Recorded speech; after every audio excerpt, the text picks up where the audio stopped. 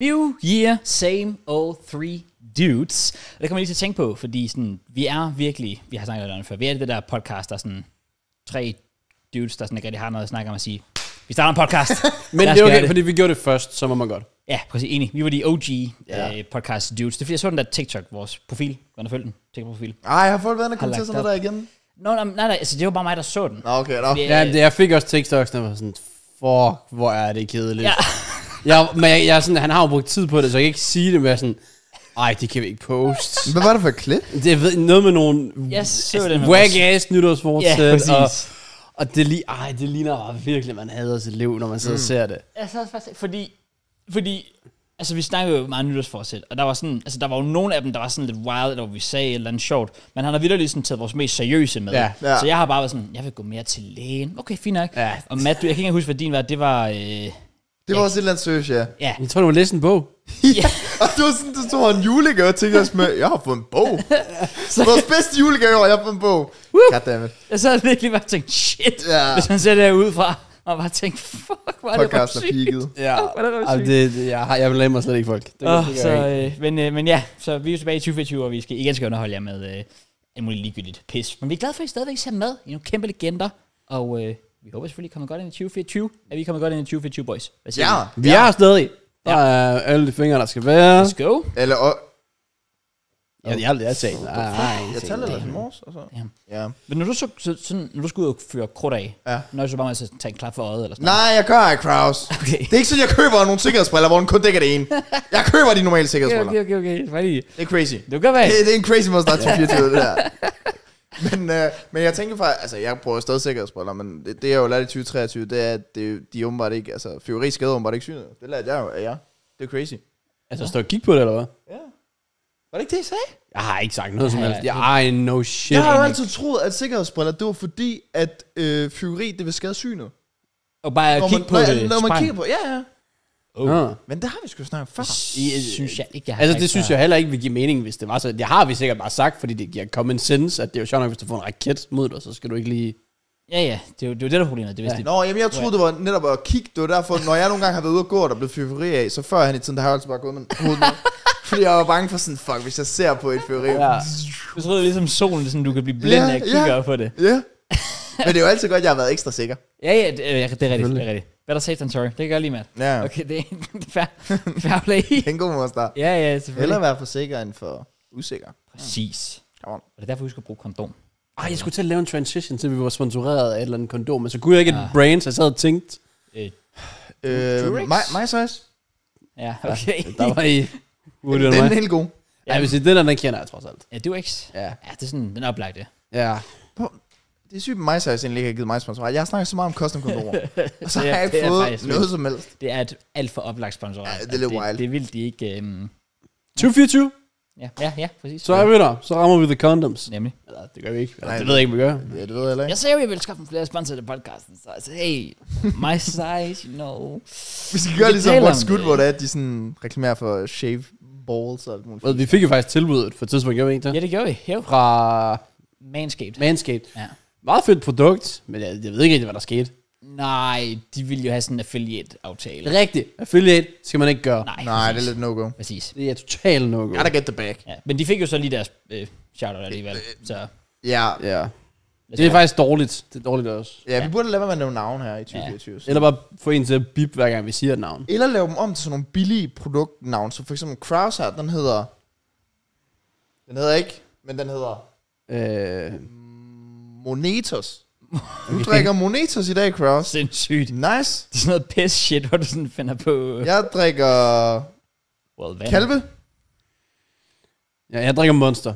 Ja, fair nok. Jeg har rent faktisk det er sponsoreret. Ja, fair nok, fair nok, fair nok. God damn. det synes, de har udgivet en sukkerfri version af den, og du drikker stadig den med sukker. Jamen, den, Det er faktisk så wild. den sukkerfri kan du... Det er kun på tanken. Er det ikke Ja, du jo, det Nå, jeg troede stadig, jeg troede, den havde ramt butikkerne. Jeg har ikke Nej, set den i Jeg har kun set den på Circle D. Så er ingen chance. Har du så ikke, havde det ikke været bedre at kalde den firkant? De, Ah. det var en oplagt en, ja. Mm. Ja, jeg var lige over i Ghetto lige før, der fandt jeg øh, den der. øhm, I'm in så, the øh, ghetto. Okay. da, da, da. Vidste du, den er dansk, den TikTok? Ja, Er, Ja, det gør jeg også. Ja! er det en dansker, der har lavet den der? Ja. yes. What? Se, nu forstår jeg, hvad de der kommentarer kommer fra. Hvis det, Det piker lige nu. Fuck, Fuck, fuck, fuck en start på Vi snakker om 2024. en fem år gammel TikTok, Ja. bro. hey, der er fire. respect, respect, kun fire. Der kom fire.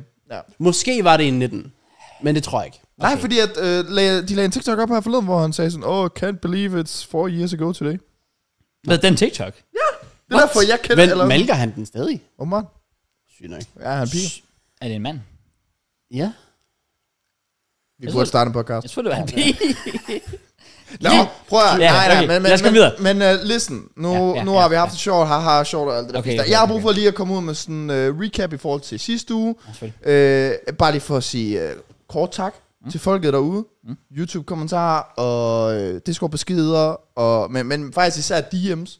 Sådan, folk var virkelig... Altså sådan, jeg har aldrig oplevet noget lignende. Jeg tror, jeg har haft en dialog med nærmest over 100 mennesker den seneste uge, hvor jeg bare skulle svare DM's. Nice. Og det har været mere sådan folk, der... I stedet for at skrive sådan... Altså, jeg er taknemmelig for alle beskeder, jeg har fået. Mm. Men sådan, det var ikke engang bare folk, der sådan skrev, åh, oh, keep your head up, eller sådan noget. Mm. Det var virkelig folk, der sådan havde sat sig ned og var sådan, fuck, jeg vil gerne hjælpe med det. Mm. Så jeg skrev en lang besked. De delte deres egen historie, de kom med forslag.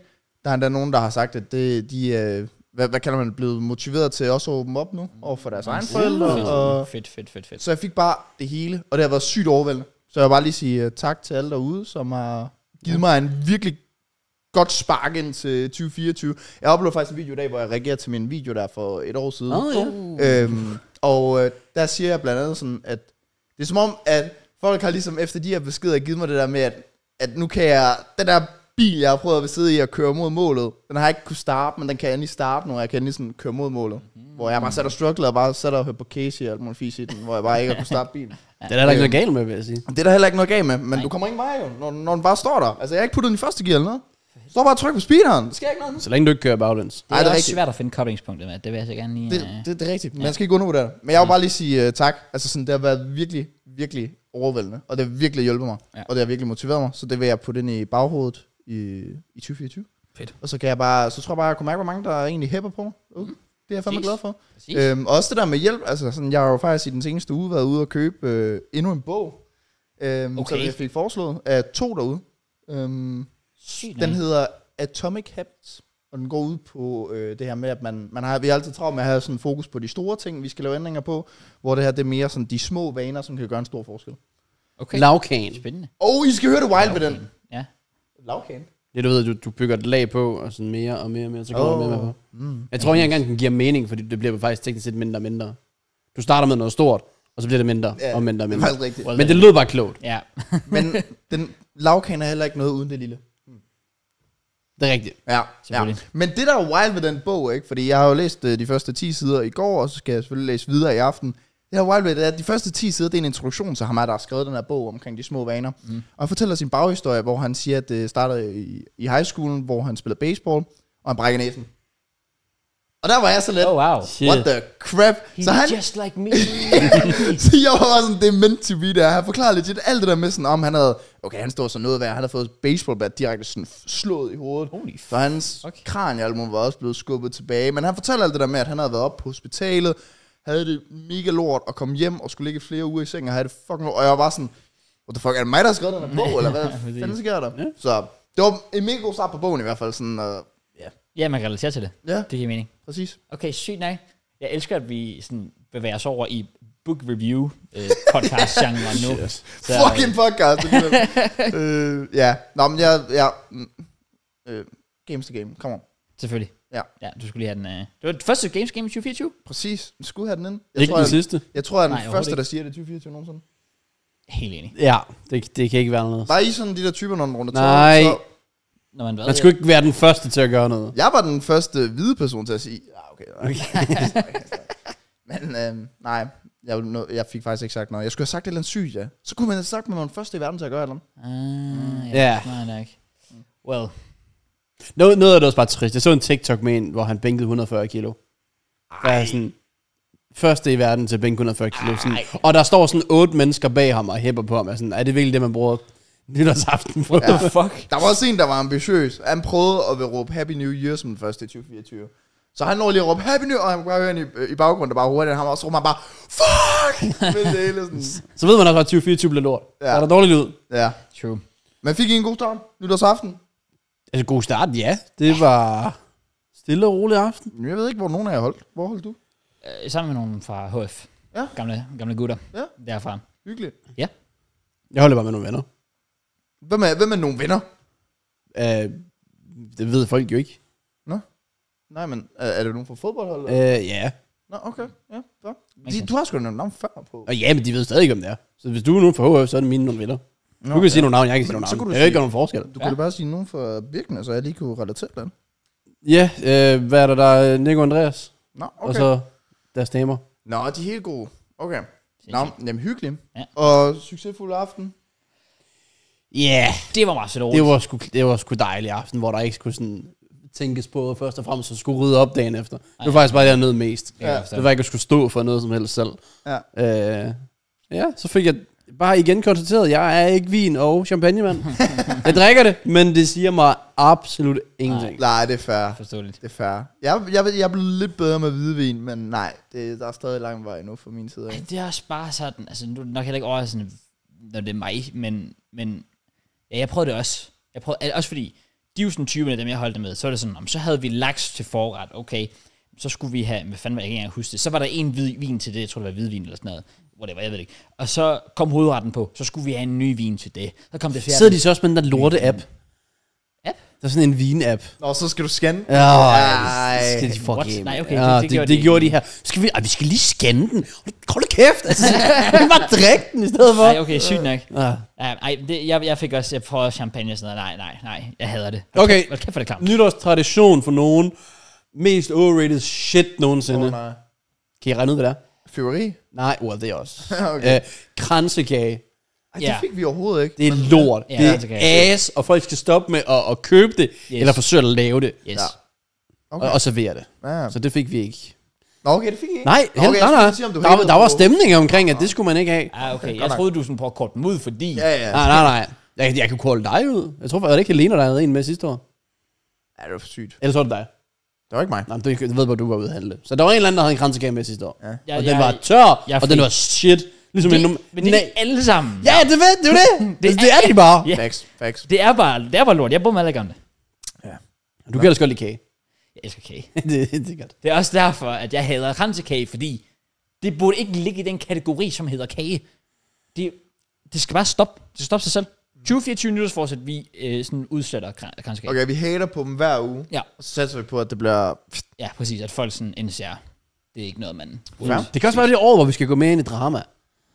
Så vi skal I begynde at kåre folk ud, eller hvad? Ja, yeah, og så skal vi have folk på podcasten, der kolder andre ud, og så ham, der bliver koldt ud, skal tilbage på podcasten. Ligesom vi havde den en gang med Matheus, Ja. hvor han kolder Robin Rasmussen ud. Og Robin Rasmussen skrev til mig på Instagram, kan jeg ikke lige komme på og forsvare mig? Jeg er sådan, nej, bro. det er mærkeligt. Er sådan, vi skal, når, når, når, det sker, for eksempel, nu er der Jax. Nu se mig, jeg samler penge ind. Uh, det er rigtig flot. Hvad, ender det ikke på sådan 600.000 eller sådan noget? Det er alt for tryhard. Ja. Men øh, ej, skud til Jax, det er rigtig flot. Men han har kraftigt med også, øh, så han bare taget Kasper Krauses øh, eks. Det synes jeg er så wild. Men en ting, der er wild, ikke? Der, I har set... Nå, jeg har sådan skudt klippet til jer. Ja. ja.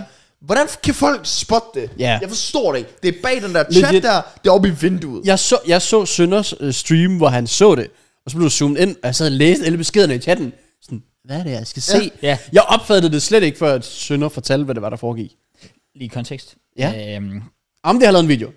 Okay. Om det er tilbage til Ja. at stjæle andres content. Så uh, MKJ reacts back 2024. Let's Vi tager- tilbage. Så, jeg uploader lige på Metamus kl. 14 her. Men ellers så Ah, fremtiden, okay, så ja, ja, okay, okay, fair. Plus det er januar. Kan vi ikke lige vente til? Ja. Jo, jo, vi fik lige Jeg tænker juleklæder næste år. Ja. Ja. MK reaktion. M- MKL Reacts. We back. Ja. Nå, men ja, der var Jackson streamet, og så kunne man, så han, han går sådan lige nærmest ud af cam i en få sekunder, og for some reason, så er der nogen, der kan se i refleksionen i vinduet. Bag den chatten. Ja, præcis.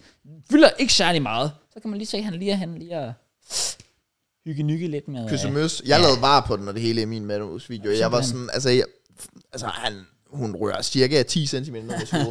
Ja, ja. Så altså, Den- den, den han, er- han er jo magisk godt til. Ja, altså, ja, det ja. har Der er gået igennem. passioneret kys, det har ikke været tændekys jo. Nej, nej, nej, nej, nej, nej. Nej, nej, der har været, der har været givet godt gang i den. Ja. så han har bare stjålet hende. Det, er- det er ret uh, Det iskoldt. er bare ironisk efter alt det med Matheus, der har sammen Det med også det, ja. Ja. Jamen, jeg, jeg kan heller ikke finde rundt i det. Sådan, Ja, det skørt. Også fordi var hun ikke sammen med, eller var, hvad hedder det, var, var Jax ikke sammen med Karoline, som var kæreste med Quiddo. Jo, jo, jo. Shit, mand. Ja, og Kasper Krause har jo callet alt muligt ud ved Jax. Så ved jeg ikke, om Jax bare har skrevet til hende, fordi hun skulle være med i musikvideoen, og så er der nok bare sket lidt. Så er der bare sket lidt ting og sager. Det er smart nok, det er win-win. Ja, det er det. Har I hørt sangen? Jeg har hørt Jeg har TikToksene med den. Det, det er en fin vibe, men den, som, jeg tror også andre har sagt det samme, den lyder som alle andre. Men jeg, Okay. synes, jeg synes egentlig, den har en okay vibe. Altså selve de TikToks, jeg har set, man, der synes jeg sådan, Ja. ja. der er potential for at blive sådan, Ja. ja. også TikTok-sound viralt. Føler jeg. Ja. Sådan i forhold til piger, der sådan... Øh, Ja, det er sikkert. Der er nok, nok, nok, noget Morten. Og jeg siger det ikke engang, fordi at, øh, jeg kender ham og sådan noget. I don't give a shit. Det er sådan, jeg folk er fandme også efter, bare fordi det er den, der var ham. Ja, ja, Øh, præcis. sådan, altså, så selv hvis den, hvis folk, folk kan godt have den, hvis det er, men selv hvis den var god, vil folk aldrig indrømme det. Nej. Altså Nej, nej. aldrig nogensinde. Men det var jo også Men det, der faktisk, var den er med Albert Dyrlund, der er tilbage, sådan, hvor man var sådan lidt fuck af -agtig. Altså det er folk jo bare, når man vælger at springe ud i andre ting. Ja, Så præcis. sådan, Charles, det, altså, man, vi vil alle sammen ved jo godt, jeg, altså, jeg kan jo godt, hvis jeg vil synge, men folk vil bare sige, det er pisselig meget hvad. Klart. Det Klart. er derfor. Det er derfor, ja, mand. ja, men sådan Albert Dyrlund, det er jo sådan ikonisk nu. Altså, Ej, jeg vil sige, Albert Dans var altid ikonisk. Men sådan, når han lavede sådan, bare send mig en emoji, så var sådan, øh, fuck af, Er det rigtigt? Ja. True. Den, den skulle lige nå en vis... Det er samme med Husums Tesla og sådan noget. Altså, den var også... Altså, det, Den er- det er den stadig. Men Hvad? Hvorfor skal vi hate på den her Vi begyndte at hate på folk. det er det, vi bliver nødt til. Ja. Det er året, hvor den vi er- hater. Den er low-key underrated. Low-key underrated sang. Ja, det er den blevet nu. Ja. Men dengang, hvis du satte den på, så blev du bedt om at, forlade kirken med det samme. Ja, Fandt Det var kirken. Ja, det var, det var en hård jul, jeg havde dengang. Min Tesla. For så var med bibelbog og alt muligt sådan, hvad fuck er det her for et vers? Det er fucking banger vers, mand. Øh, fair. Er der flere, der skal hates på? Nogen, nogen vi mangler. Øh, Jeg synes, Nej, vi skal vi burde... he- De der bedøvende podcast der, Hvad? de ligger nummer et. bedøvende. Ja, det er BK, der har alle podcast i hele verden, og alt, han gør, bliver bare åbenbart til guld. Sygt nok. altså ligger det nummer et på Spotify? Ja. Fuck sake. Men det gør jo ikke sådan sygt meget. Ej, det er stadig ret vildt. Ja, ja, det er stadig ret godt. Fair. Men jeg har også set TikToks med dem, hvor de er sådan ret sjovt. Ja, de kører... Altså, de har allerede fået Betty James ind. Og de har lavet sådan to podcast. Det er crazy. Ah, Hvad, okay. Men hvem skal vi se på? godt Vi, nok vi bliver... Vi bliver nødt til at hate på BK, mest fordi jeg har skrevet til ham på Instagram. Uh. Og han har ikke svaret mig. Nå, fuck. Uh, Han har nu købt sådan en funktion til, så du kun kan sende en besked ad gangen. what? Ja, så det er sådan, fordi at så har du sendt, What? hvad der er en form for anmodning om, at nu må du skrive. Så det var totalt antiklimatisk, for jeg vil vedhæfte et billede. Så jeg beskrev et billede, og så skulle jeg sende billedet efter. Så kan jeg ikke få lov at sende det. Okay. Så vi kan godt kalde ham arrogant. 100%. Ja, jeg begynder at hate på ham. Okay, Okay, det, det, bliver vi nødt til. Det bliver vi Så nødt til. hater vi på ham. Det tænker jeg, det tænker jeg nemmest, du ved. Helt på den på toppen. Ja, Ja. enig. Øh, kunne vi også low-key hate på dronning Margrethe? Well, ja, også fordi jeg var sådan lidt, bro, det hele skal ikke handle om dig. Det er sygt. Men det skulle det så åbenbart. Åbenbart, ja. Ja. Ja. Og det var, det var noget af en overraskelse, Ja. Queen D, åbenbart ikke. Alle var også sådan totalt i chok sådan i stuen, og, da vi sad og så det der. Og så ruller den ud til eksperterne efterfølgende. Ja, vi havde jo snakket om, at det, at det ville ske. Nå, okay. Jamen, det var, det var det, fordi jeg var, øhm, jeg var taget hjem til øh, Frederik, min vens familie der, for at spise der, inden vi skulle ud til noget sammen. Og der sagde de også, at de har snakket lidt om inden i kommentering, at det måske godt kunne ske. Og så var jeg bare så, ah, altså, hun har altid sagt, Ja. at hun vil køre den til enden. Yes. Så det vil undre mig meget. Ja. Og så, så hun bare sådan ligeglad. Men det giver jo mening nu i forhold til alt det, der skete i 2023, i forhold til sådan kongeriget og alt det der. Ja, ja. Enig. det, hun har skulle sortere ud, så der måske ikke blev puttet super meget pres på kronprins Frederik. Ja. Jeg er spændt på Frederik som konge. Jeg føler, at han er lidt for vibes til at skulle være konge. Han er sådan lidt for det. normal. Ja, Ja, det, det er det det, det går ikke. Altså, når, for eksempel, når, når dronningen hun snakker, så er der bare nogle ord, hvor jeg er sådan, ej, du tryer han lidt. Sådan, Ja. ja. mad. Mm-hmm. Du kan bare sige meget.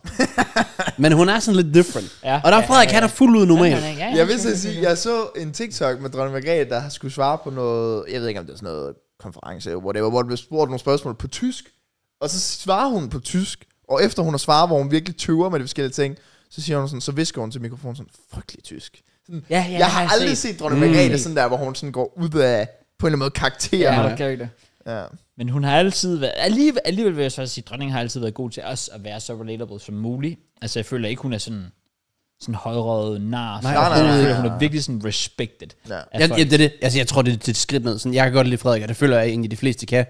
Men der er nok et eller andet med, at han prøver at være normal. Fordi han er normal. At det, det kan du hate på. Ja. Du kan ikke hate på dronningen. Det er umuligt. True. Ja. Også fordi hun er kvinde, og i 2024 må du ikke gøre det. Det ved vi tænkt sikkert, at hun er. Igen, det kan være, hun identificerer sig selv som en plante. Det kan også være. Man ved Men det? en anden ting, der er også bare nederen ved de forskellige sådan, ting, det er jo sådan, det vil fandme også være nedtur for Frederik at blive først sådan kongen som 60-70 år. Ja, ja. Der sker de forskellige lande, det synes jeg fandme er. Det er nok også det, hun... Altså prøv at se fucking Charles over i England. Ja. Ja. Så han, han, han, han ligner lidt en, der selv er ved at krasse af. Ja. Det Han tror jeg også, han er. Kongen. Ja, Ja. det, der går nok ikke mange år. Så jeg kan også godt forstå, nemlig det, det, det er nok det, hun også er sådan lidt. Frederik, du tager den nu. ja, han er jo kun sådan 52 eller It's your 54. time to shine. Ja, jeg siger det, ja. Men det vilde med dronning Margrethe, sådan, også bare ens forældre, det er også nærmest det eneste, de har haft også. Så, det er det jo. Ja, hun er så der 52 år. 52 år. ja. Altså, i hvert fald så længe mine forældre har levet, har hun været dronning. De ja. har, altså, hverken os eller vores forældre har set andre end dronningen holde nytårstal ja. før. Mm. Next year. Spørgsmål. Siger hun, han så også Gud bevare Danmark, eller finder han på hans eget? Nej, han skal, han skal ikke sige Gud bevare Danmark. Det skal være dronning Margrethe. Okay, okay. Ja, ja, det synes jeg. Okay, hvad siger han så i stedet for? Åh, oh, jo, han er jo sådan Come on young. now, dog. ja, præcis. Men, men jeg kommer lige til at tænke på netop hans søn, Christian. Han er vokset op med alt det her shit, ikke? Åh, oh, nej. Så han kommer jo til at lave... Bro, han, han, han står sådan inden Han nytårstalen. siger bro i nytårstalen. Han skal lige ind og se, hvad kan man også på. Ah, Han er Han er den type. Shout out Søens folk in it. Ja, ja, hans boys ringede til ham, men vi har smidt, vi har smidt 100 lapper på Søens folk. Du, du, du nævner den lige? I got you, boys. Jeg tror, han siger peace. Take it easy, vampire. Og vi ses. ja, han, han lukker den lige af. ja. Nej, det, det bliver anderledes. Det bliver... Ja. ja. Det synes jeg sgu er vildt. Det bliver så mærkeligt, jeg slet ikke forholde mig til det faktisk, at ja, vi skal se på Frederik næste år. Det bliver sådan helt mærkeligt. Ja. Ja. Og for han er bare vant til bare at gå rundt, og så tager han i naturen, og ser han fodbold og alt det der. Jeg er sådan, han kan vel ikke leve sit normale liv, eller leve sit normale liv længere. Nu skal det til at være helt seriøst. Er det må være meget på grænsen? Jeg kommer til at gøre Det går ud fra. Jeg føler altid sådan, det kommer også dronningen, an- de skal være så perfekte. Eller Kongeriget, det har vel også bare rykket, altså sådan, eller tiden har jo også bare rykket sig sådan Ja, lidt ja. forbi alt det her kongeriget, så det kan jo godt være, det bliver sådan lidt nyere. Det er sjovt, det føler jeg er Ja. noget af det, hvis man sådan tænker historisk set, er jeg overrasket over, hvor lidt det faktisk rykker sig. Altså sådan noget med, med konger og dronning. Det lyder bare 1600-talsagtigt, og det er stadig bare en ting, hvor det behøver jo ikke være en ting, men Nå. det er ikke noget, man ændrer på. Og der er det- altså sådan, de udvikler sig selvfølgelig som personer, fordi der er teknologi, og alt rykker sig. Men øh, at det stadigvæk er en ting i sådan verden over, det synes jeg er sygt at tænke på. Men der er også meget diskussion omkring, om det, det er værd at have længere. Har jeg i hvert fald hørt. Ja, ja. Det, Altså økonomisk er det nok ikke. Nej. men, det er også det. men jeg tror, der vil være øh, Men det er bare stor modstand, hvis man er stemt imod det. Det kommer Ja. også til at være. Det, Jeg det tror jeg virkelig også. Det har sin charme. Ja. Altså, det skal det sgu have. Hun skal da have. Hun er stoppet med at ryge, så hun skal ikke have så smøg længere. Goddammit. Det er fair. Det er fair. Ja, det, det er true. Ja. Men skud til Daisy. Big Der er en Daisy. plads herovre, hvis hun vil ud og ytre sig. Fuck, hvis vi får fucking dronning Margrethe her på. Hvad kalder man hende nu? Margrethe? Kalder man hende bare Margrethe? I guess. Nå ja. Du kalder hende vel ikke eksdronning? Men er det der, hvor vi er så... Elsker hende så meget, at vi siger, så længe du lever, er du stadig vores dronning. Du, du er McQueen. Yes. Det er jo egentlig et rigtig godt spørgsmål, hvad man egentlig siger. Ja. Men hedder hun, er hun så bare prinsesse? Margrethe nu? Er hun, er hun gået tilbage til det? Sådan. Shit. Shit. Åh, det er været trist. Det er vi simpelthen ikke kloge nok til her, tror jeg. Nej, jeg tror, det vi er er nået på dybt vand Det er nu. sådan en omkring det. nedrykning. Hun har bare reddet en championship. Shit. Ja, Det kan selvfølgelig godt... Ej, umuligt, hun hedder prinsesse. Jeg ved det sgu ikke. Jeg føler, det, det, det er simpelthen for, for mærkeligt. Det vil, ja, jeg kommer også til, jeg kommer til at se dronning Margrethe hele tiden. Altså, det, øh, det Ja. er ikke så meget at komme efter. Så kalder en Daisy. Jeg ved aldrig, hvor det kommer fra, men jeg har været fan af det siden. Ja, det er godt navn. Nå, jamen, øh, nok om det. Ja, Ja. Nok om det. det er Ja, hun skal hun heller ikke. Var, det var lidt selvisk. Altså, Ej, jeg vil hun, sige, jeg vil hun sige, ved alle i verden, eller ikke alle i verden, hun ved alle i Danmark, de sidder og kigger på hende lige nu. Nu, nu Og så hun sådan, det skal lige handle om mig. jeg vil også sige en Ja. lille kritisk ting omkring hendes nytårstale. Det er fordi, jeg skal være that guy. Okay. Jeg synes bare, at der var en lidt mærkelig linje i hendes nytårstale. Okay. Med at kvinder og børn ikke har valgt krig, men skal leve med det, eller et eller andet. Ja. Hvor hun fik det til at lyde som om, at det er alle mænd, der har sat sig for, at der skulle krig i verden, eller whatever. Det synes jeg var lidt weird. Mm. Jeg tror måske mere, at dem, der har valgt krig, har været mænd. Jeg tror Men ikke, hun betyder- siger, at alle mænd. Men hun nævner jo ikke, så kunne hun jo godt sige nogle mænd, eller whatever. Ja, I stedet for at udelukke alle mænd, fordi det gør hun jo, når hun siger kvinder og børn. Det er også bare en norm- det, jeg føler, det er en normal ting, man siger, når man snakker om krig, det her med, at krig går ud over, og nu kommer jeg til at lyde som en kæmpe idiot, men det er jo det, man, alt- det, er jo det, man historisk har sagt, det her med, at det går ud over de svage kvinder og børn. Ja. Det, er jo- det, det, er det, er jo- det er jo det, der i er ligesom ideen med det. Ja. Og det er ikke for at sige, at kvinder er svage. Okay, I'm sorry. Rolig. Det er bare historisk set, så derfor man siger det. Ja. Jeg tror, det er derfor. Okay. Jamen, det, det undrer mig bare lidt. Ja. Ja. Det var sådan lidt. Nå, okay. Ja, ja, Så det er, det er vores- bare sådan noget, man gør. Okay. Ja, ja, ja, præcis. Fair nok. Så fornærmer man ikke vildt mange. Også fordi hun sagde jo kvinder, altså allerede der, så kunne hun have fornærmet rigtig mange mennesker. så skulle hun også til at he, she og alle de her pronouns Ja, det er der. måske rigtigt. Nå, jeg, jeg tænkte bare lidt over det. Og sådan, hmm. Det er måske fint nok. Jeg ved, hvad der er- også sker, hvis der er en Ja, mand der. ja præcis. For hende. Hvad? Det er godt, at bare det med, at hun er en kvinde, så er det også fint nok. Det er mere, hvis der havde været en mand, så er der sikkert nogen kvinder, der er sådan, hvorfor siger en mand det der? Mm, Ja. Tror du det? Ja. Er det ikke? Det er derfor, det bliver skidt med Frederik.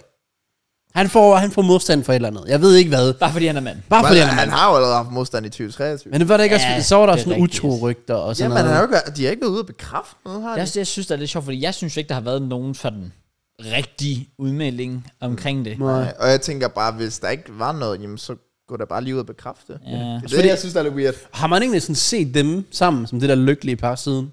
Hvis man så dem sammen hele tiden, sådan tilbage i Jamen, nu tager- 21 og 22 Ja, det er og sådan faktisk noget. lang siden, jeg har Jeg set synes, jeg synes Mary. ikke, øh, det er ikke fordi, du ser dem rende rundt længere. Nej, men du så jo- du, man ser nogle clips på TikTok, men jeg føler også bare, det er taget totalt ud af kontekst, så tager man sådan en meget lille ting, sådan, så stod de ikke sammen ved siden af et eller andet, mm. de var til, eller sådan noget, så tænker man sådan, uh, og, Ja, man kan hurtigt...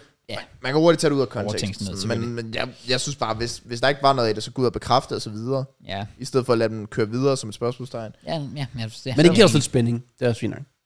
lidt drama. Ja, men Det jeg gider, drama jo. Ja, vores, Ja, fremtid, hvorfor skal vores fremtidige konge være en clickbait i merchant? Altså, fuck? Det handler om opmærksomhed. Ja, det er omtale wild. er god omtale. Ja, men det er wild. Og det er sådan, det bare skal være. Det er fair. Okay, men andet spørgsmål. Nytårstale. Hvor lang tid tror vi, der går, før, om det bliver Frederik eller hans søn Christian, midt i det hele stiller sig op og siger, inden vi kommer videre, så skal jeg lige tale om dagens sponsor, som er NordVPN. og så bare køre den af. Det kommer til at ske på et tidspunkt. Mm, Det kommer til at ske. At det er sponsoreret. Tror du, der kommer til at stå sådan danske spil? 100%. Sådan logo Ja, eller du ved, så står der en faktisk kondi i baggrunden, eller sådan noget, 100%. Spørgsmål om tid, fordi lige pludselig, så mangler de penge. jeg, jeg tror ikke, kongehuset kommer til mange penge. det. De giver, et eller andet tidspunkt. Jeg tror, der er større chance for, at det bliver AI, der laver talen, oh, ja. Ja. end at at der står en faktisk kondi. Det kunne også, sorry Christian, jeg ved, at jeg hakker på dig, men det kunne fandme også være ham. Sådan, fuck. Åh, oh, det er mor, jeg talen. Shit, jeg har ikke begyndt endnu. Lige en hurtigt på, på noget chat GPT. Men er det ikke skattepenge, der går til kongeriget bladet? Jo. Jo. Ja, så kommer de ikke til mange penge. Nej, Nej. nej, bestemt. De chiller for Ja. ja. hårdt. Ja. Jeg ved ikke engang, hvor- altså, hvor mange penge de sådan har om året, men jeg tør ikke... øh,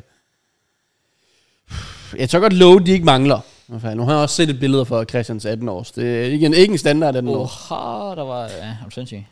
Jeg vide, hvordan det må være sådan at altså, være en del af kongeriget. Du har ikke rigtig haft sådan noget valg, low-key, eller det ved jeg ikke. Sådan, også det.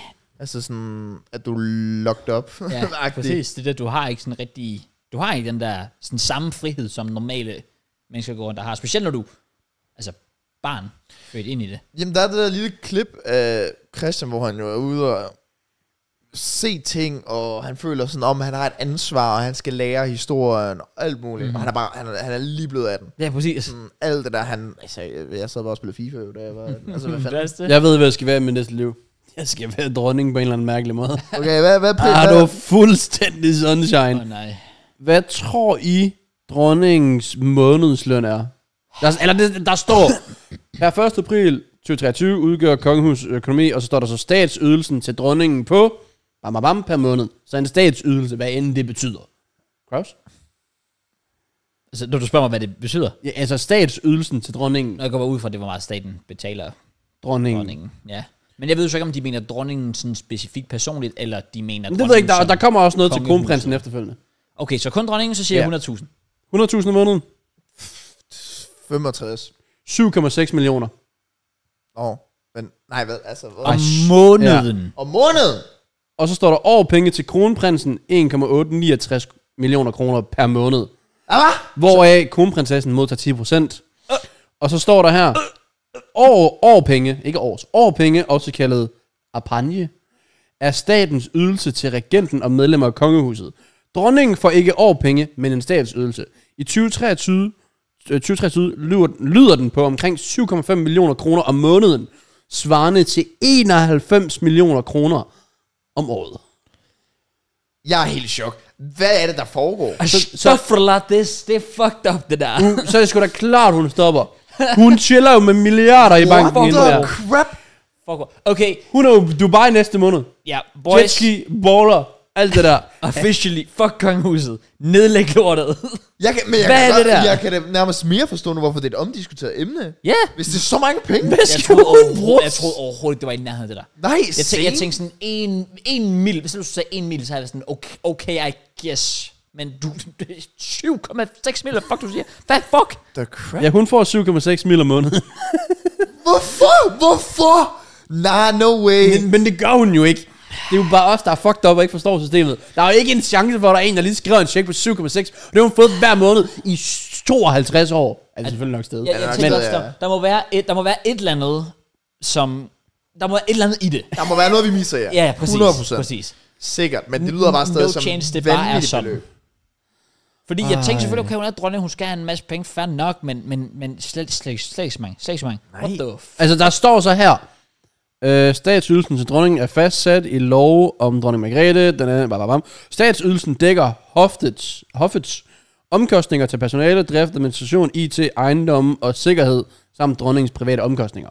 Okay, Så af de 7,5 millioner, der går det jo så til hele ja. borg, hvad end den der borg hedder. Ja. Malienborg. Er sikkert. Ja. Øh, og alt, alle ansatte og så videre. Så hun er chefen, I guess. Ja, det er og hun så jo. Det er betaler hun jo at de officially, ja, 7,5 præcis. millioner om måneden Ja. ud til folk. Okay. Så giver det lidt mere mening. Det giver lidt mere mening. Okay, men det var også det, sådan lidt håbet på, ja, at det var til kongehuset. Ja. Ja, præcis. Ja. Ikke bare til hende. Ja, det er ikke bare var til hendes bankkonto, så havde jeg seriøst, what the... Er Nej. du sindssyg, mand? Jeg ved ikke, hvad jeg skal sige til det. Så, okay, men så, så giver det mere mening. Ja. Men så er jeg bare stadig sådan, ud af statsydelsen til dronningen er der fastsat over penge til øh, kronprinsen, hvoraf HKH, hans Krist, Hans kongelige hørhed. præcis, kronprinsen modtager 10%, samt over penge til prins Joachim. Over penge skal dække omkostninger til personale, drift, administration, ejendomme samt private omkostninger. Så ja, det er deres form Men- for løn. Men det ender ikke på, at det stadig er sådan, de udgifter, så der er til et kongehus, som folk stadig nok vil være lidt Præcis. Altså ja, prins Joachim, der er ikke, der ikke nogen, der ved, hvem han er. Hiver 330.000 om måneden. Det er ikke en god, øh, en god slat. Ja, det ved jeg Nå, shit, mand. Ja.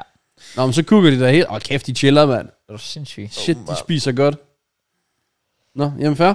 Det var, så lærte vi også lidt noget nyt. Det er jo, det er jo, det er jo målet nu. Det er jo altid lækkert. Fik, 2024. jeg, fik jeg nogensinde spurgt jer, om I egentlig havde købt sådan en fyrkeri til nytår? Jeg kan svare hurtigt og sige nej. Jeg kan det heller ikke. Der var ikke nogen af jeres sådan, venner? Nope. Eller? Nej, okay. Nothing. Fornuftigt.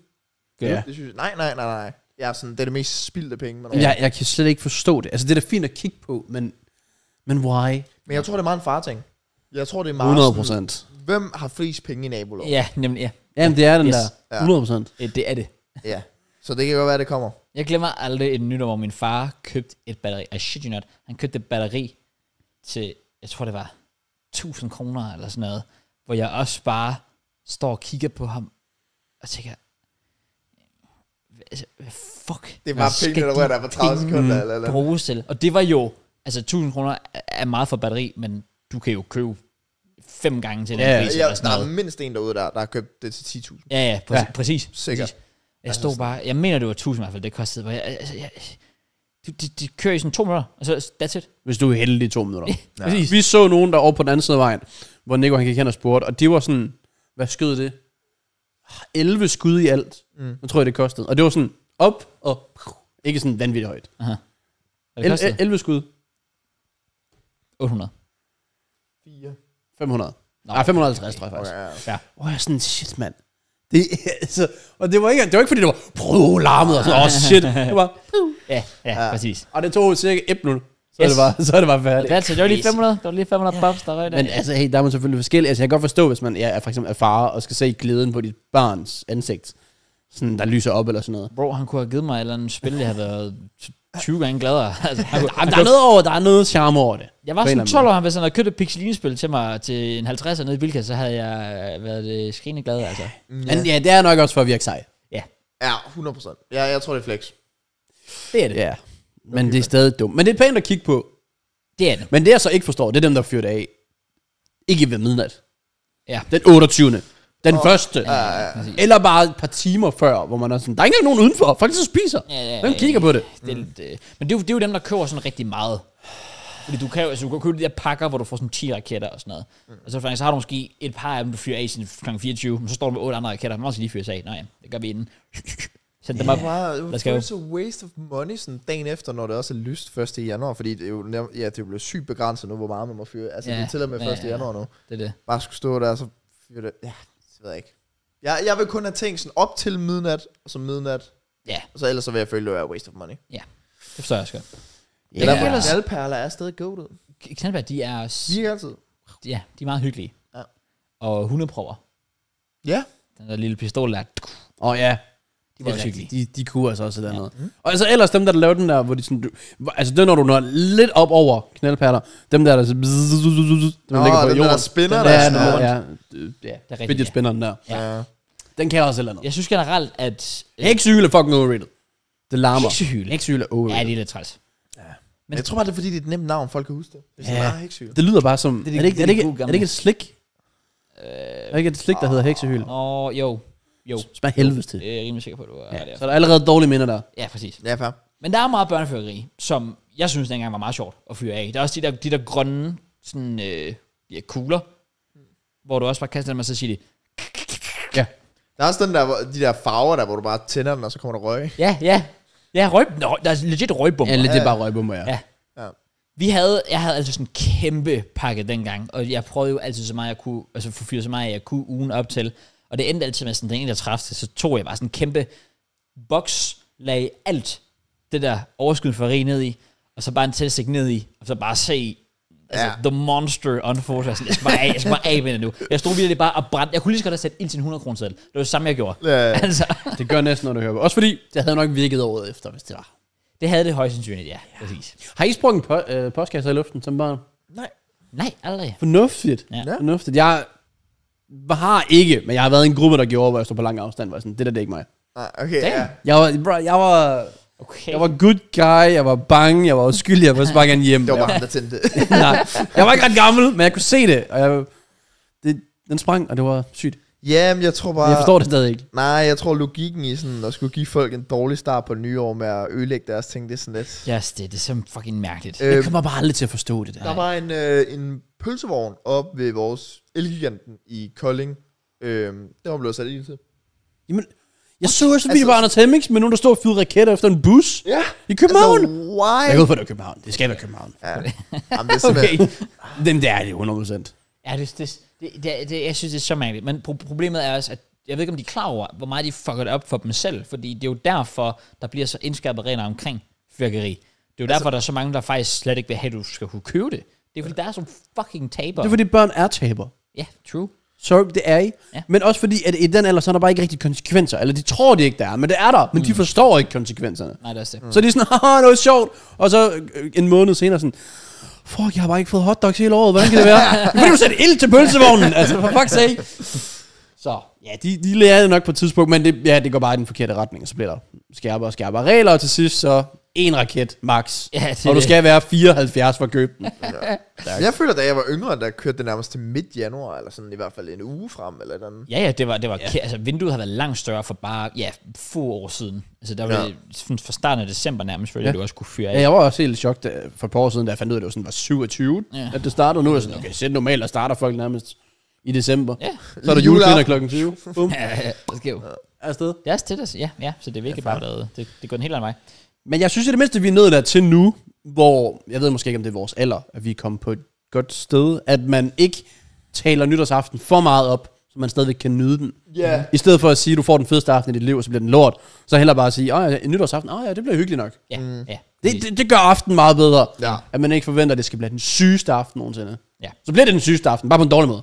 Ja. Og det gider ikke. True, true. Det bliver- det bliver en Nej, men røvsyg mere, mere det der med sådan, at man skal bare hygge sig, ja. og så bare slappe af i det. Det tror jeg, altså sådan, det var derfor, jeg også havde en god nytårsaften her forleden i hvert fald. Det var fordi, at jeg havde ingen forventninger, jeg bare planer om, at jeg skulle ud og hygge mig, og bare slappe af. Ja, det er det. Ja. Hvor holdt du det hen med det? Jamen, jeg var ude ved den der garage der, ved nogle af fodboldgutterne fra Kolding. Okay. Og så, øhm, jamen så, jeg troede, jeg har altid troet, vi skulle øh, spise noget sammen, alle sammen. Og så ja. fandt jeg ud af sådan to dage inden, okay, det skal vi ikke. Og min mor, hun var sådan taget til København for at holde, Ej, og min søster var i Aarhus. Og, altså, så det lignede jo egentlig, at jeg skulle spise nytårsaftensmad Shit. selv. Så tænkte Får jeg, du bare en rugbrød der? Ja, og så uden Frederik faktisk vidste det, så spurgte han, om jeg egentlig ville øh, spise ud ved dem. Okay, det var lækkert. øh, de var tre børn, men to af dem var taget afsted, så de var kun tre i alt. Øhm, Det er også fuldt mærkeligt ikke at spise sammen til nytårsaften. Spis sammen. Ja, ikke? Ja, altså sådan, altså, du har et fællesskab, der ja, ja. holder noget sammen. Ja. Men de spiser ikke sammen. Er det ikke? Ja. Det er jo det, jeg forbinder med nytårsaften. Det er god mad. Men, men der er også mange, der mixer det op, hvor de sådan, så spiser de med deres familie for fejre nytårsaften der, og så tager de ud og fester. Ah, Det tror jeg. Okay, Ja. shit. Det tror jeg. Det, var, det, det, det kunne jeg ikke lige gøre. Nej. Det var en lidt lang tur. ja, ja, det selvfølgelig rigtigt nok. Nej, men så, øh, så, så tog jeg derud, og sådan, det var faktisk virkelig hyggeligt, fordi, eller de fik Atami, så der var jeg jo selvfølgelig lidt allerede der på udbanen Ah, shit. sushi det der. sushi. Er det ikke ham FIFA-youtuberen? Ha? Nej, det er Itani. I, nå. For, Ja, ja, okay. Atami, du Jeg ved- skulle være Atami. Atami sushi? Atami? Sushi. Nå! Ja. Oh, oh. Nå, ja, men så var der sådan en kylling kaj med risekylling, man kunne bestille. Så tog Åh, jeg jo selvfølgelig Okay, det, ikke? Men kan man få det på Atami? Ja, du kan få gode ting der. Men så spiste vi derude, og øh, det var mega hyggeligt, fordi igen, de har jo, altså sådan, vi snakker faktisk bare om sådan minder, sådan gymnasietider og så videre, og de er bare super meget med på. De der forældre, der er super gode til at huske navn. Ja. Så de kan bare huske alt, hvad man sådan har fortalt. Ja, der skete det der, sådan, og til standardfesten, der skete det alt muligt. Det var det virkelig gode til. Ja, det, det, det har min mor også stadig. Altså sådan, jeg ses jo med... Stadigvæk, ja, det er kun én, jeg gik i folkeskole med, der er med i min sådan, drengegruppe fra Greno af. Øhm, og i legit sådan vores klassebillede fra 0. klasse, der sidder vi ved siden af hinanden. Hun har, altså hun kan jo huske mere af hans liv, end han selv kan. Ja. Og hun har ikke set ham siden 9. klasse. Ja, men det er det der er vildt. Så mødre, de er different. Ja. Sygt nok. Jamen, de kunne bare huske det hele, så vi sad bare og snakkede om alt, og whatever. Så tog vi derud, og ja, så var der bare party. Øh, Jeg, jeg havde ingen idé om, hvordan jeg skulle komme hjem. Så jeg havde lidt øh, håbet på, at man kunne øh, f- på en eller anden måde få en taxa. Ja, på good en luck. eller anden måde, ikke? Ja. øh, men så Frederiks mor havde tilbudt, at han, hun skulle komme og hente ham på et tidspunkt. Og jeg troede jo faktisk egentlig, at jeg skulle hjem før Frederik. Men så klokken, tror klokken var tre eller sådan noget, så sagde han, at hans forældre kommer om en halv time, og så sagde jeg, bro, jeg er villig til at give alt, for at de kører mig forbi Kolding, og bare sætter mig af. Jeg skal nok gå en kilometer eller to, eller hvad det er.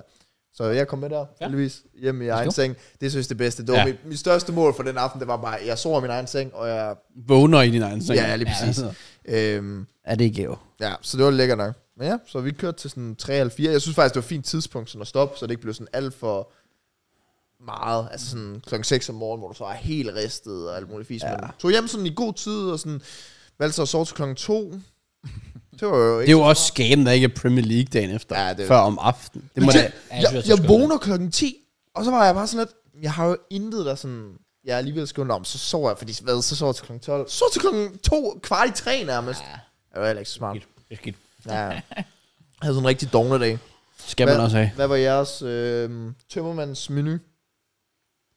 menu? Øh, Jeg fik Burger King. Okay. jeg havde meal preppet dagen inden, så jeg fik øh, det for hver dag.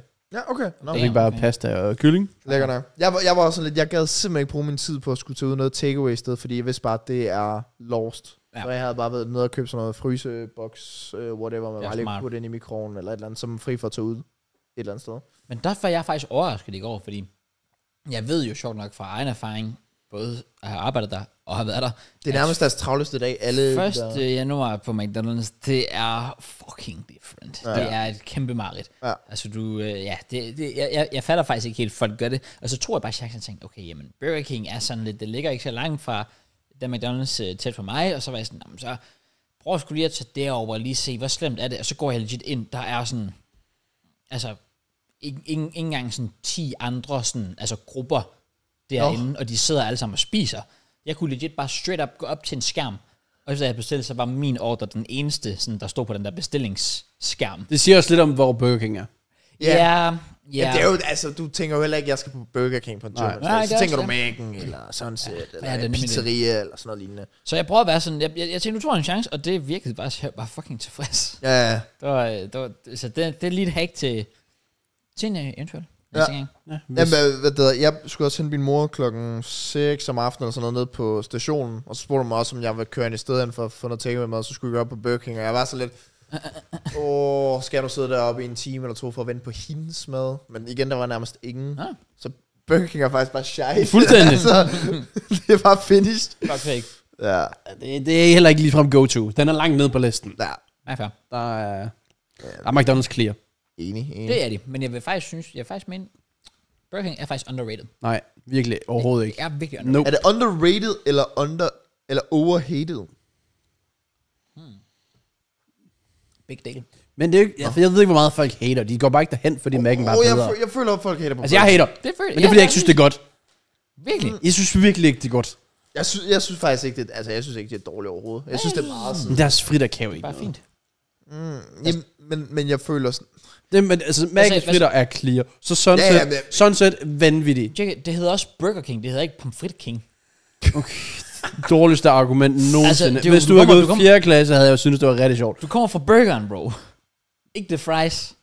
Det er bare sådan en ting, man får. men så vil jeg jo så sige, hvis man havde Burger King, så skulle man jo så også forestille, at de bare havde de bedste burger. Og det har de ikke engang. Jeg synes, jeg synes, at burger er bedre end Magnus. De er, meget, de er meget gennemsnitlige. De er bedre end Magnus. Men jeg vil så sige, det er det eneste, de slår Magnus Det er på. også, men det er fordi Mac'en, de... Jeg synes, Magnus fritter er clear, fair nok. Jeg synes, deres tops er clear, deres uh, fucking Nuggets. nuggets. er clear. Men de ja. klotcher på sovsen. Sådan en tasty sovs. Ja, ja, det er også rigtig nok. Altså, den, den, den gør alligevel en middelmåde burger bedre end en Burger King burger. Siden i sommer, hvor jeg snak- smagte den der Tasty Cheese øh, Ja. burger, hver gang jeg er på, har været på Mac'en siden, jeg har kun købt den, mm. fordi de er så fucking gode. Ja, men de er gode. De er clear. Ja, fair. Jeg føler, jeg føler Burger King bliver lidt overhated sådan. Det er bare sådan, fordi man putter dem, det er ligesom salt og peber, kylling kød, alt det fisk der, så er det Mac'en og Burger King. Ja. Ja. Så er det Ja, og der fortjener de ikke engang at være. Det er Nej, Mac'en men, og men, det, Sunset. men det er der, de blev sat ind, og det er også lidt unfair, synes jeg. Ja, det gør man ikke. De har ikke bedt om det. Det Nej, er bare synd for dem. Ja. De bliver bare behandlet lort. Og så i Kolding, der har vi legit Mac'en, og så over for gaden på den anden side har vi Burger King. Så det er jo heller ikke fair for dem Nej, overhovedet. det er altså, de ligger sådan Så lige... du vælger altid Mac'en, så. Ja, ja, ja. Enig. Nej, fair. Ah, året med debatter, det ændrer sig ikke. Nej, det gør det ikke. Det gør det ikke. Det fortsætter. Man fortsætter også i 2024. Jeg kan se, du har været på, øh, på en grind.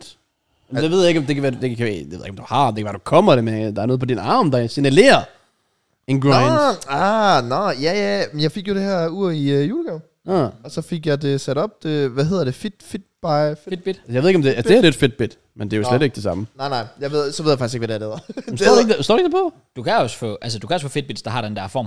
Nå, det okay. kan også godt være, det den. Det Der kan det. Men Jeg, nej, jeg det- troede, det var sådan en whoop, eller sådan Der står sgu ikke noget, men nej, jeg, jeg har fået sat det op efter, efter Åh, oh, jul. nej. Jeg har- Jeg lige fået en tik- TikTok-video. Skal vi lige se om vores næste TikTok-video, den der Åh går? oh, nej, ikke sige det sådan noget, vi skal starte en podcast igen. Det gider jeg ikke. Hvad er det? Den bedste danske YouTuber, hvem har jeg der? Okay, fint nok. Det, det, der er potentiale for noget. Okay, fair. Okay. Men jo, jeg har fået den sat op, og den er super lækker. Sådan et, en ting ikke, jeg har lagt mærke til, som jeg lå mærke til her forleden, hvor jeg var ude og gå især, det er, at det er jo en cheat code at have der i forhold til skridttæller. I forhold til i sommer med dine challenge der. Min, min mobil er vidderligt 1000 skridt bagud, eller sådan Ja, noget. præcis. Ja. Det er jo crazy. Den, den opfanger alt. Ja. Men det er jo fordi, den opfanger, at jeg går fra kontoret ud og henter noget Ja. ikke? For eksempel. Ja. Altså, det er lige, altså, jeg får 100, eller, inden jeg var kommet ud og gå, der havde jeg kun gået i min lejlighed den dag, og jeg havde nået 1000 skridt jo. Præcis. Og sådan, hvad fanden? Øhm, så den er super lækker. Den øh, kan også øh, nogenlunde i hvert fald registrere din søvn. Det kan den. Ja. Så jeg sover sgu med den lidt nogle gange. Jeg kan fortælle, øh, så får man sådan en skala. Det gør man, ja. I, i nat, der fik jeg faktisk, overraskende nok, så fik jeg en, at jeg havde sovet godt. Og jeg, der er sådan dårlige, der er fire niveauer. Mhm. Og godt, det er så det anden bedste, og så er der bedst. Ja. Men jeg havde kun sovet 4 timer og 30 minutter, og jeg har fået god. Men det har så noget at gøre med... At så jeg fire timer. Ja, men det var fordi, jeg jo igen dagen inden her, der havde jeg jo øh, øh, sovet til klokken to. Ja. Så jeg havde lidt svært ved at sove i nat, men det. øh, Mm. jeg har jo været tidligere op. Jeg var op klokken halv otte. I Ja. dag. Ja. Sindssygt. Altså, har, kan du så også se, sådan, når du sådan, sover tungt? Og, Ja, se. Ja, Okay. Så er der sådan deep sleep, og så er der Og faktisk... du starter ud med at have deep sleep tidligt? Ja, er det ikke sygt? Jo, jeg har det, jeg har det meget sådan senere. Men så jeg Og, synes... og kan du så se, hvor mange du sådan er vågnet og sådan noget? Nej, jeg kan ikke se vågnet. Jeg kan se, at jeg rører op i sådan noget light sleep og alt muligt fisk. Du har ikke en, der hedder Awake. Oh, oh, Cross, get one. Get one right, right now. Jeg har haft en. Men jeg kan også se uh, stressniveau og alt muligt fisk. Det er sådan... Det er totalt pay to win. Og Ja. jeg, jeg røg op på 6,5 timer, kan jeg se. Jamen, det er sgu, øh, det er sgu Hvilket ret lækkert. Ikke nok, men sådan er det. Ja, jeg var op øh, 28, fordi at, øh, jeg har været i fitness. Okay. Ja, Okay. ja. Jeg, jeg ordnede, ordnede det hele jo. Sygt nok. Jeg var faktisk lidt nervøs, fordi jeg gik jo ind og skulle, jeg skulle jo melde mig ind i fitness igen. Ja. Øhm, og så var jeg sådan lidt, fuck, jeg er lidt i tvivl, om mit kort jo stadig virker. Det gør det. Øh, og så da jeg kom derned, sådan, fordi hvis jeg ikke kan bruge mit kort, når jeg skal åbne døren, så kan jeg ikke komme ind, fordi det er først service fra klokken 10. Ja. Og så kommer jeg heldigvis ind. Okay. Så vi fik gennemført en workout. Var der mange? Nå, men jeg, jeg er jo i et fitnesscenter, nu gider jeg ikke uh, nødvendigvis lige uh, shout-out det, men et fitnesscenter, hvor der jo kun er gamle mennesker nærmest. Nå, nå ja, nå ja. Så jeg kom ja. derned, og det kun ældre, især også på det tidspunkt, hvor folk måske potentielt har taget på arbejde, eller et eller andet. Mm. Så nej, jeg synes, det var meget overskueligt. Jeg fik da, altså alle, det var ikke fordi, jeg skulle vente nogen sted. Okay, nice.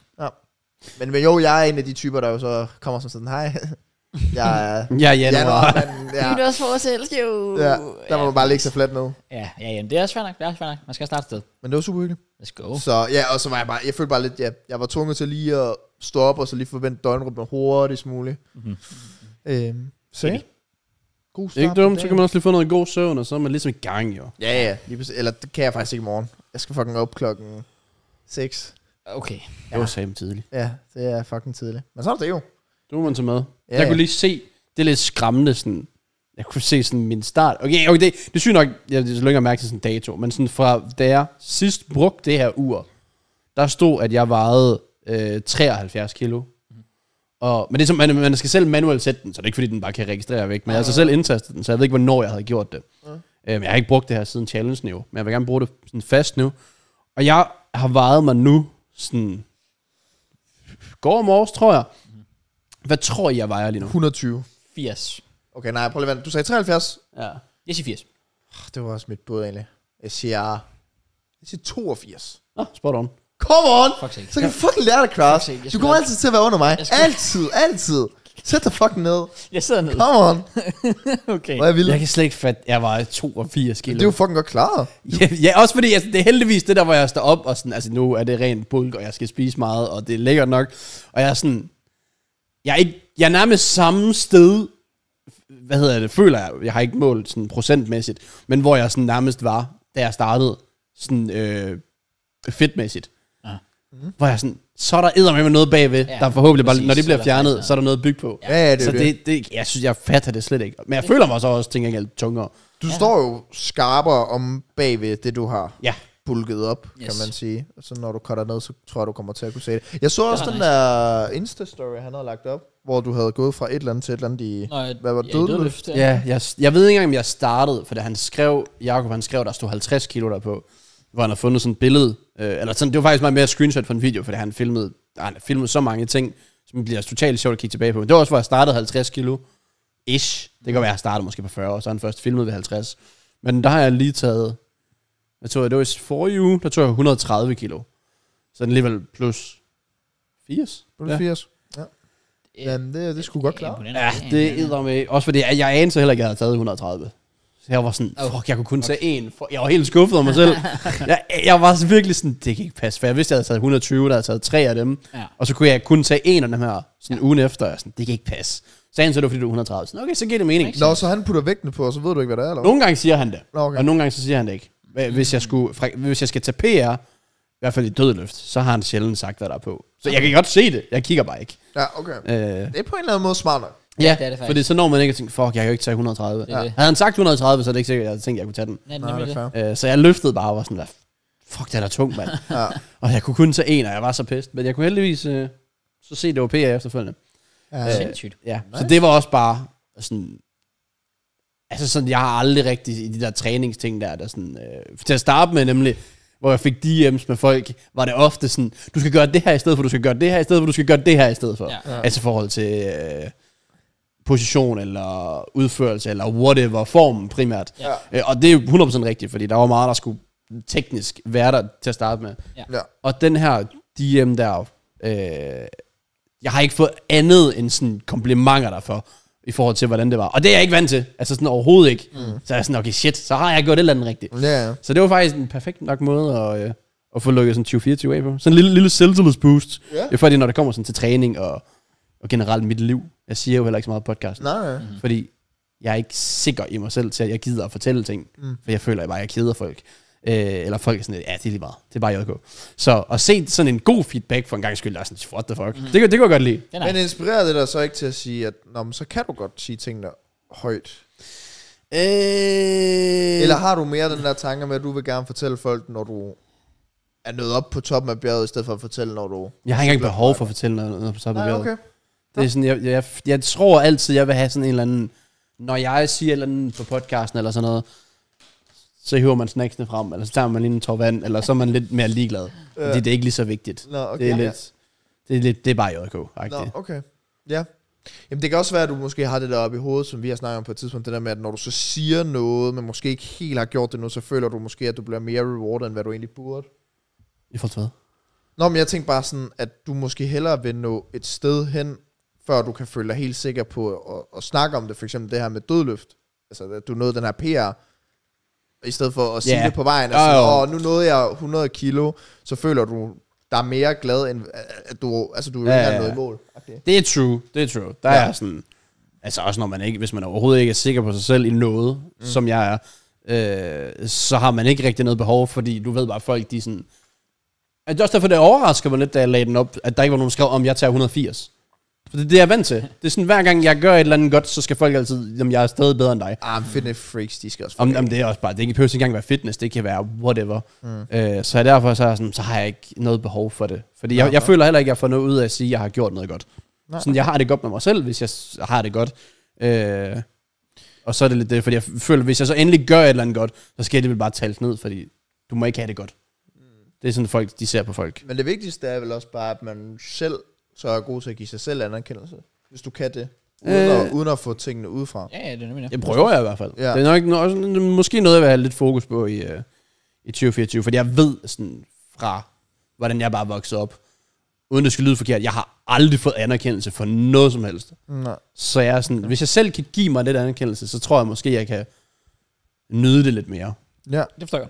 Men er det i forhold til sådan det personlige liv, eller tænker du også bare sådan, også YouTube, eller hvad? Jeg tror alt. Jeg ved ikke, hvad jeg nogensinde sådan... Jeg føler aldrig rigtigt, jeg har opnået noget, hvor jeg, det skulle jeg roses for. Og det Føl, kan... Føler du ikke, du har fået anerkendelse for dit YouTube? Nej, Nej. jeg ved ikke, hvad jeg skulle have anerkendelse for. Folk siger altid, at det nemmeste arbejde i hele verden. Ja, men det vil også, så, så tager du vel også øh, kritik eller rosen ud fra nogen, der ikke har forstand på det.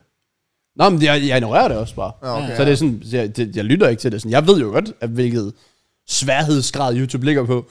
Jeg vil så nok øh, respektere en læge mere end en YouTuber. Mm. Men jeg kan også godt forstå, altså de YouTubere, der kan sidde. Altså, JK i 2021.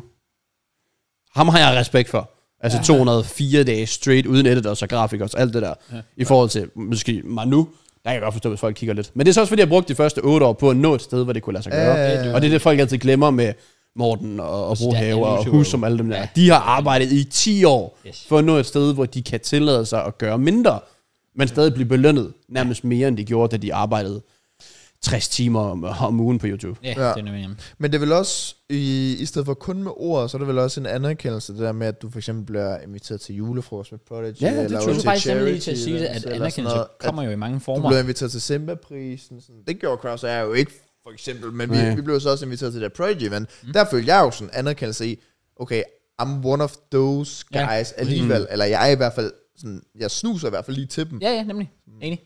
Så det er vel sådan også en måde at kigge på anerkendelse. Det kan godt være. Ja. Det er Det i ved hvert jeg fald ikke, en det- anerkendelse af, hvor du er på YouTube, kan man sige. Hvis, hvis man kan komme med til sådan noget der. Jeg tror også med det, fordi jeg kender dem. Men alligevel. Men du har vel lært at kende dem gennem, at du har et navn til at starte med. Nej, jeg, jeg har ladt da ikke at kende bare igennem FIFA. Nå, Tilbage jamen, til FIFA-turneringer og sådan noget. Men tror du ikke, de er alligevel... For eksempel, da du skulle op og lave den der video, men er den nogensinde kommet ud? Tesla-videoen? Ja. Nej, de ventede med posten til januar, hvor CPM'en er dårlig. Det er fucking noget. Ja. Nå, fuck? men, men er det ikke sådan et sted, hvor du tænker sådan, der har de jo ikke bare taget op, fordi du, nå, du er bare en god ven, måske også nu, men, men det er vel også fordi, at du kunne tilbyde noget til videoen, at du også har et navn, der er spændende at se i videoen. Jo, det tror jeg ikke, jeg tænker så meget over. Nå, okay.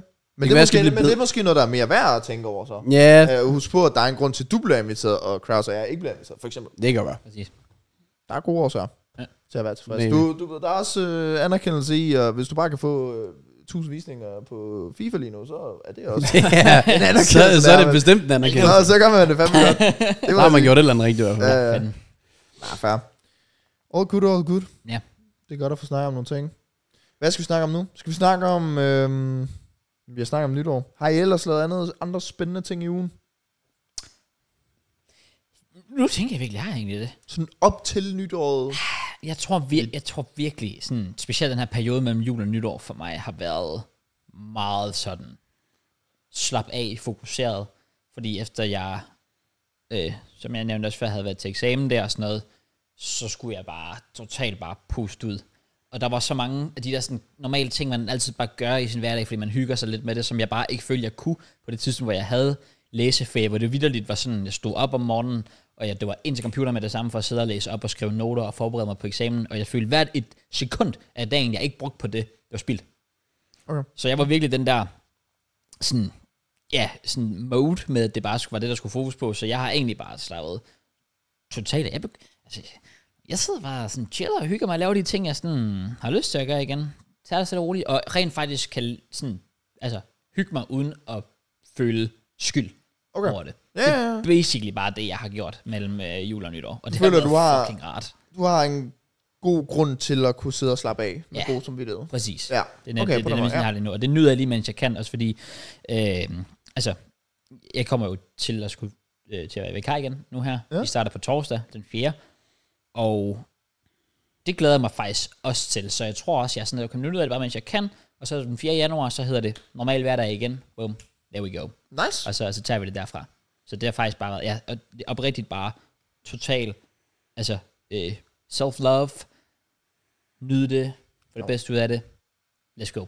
Nu spørger jeg dumt. Havde du egentlig noget form for nytårsforsæt i forhold til noget træning? Havde du det? Det kan jeg ikke huske.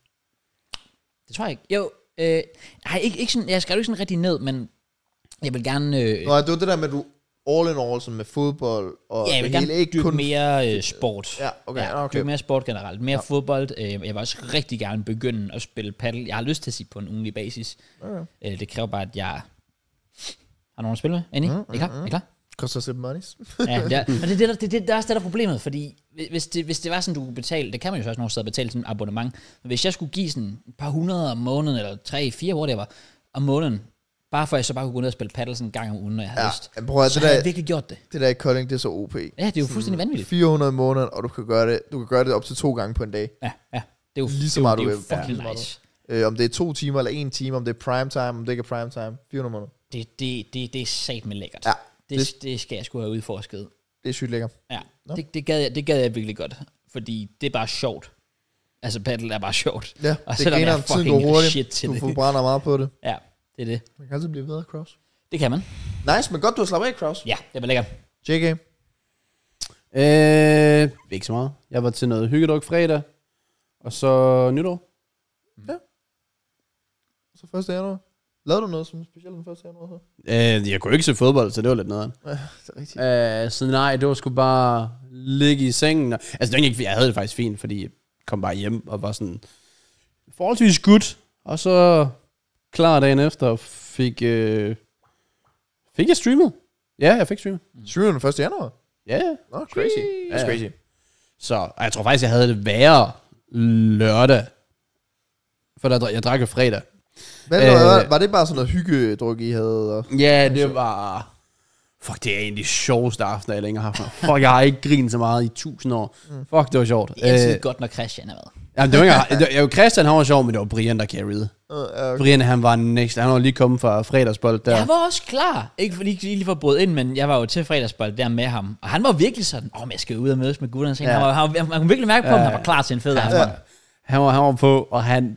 Altså, shit, nogle af de ting, han også bare sagde, det kan ikke, jeg kan ikke gentage. Ja, Så, ej, og han blev bare helt fucking wasted. Ej, jeg ved ikke, om han bare havde... Øh, jeg kom jo direkte fra fodbold, så han har bare ikke haft noget i maven, bare forbrændt det hele, Ja. lige hjem og i bad, og så bare herover bare drukket, og det ramte bare, og han, altså, han væltede jo rundt, og beerpong, de ting, han sådan gør og siger, for eksempel, så folk, de stiller sig helt lige, men det han gør, han stiller sig ud i hjørnet, så han danner sådan sin egen landingsbane på alle kopper, så, de står lige ud for ham, og han ramte bare alle kopper, og man sådan, altså, hvad fanden foregår der? Okay. Han er varm. Han er varm. Så nej, det var, det var sjovt. Altså Christian der formåede at smide alt tøjet og han morgenkåb på, eller en øh, bade, nej, hvad hedder det? For, forklæde. Forklæde på, ja. Ja. ja, det var noget en aften. Ja. Det var fandme sjovt. Hyggeligt. Så øh, ja, den, den, den var lidt stram lørdag, uden at være helt slem, og mandag var faktisk fint nok. Okay. Lækkert. Jamen, det var bare, jeg forstår, jeg havde sådan købt ind til, at åh, jeg skal også bare have det fucking lort og alt muligt, og så gik det op for mig hen mod sådan 4-5-tiden eller sådan noget, hen mod aften, så jeg var sådan lidt, altså, du har det jo ikke så dårligt, så hvorfor fanden går du egentlig ikke hen og laver noget? Ja. Så det var, det var egentlig også det, jeg gjorde. Så nej, jeg havde heller ikke en waste i januar, 1. januar, hvilket jeg egentlig også er ret glad for. Ja. Øhm, ellers udover det, hvad har jeg så lavet? Så har jeg, så var jeg lidt sammen med Laura. Vi holdt lidt øh, mini øh, hvis man kan kalde det igen. Bare lige sådan kort, var lige sammen i et par dage. Vi gik ud i centret og fik købt øh, notesbøger. Jeg fik købt sådan i tier sådan en øh, Notes to Future Me. Det gjorde begge to. Aha. Og så gik vi hjem, og så sad vi i stuen hver for sig. Og så skrev vi alle vores nytårsforsæt ned, og så, talte vi, så sagde vi dem højt til hinanden. Det var sjovt. Og så må vi først øh, åbne dem selvfølgelig, når vi Ja, ja. når, når året er om. Jeg synes, der er lidt mere charme i at have det på noget papir, mm. sådan, i stedet for mm. nogen. Man kan også godt gøre det der, men det var lidt hyggeligt. Der med. Og så har jeg købt sådan en mega nice en i 10 år, den kostede 20 kroner eller andet. Bare sådan, øh, jeg kan godt lide at lave de der to-do-lister jo. Uh-huh. Øh, enten så kan jeg godt lide at lave to-do-liste, og så selvfølgelig øh, tjekke dem af.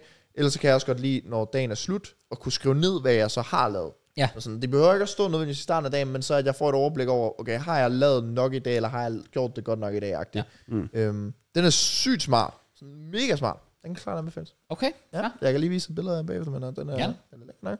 Ja. Øhm, ellers så Det skal ikke på TikTok, Bertram, det her, by the way. Det, Fuck. Mit De life næ- hack til næste- 2024. De, næste, sådan, alle mine TikToks til sådan, åh, bøger, to-do-lister. jeg skal nok vise dig min notesbog. Ja, ja. Sygt lækkert. Altså, nej, nej. Ellers så har jeg ikke lavet super meget andet, nej. Så var Nej, jeg bare til nytår. Nå, og good. Og Ja. jeg skal tisse, så der er pause til jer. Okay. Okay, sygt nok. Øh, er der, pa- Er der pause til os? Jeg tror, også, Men så du har tænkt dig pisse her, mens vi andre går? Nej, altså jeg har bare tænkt mig at klippe det, så I bare kunne holde et break. Nå, jeg tænker bare, at vi bare kan fortsætte. Oh. Fordi, Kraus, jeg har Ja. ja. faktisk nyheder til dig. Okay, det har du simpelthen. Øhm, ja, det, jeg ved ikke, om den er here we go. Det kommer lidt an på, fordi hvad skete der? Brian, han, eller Nico, viste os listen fredag. Var I 16 til indendørs? Ja. Ja. Hvorfor? Hvorfor er der 16?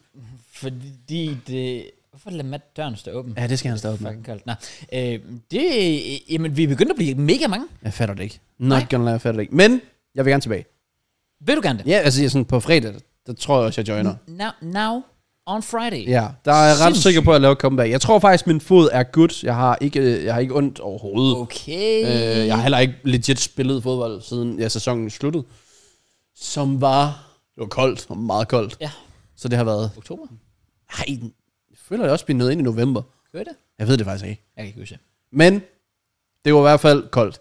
Øh, og det gjorde stadig ondt der. Men øh, jeg tror, jeg er tilbage nu. Let's go. Og så forhåbentlig holde den kørende, så jeg kan, kan komme lidt i gang. Også fordi jeg vidste faktisk ikke helt, om jeg skulle lave i forhold til sådan 75 hard. Det skal jeg jo lave uh-huh. midt februar. Ja. Så der vil jeg jo egentlig gerne bulk op og blive tæt på fat til den Ja. ja. tid. Så det sådan ser endnu federe ud, hvis du har start, start eh, slut, damn. Præcis. Men hvis jeg så samtidig nu når og allerede smide lidt Åh, oh, på den måde. inden da, så er det ikke lige så imponerende. Ja, det er nok. Men så skal jeg bare spise mere. Ja. Så, så det går nok. Okay, okay, fair. Øh, hvis jeg skal til at lave lidt mere, for jeg vil også gerne øh, gå langt mere, Ja. øh, og så selvfølgelig bare ramme det her fodbold hver fredag. Ja. Øh, så ja, jeg satser på, at hvis det stadigvæk er en ting, og det ligner lidt, det kører hver uge stadigvæk. Det gør det. Også fordi, vi havde faktisk lige en periode, hvor det var lidt svært at få, at få folk sådan, eller at, at finde nok. Vi ville Ja. sådan minimum gerne sådan være 8 i hvert Ja, det er også det. Jeg- Jeg er på nærmest minimum 10, tror jeg. Ja, præcis. Det, det skal det nærmest også være. så der var en periode, hvor det faktisk var rimelig svært. Men der er bare kommet sådan, altså der er kommet, der er kommet mange, altså jeg, jeg siger nye, men jeg det er kendte også, ikke ret mange af dem. Nej, det, det, det, det er også lidt det, fordi nu har de været med nogle gange, men, men, men for jer selvfølgelig vil de være sådan helt nye. Øhm, ja. Fordi det, altså, der, var, der er legit en af dem. Det er så random, fordi øh, sådan, efter han har været med, så spurgte vi sådan lidt sådan, hvad, hvem er, altså, hvem, hvem er det en, du kender, Brian, eller sådan noget? Og Brian han var sådan, nej, han vil bare op. Jamen lidt, og jeg tror måske, det er den samme, vi kigger på. Så gik vi ind, og så, der er ikke rigtig nogen, der ved, hvem han er. Så gik vi, og han, venner, han er ikke venner med Brian på Facebook, og Brian han er venner med alle på Ja, Facebook. ja, præcis. så kigger vi, han er sådan venner med, og så, så, så bare tre andre randoms fra fodboldholdet, der ikke er til indendørs. Oh, nice. Okay. Ja. Fedt. Jamen, ja, Så, så, altså, det skal nok passe. Så han har nok bare hørt derfra, at de her, de laver noget der, bare mød op. Helt sikkert. Ja, ja, præcis. Fordi Så. der, der, der, der, der er nogen... Jeg, jeg har også hævet et, et par gutter med. En af dem, jeg gik på det der matematikhold med, og så hans øh, roomie. Så altså, også fordi jeg har også været sådan lidt, okay, skal blive til noget, så jeg sådan prøvet at scout lidt rundt mm. og, og, og, lige høre lidt. Så vi er, vi er sådan en, en, en del nye, øhm, og det er også bare lang tid. Jeg, både du har været med, det er lang tid siden Nico har været med, føler jeg. Stor var med måske i starten af december, ellers kan jeg ikke lige sådan huske, at hans bror Danny er selvfølgelig skadet og sådan noget. Så altså, der er sådan stor udskiftning Ja. i det. Men Ja. der er også stadigvæk alle de gode gamle vis. ja jeg tror, jeg ved også, Simon han er der alligevel hver uge, så ham savner jeg også. Ja, præcis. Han er, han er der. Ja, Jamen det er det, så jeg kan lige så bare sådan, okay, fint nok. Så længe der bare er nogen, ja, ja så spiller jeg bare fodbold for at spille fodbold. Præcis. Øh, For at faktisk bare at røre mig lidt. Også fordi, og så kan jeg lige så godt break den for jer nu. Jeg har ikke noget behov for at se X-Factor. Ej, jeg skulle, jeg skulle lige til at sige før, Hey. at uh, X-Factor var Ja, det, Ja. det, det, til at gå i gang igen. Ja. Det er jo startet.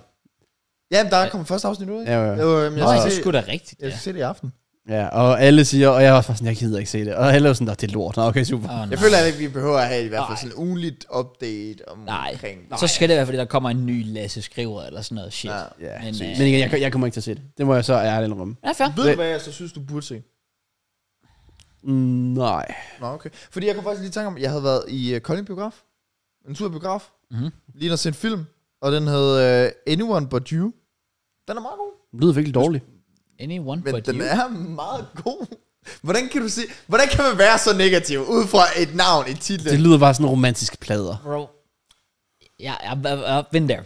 Når, du, når du nævner filmtitler for JK, hvis det ikke er sådan et eller andet sådan Super Mega Blaster Robots 2000, Den vil jeg gerne se. så er han sådan, nej, det er Men anyone but you.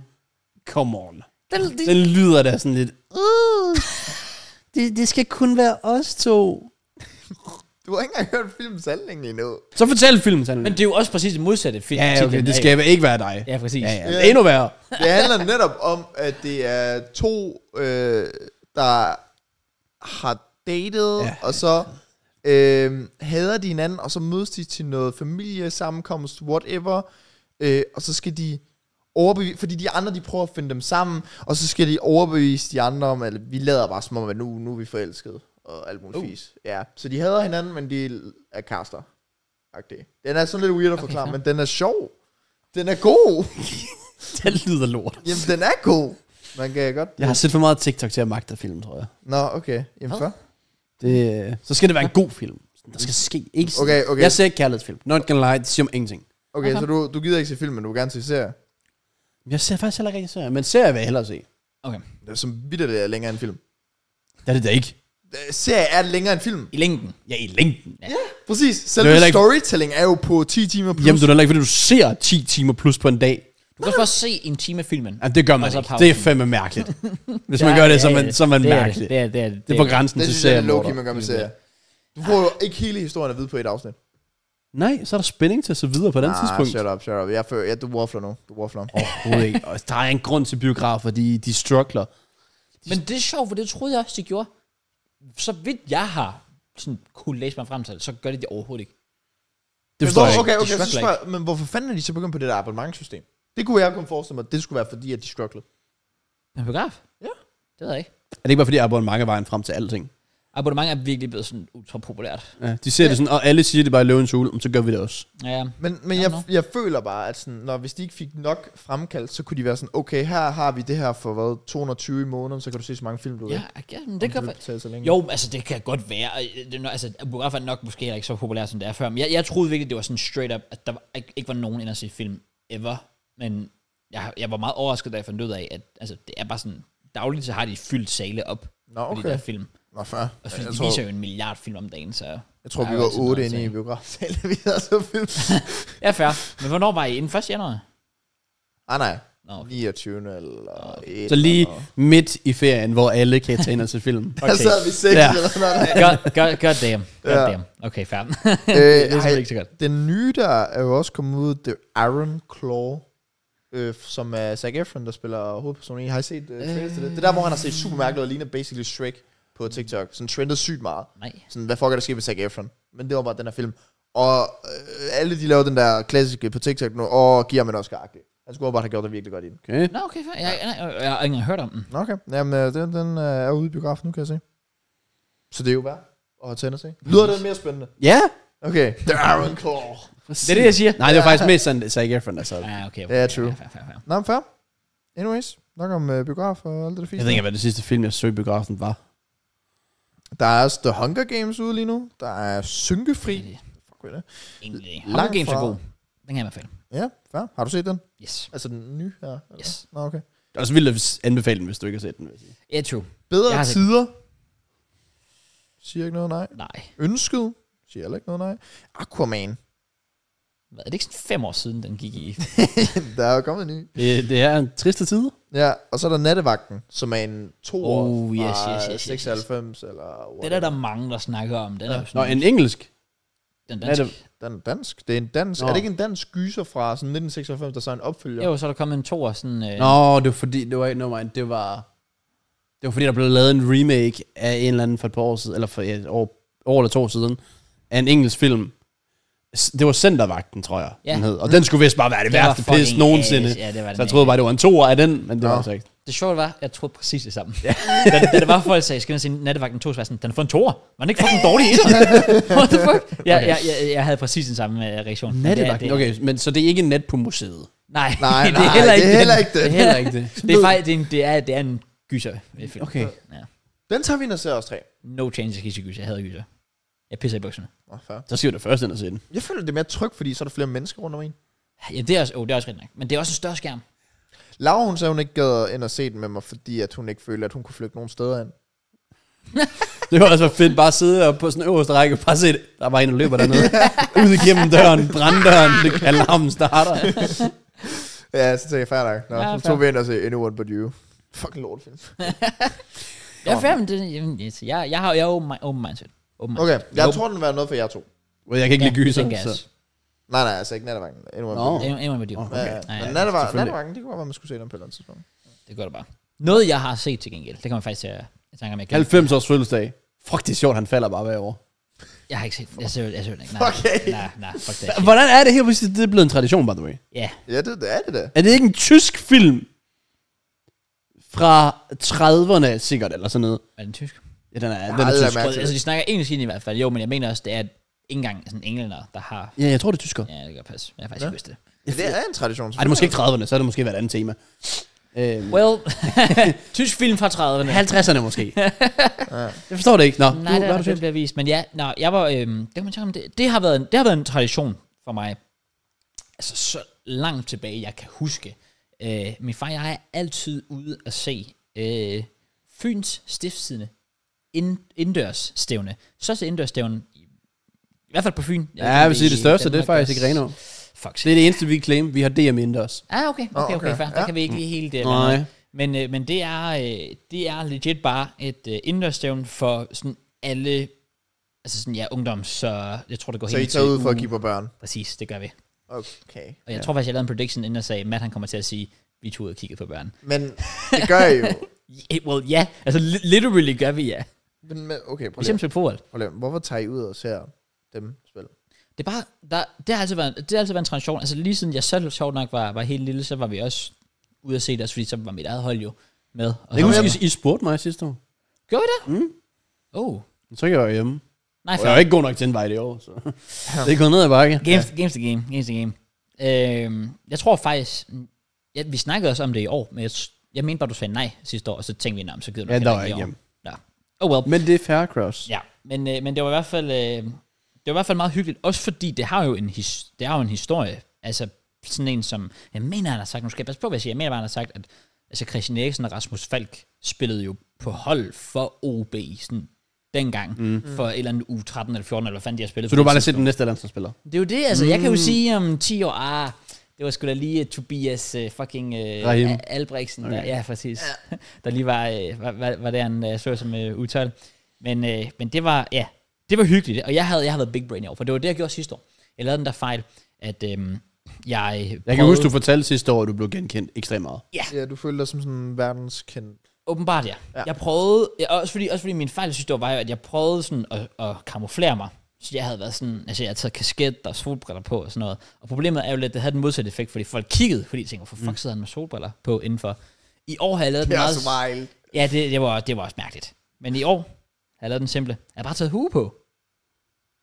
Fordi det er sådan lidt, folk kigger, når jeg er en hue på inden. Nå, okay, fair nok, det er haft det koldt måske og sådan noget der. Men der var nærmest ingen, der genkendte mig. Jeg tror bare, du finished. Jeg tror, alle genkendte Jeg tror, det kun er det fakt der kan, også. det, kan også, det kan også være en forklaring. Det kan, det kan jeg selvfølgelig ikke sige.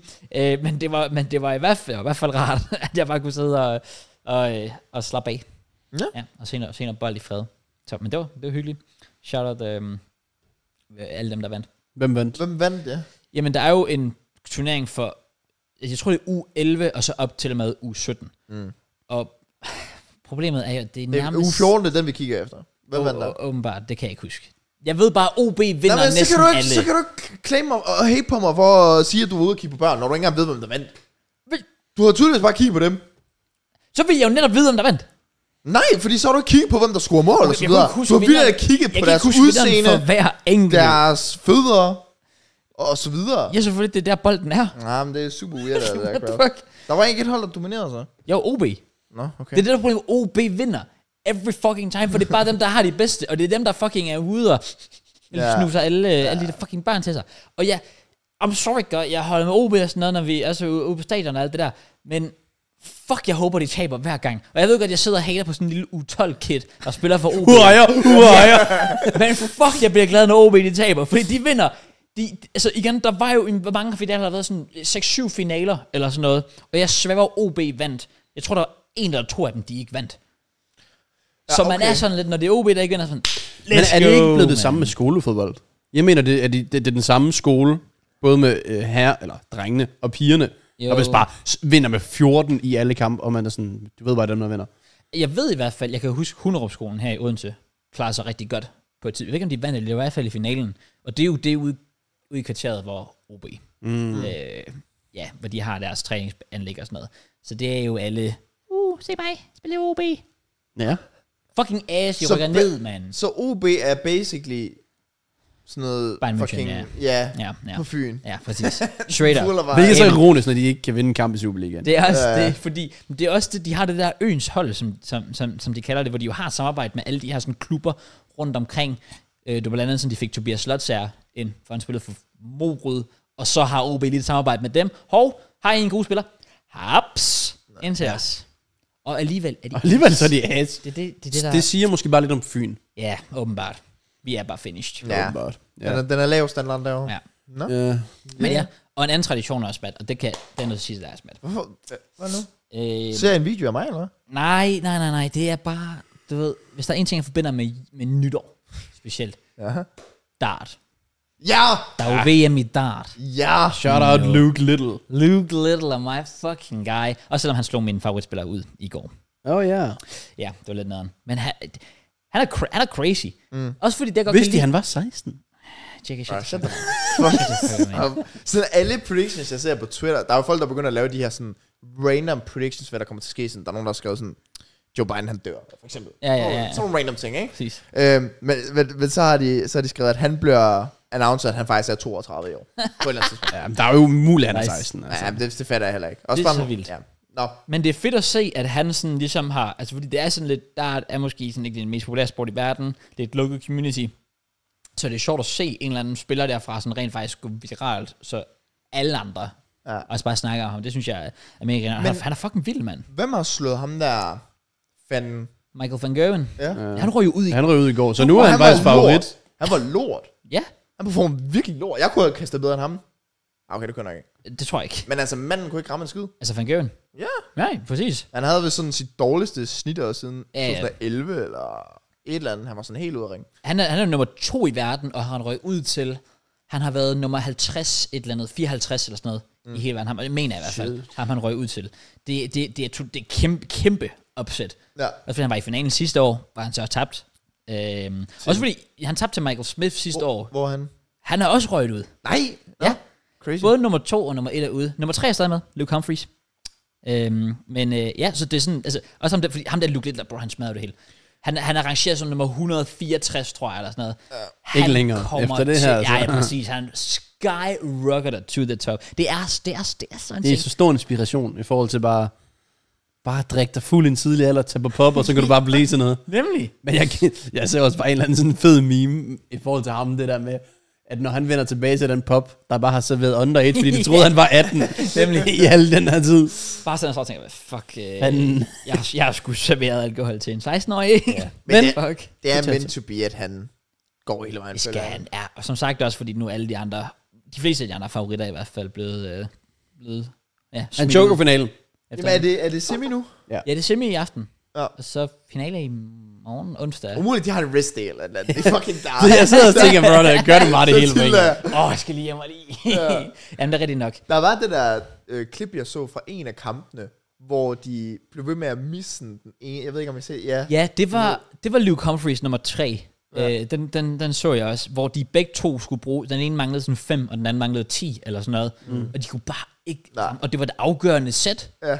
og de blev bare ved og ved Det var det, der Og ved- og ved. Og, og, og, og, og det er vildt, at noget så simpelt som at kaste en pil efter en skive skal blive så... Jeg ved ikke, der er bare et eller andet over dart. Ja. Ja. Jeg tror, der er noget, der, der er noget Det er så publikum. simpelt over det. Det er publikum. Publikum gør virkelig meget. Så synes jeg altid, det har sin charme, når det er sådan... At, folk bare er passionerede inden for det. Ja. Mm. Sådan, så synes jeg bare, det gør det meget federe. det er det, samme ja, helt enig. Jeg øh, begyndte jo også på et eller andet tidspunkt tidligere, og nogle gange så gør jeg det fandme stadig, når det på frem på min TikTok, se fucking skakvideoer. Fordi jeg synes bare, det er så fascinerende også- ja, på det en er eller anden måde, enig. sådan, Helt enig. at de bliver ved sådan, "Fuh, øh, tryk, tryk. Sådan, altså, det går bare hurtigt. Ja.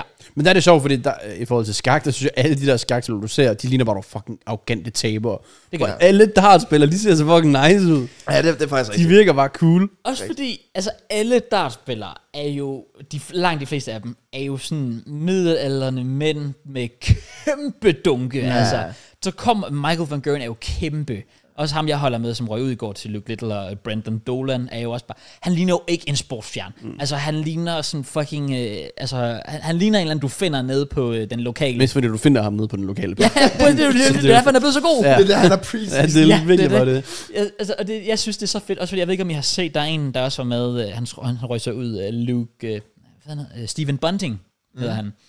Øhm, de har jo alle sammen sådan en, hvor de går ind på scenen til en sang, og han går ind til, jeg tror det, jeg tror det er Titanium, jeg kan ikke huske det, han går ind til en eller anden sådan mega populær popsang, mm. og der står jo cheerleaders, og sådan rigtig står og danser, Ja. de er jo meget, meget flotte, flotte kroppe, danser godt og sådan noget, og så kommer bare ham der Steven Bunting ind, ligner bare den største boom, ja. nørd i hele verden, og han står bare sådan rigtig, I'm bulletproof, nothing to lose, og sådan noget, og ja, der er bare, altså, det virker så absurd, at det er bare fedt. Ja. Det er bare fucking grineren. Ja, Ja, jeg, jeg skal, tror- jeg skal se, om jeg kan finde videoen til at sende den. Det er fucking sjovt. Ja, der er meget med stemning. Der er det sådan totalt om med skak, skak, der må du ikke snakke. Nej. Okay, du må nærmest ikke sige noget. Så det er altid sjovt at se dem, når de bliver sådan low-key frustreret, men de ikke må gøre noget. Sådan Ja. Magnus Carlsen, når så sådan, Skal sidde ligner, ja, ja. det, det er sådan en definition af virkelig sådan lige nogle nørder. ja, enig. Fuldstændig. enig. Og bare, det er jo fedt, altså sådan, det var en kultur, hvor alt, alle i publikum er jo wasted as fuck. Ja. Du drukket hjernen ud, Præcis. og så har det bare deres livsfest. Yep, Altså, jeg præcis. så et klip også bare med Peter Crouch, der var jo helt fucked up i Ja, publikum. rigtigt. Og publikum, Crouch is on a, uh, on a hvad var det, de sang, ah, de skrev et eller andet, de sang bare mod Peter Crouch, Ja. at han var bedst, eller et eller andet, on a, et On eller andet. bender, er det ikke det, man siger? Fanden var det, det kan godt være, det var det, de sagde. Crouch is on Og så. Kraus, han rejste sig op, fire meter høj, står bare totalt væk, og bare danser med til den. Ja. Fucking fedt. Hvad var det, de sang til Luke? Jeg tror, de sang... Øh, sang, "You got School in the morning. You've got school in the morning. det her, ja, ja, ja, det, er, det er så fedt. Jeg elsker det. Engelsk fans, sådan, ja, de er unbeaten. Ja, Ja, det er det godt kultur nok. virkelig, øh, de, de kan fantastisk. et eller andet. Der var noget, noget, noget fedt banter over det. Ja. Så, ja. Det var lige... øh, Der, jeg skulle bare lige se, om du havde, fordi du, jeg ved, du sådan, godt kan lide, lige at kaste pil en gang imellem. Jeg bare Selv. høre, om du havde, om du havde fulgt, Selv. lidt med i det. Ja. Jeg, jeg elsker det. Ja, en af, Ja, ja. trykkestars. Så yndlingsstartspiller? Fem år. Jeg har ikke nogen yndlingsstartspil. Jeg synes bare, det er fascinerende at se. Selv, du har en. Ja, ja. Jeg har en. Brendan Dolan, hvem fanden er din? Ja. Balotelli? Balotelli? Ja, okay, nice. I get it. Okay, jo, jeg har en. I get it. Ja, Han ja. forstod den ikke. Nej, nej, det gør han ikke. Hvad, okay, hvordan hænger det sammen? Well, skal jeg tage den? Ja, du tager den bare. Der var på et tidspunkt, hvor Bartotelli, jeg tror han var i City, kastede øh, dartpil efter øh, ungdomsspillerne. Okay. Bare sådan, fordi han lige følte for det. Okay, ja. Der var ikke nogen grund til det. præcis. Men han vandt min respekt. Ja. Ja. Og siden da, my guy. Det er også derfor, den der sang, sorry Matt, det der sang, den der sang med Balotelli, oh, Balotelli, he's a striker, he's good at darts. Har du hørt den sang? Overhovedet ikke. Den har jeg ikke engang hørt. Nå, Det er derfor, det kom. Lad okay. Min yndlings er Basinga. Ja, Ah, for han var også ja. publikum favorit. Ja. And the crowd, crowd goes mile. ja, jeg så også, hvad hedder han, øh, øh, dansk kommentator, lalalala. Jan Mølby. Jan Mølby var oppe og, ja, og kaste, øh, Han er, han er også passioneret inden for darten. ja, åbenbart, ja. Præcis. Men den der reklame, der kommer på TikTok, siger sådan, du skal se dart! Ja, Og det skal du, fordi at... Øh. derfor. Ja, det er rigtigt, den har jeg fået et par gange. True. Ja. Nå, Anyways. har vi øhm, mere på menuen? Nej, I don't think so. Nej, faktisk ikke. Vi Ah, Er det det? Nej, Der er ellers også en god chat fodbold, hvis den er. ja. det er der selvfølgelig. Jo, jeg vil faktisk gerne lige give et shout-out. Okay. Men det er til vores øh, sponsor. Så det er faktisk lidt... Øh... Nå. Anden Sand Juice, let's go. Men jeg synes godt, vi kan gøre det nu. Men det er fordi, jeg så øh, på øh, Story, i forhold til øh, Johan, lagde det op, øh, opslag op. Så det er mere bare til folk, der lytter med. Hvis I bor i Aarhus, så søger Second Football Shirts ansatte. Eller ansat, uh. eller øh, de søger en, Okay. pretty much. Ja. Øh, så det er i øh, deres kontor ude i, i Viby og så videre. Og du skal bare være over 18. Start per 1. februar. Og så, øh, hvis du har lidt erfaring inden for marketing, jeg kan krave, så er det også rigtig fedt. Men ellers, hvis du kan lige arbejde med sådan fodbold, og du elsker fodboldtrøjer, og generelt fodbold, så tror jeg, det kunne være noget for dig. Bare, jeg føler, der er mange derude. De står sikkert uden et job. Så øh, Ja. 2024, det kan være året, hvor I kickstarter jeres liv, og vi kickstarter vores. Let's go. På en eller anden mærkelig måde. Ja. Præcis. Præcis. Shout out. Nå. Det fortjener jeg. Inden Ja. vi, vi trækker selvfølgelig en vinder også øh, senere og sådan noget, så Det er godt. det er nice. Nå, ellers, nej, fordi vi har lidt været inde på, hvad vi lavede den her uge, Mm. så tror jeg ikke, at der er så meget mere i forhold til, til det. Så fodbold, jeg tænker, de næste par uger skal vi jo nok finesse lidt på fodboldfronten. Ja, det kunne være, at vi skulle tage noget fodboldindslag igen. Ja, eller vi skal nok et sætte eller andet. efterårets hold. Ja. Vi skal vel, Jeg har i hvert fald skrevet ned, sådan, ja, vi kunne lave en team of season so far. ja, måske komme med nogle trend for de forskellige hold burde lave. Enig, mm. har jeg skrevet ned. Og faktisk noget, vi skal lave næste uge. Vi skal kigge på vores predictions og lave tre nye. Åh, oh, jeg tror faktisk, det var til den næste landsholdspause. Jeg mener, vi blev enige om, at det var til den her lille vinterpause, der kommer Okay. okay. nu her i januar. Og det er jo sådan efter den sidste kamp af i aften, så er der FA Cup i weekenden. Okay. Ja. Så Åh, oh, jeg, fuck, jeg tror, jeg havde Chelsea uden for top 10. Jeg ligger 10. Sholololololo. Ej, pis. Let's go. Ja. Og, Bright, eller, og Bournemouth, de har en kamp mindre end jeg, tre point mindre. Så det... Åh, oh, giver bedre målscore. Goddammit. Jeg er ikke sikker dog. Det, det tror jeg faktisk måske, jeg Okay, havde. fair. Vi, vi, okay, vi, vi, vi får se. Det kan vi kigge på i næste uge, det kan I folk glæde sig til. Men ja, vi skal i hvert fald lige have, ja, vi skal fyre for nogle for fodboldslag. Ja, det bliver vi nødt til. Skal vi? Det skal vi. Vi skal teste det op. Ja, let's go. Nok om det. Også fordi der er faktisk en del kampe, vi skal igennem nu. Er det ikke det? Jo. Der har i hvert fald været en god shit kamp. Ej, har det ikke bare været normalt? Nej, der har faktisk bare været normalt, og så var der bare lige nogle onsdag torsdagskamp, vi missede. Ja. Så det er måske sådan tre ekstra. Uh, vi kan ikke rigtig se, hvad vi predicted, fordi PL-showet er jo ikke, uh, har ikke været en ting. Nej. Jeg ved ikke engang, om det er op endnu. De er gået på ferie. Vi burde bare lave vores eget. Ja, Ja, Enig. det, det gør vi. enig. Fedt. 24 vi overtal. Det gør vi sgu. Ej, shit, jeg ligger 7.527.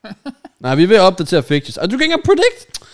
Damn, nå, Okay. men ja, det var Klaas, der vandt, fordi jeg ramte ikke en skid rigtigt. Eller jo, jeg formåede at ramme West Ham til slå Ja, det gjorde du faktisk. det, det var med det samme det, jeg husker også en gang, David. Ja, men, men ja, sig det, den Come fik on jeg ikke lige ramt.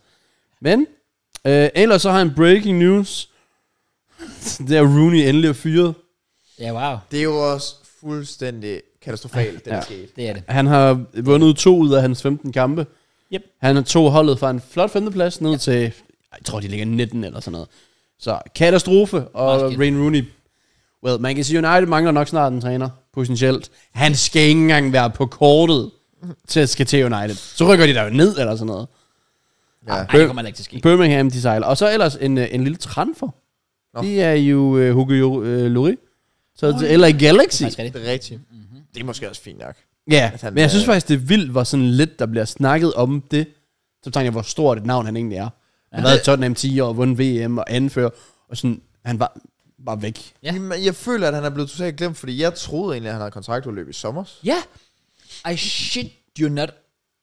Jeg pækker ham på et tidspunkt i FIFA, hvor jeg var sådan lidt, han er i Spurs. Men der bare glemt alt om ham lige pludselig. Ja. Jeg havde lidt den der Ian Wright uh, meme reaction, da der var, jeg så det. you were dead. ja. I thought you were dead. ja. Ja, hvad? Hvad? Men øh, ja, ellers så, ja, egentlig bare predict nogle kampe, og så selvfølgelig gennemgå kampe. Mm. Øh, en måned, der bliver spændende, det er lidt anderledes i forhold til, hvordan øh, Premier League normalt har været, men de får sådan en lille vinterbreak. Mm-hmm. Der er stadigvæk noget FA Cup, der skal spilles, og så den næste spillerunde bliver faktisk spillet over to forskellige weekender. Så, et, hold- så holdene de stadig får en uges pause. Ja. Så næste, næste Premier League-runde, det er sådan 14. Eller deromkring den der weekend der. Ja. Ja. Der spiller de halvdelen. Det, jeg tror, de spiller fire lørdag, fire søndag. Nej, det kan så, nej, to, to lørdag, to søndag, en mandag. Og det samme ugen efter. Nej. To lørdag, to søndag, en mandag.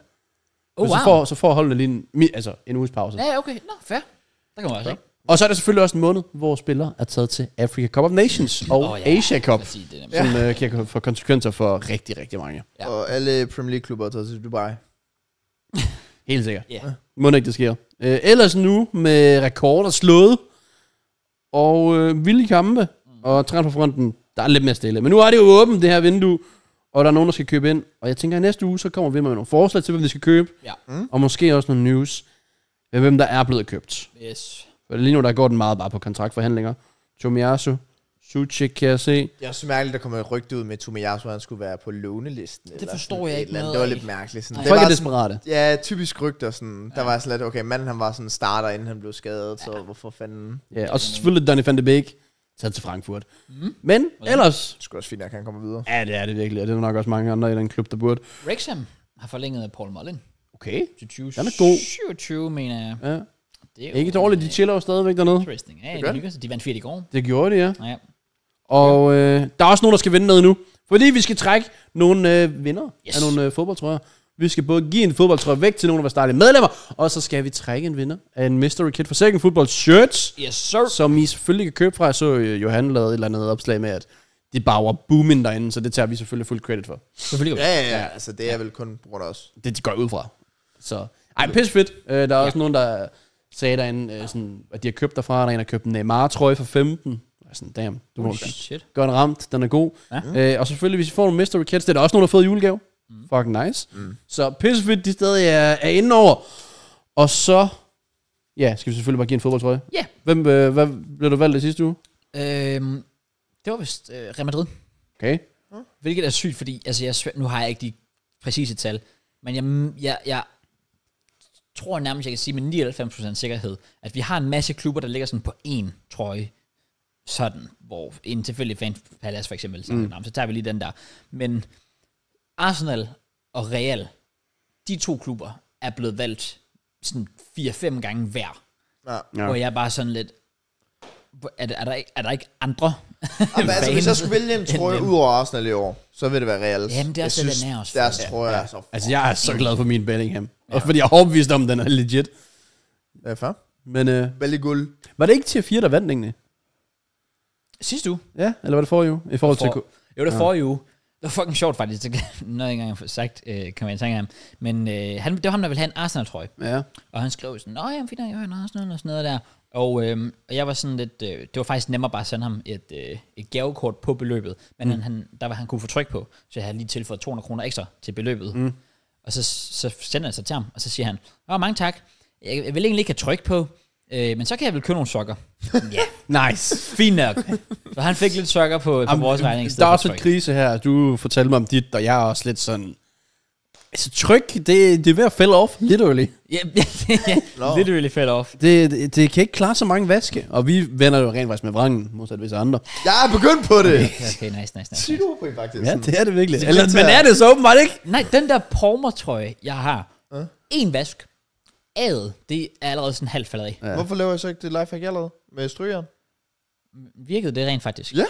Det, skulle, der er sgu en grund til, at jeg ikke min Champions League-logo ikke uh, sidder løs Ah, længere. okay. Men uh, prøve. ikke, uh, ikke gør det Jeg tror, man, jeg puttede bagpapir over. Ja, ja, præcis. Bagpapir over, så strygeren. Oh, det er bare, det, det, jeg burde prøve det. Jeg burde Prøv prøve Problemet er, jeg er nået dertil, hvor det sådan krøller lidt. Det er mit Martinelli, der er det der Ah, 11. ja, Begge er god. de er sådan krøllet på midten. Ah. Så jeg ved ikke rigtigt, jeg kan prøve. det. Ja, fair. Ja. Oh well. Øhm, vinder i den her uge. Først og fremmest, random fodboldtrøje, eller valgfri fodboldtrøje hedder det selvfølgelig. Det er Frederik Wienbæk Gier. Ufortjent. Hvis jeg kunne knippe, så havde jeg gjort det, men... Se, når PL-showet de ikke er her, Nå, så, må PL så ikke er, så stjæler vi. Ja, ja, så må vi gøre det, så må vi gøre det. Ja, øh, men han har tier 1. Så, buh. For 25 kroner har han fået en fodboldtrøje. Damn, gid, jeg kunne blive medlem for 25 kroner. Det kan jeg faktisk godt. Det kan du Det også godt. kan du. øh, Det har jeg øverste- faktisk været. Hvis du følger linket ned i beskrivelsen. Come on now. Shout out til alle vores uh, medlemmer. Jeg, jeg er også lidt sådan foråret. For eksempel, altså FCK's returkamp, jeg ved godt, der er lang tid til, men det begy- begynder til Champions League mm. på watch-alongs.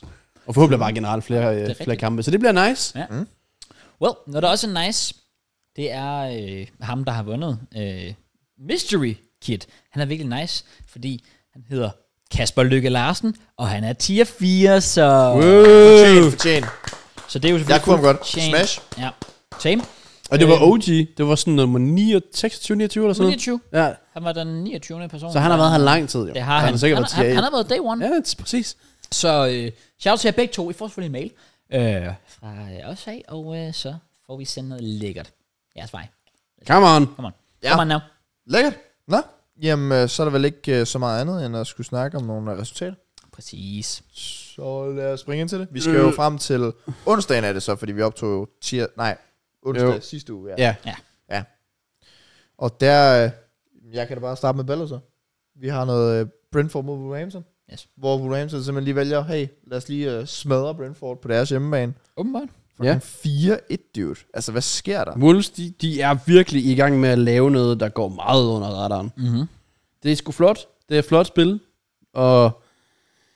Ja, yeah. Ja, de ligger 11 nu. Jamen, det er det, de har virkelig kravlet godt op. Det er det faktisk. Men, men omvendt, så laver Brentford også noget, man måske heller ikke snakker nok Nej, om. det er rigtigt. De, Derfor. de, det er virkelig, virkelig skidt. Altså, man tænker, de har vundet med- mod Luton, vandt de 3 ellers har de bare tabt, tabt, tabt. Ja, de tabte sidste 5, vundet det en tabt sidste 2 endda. Ja, de er fire point for nedrykning. Nu Ja. kan man så også komme med den undskyldning og sige, at de har jo totalt ikke haft Ivan Tony. Men det var bare i forhold til starten af sæsonen, hvor de jo gjorde det fint nok. Ja, Ja, os se. så, er det så har de så også mistet øhm, Mbembo. Mbembo, Så de ja. har basically ikke en offensiv. Nej, nej, det er det.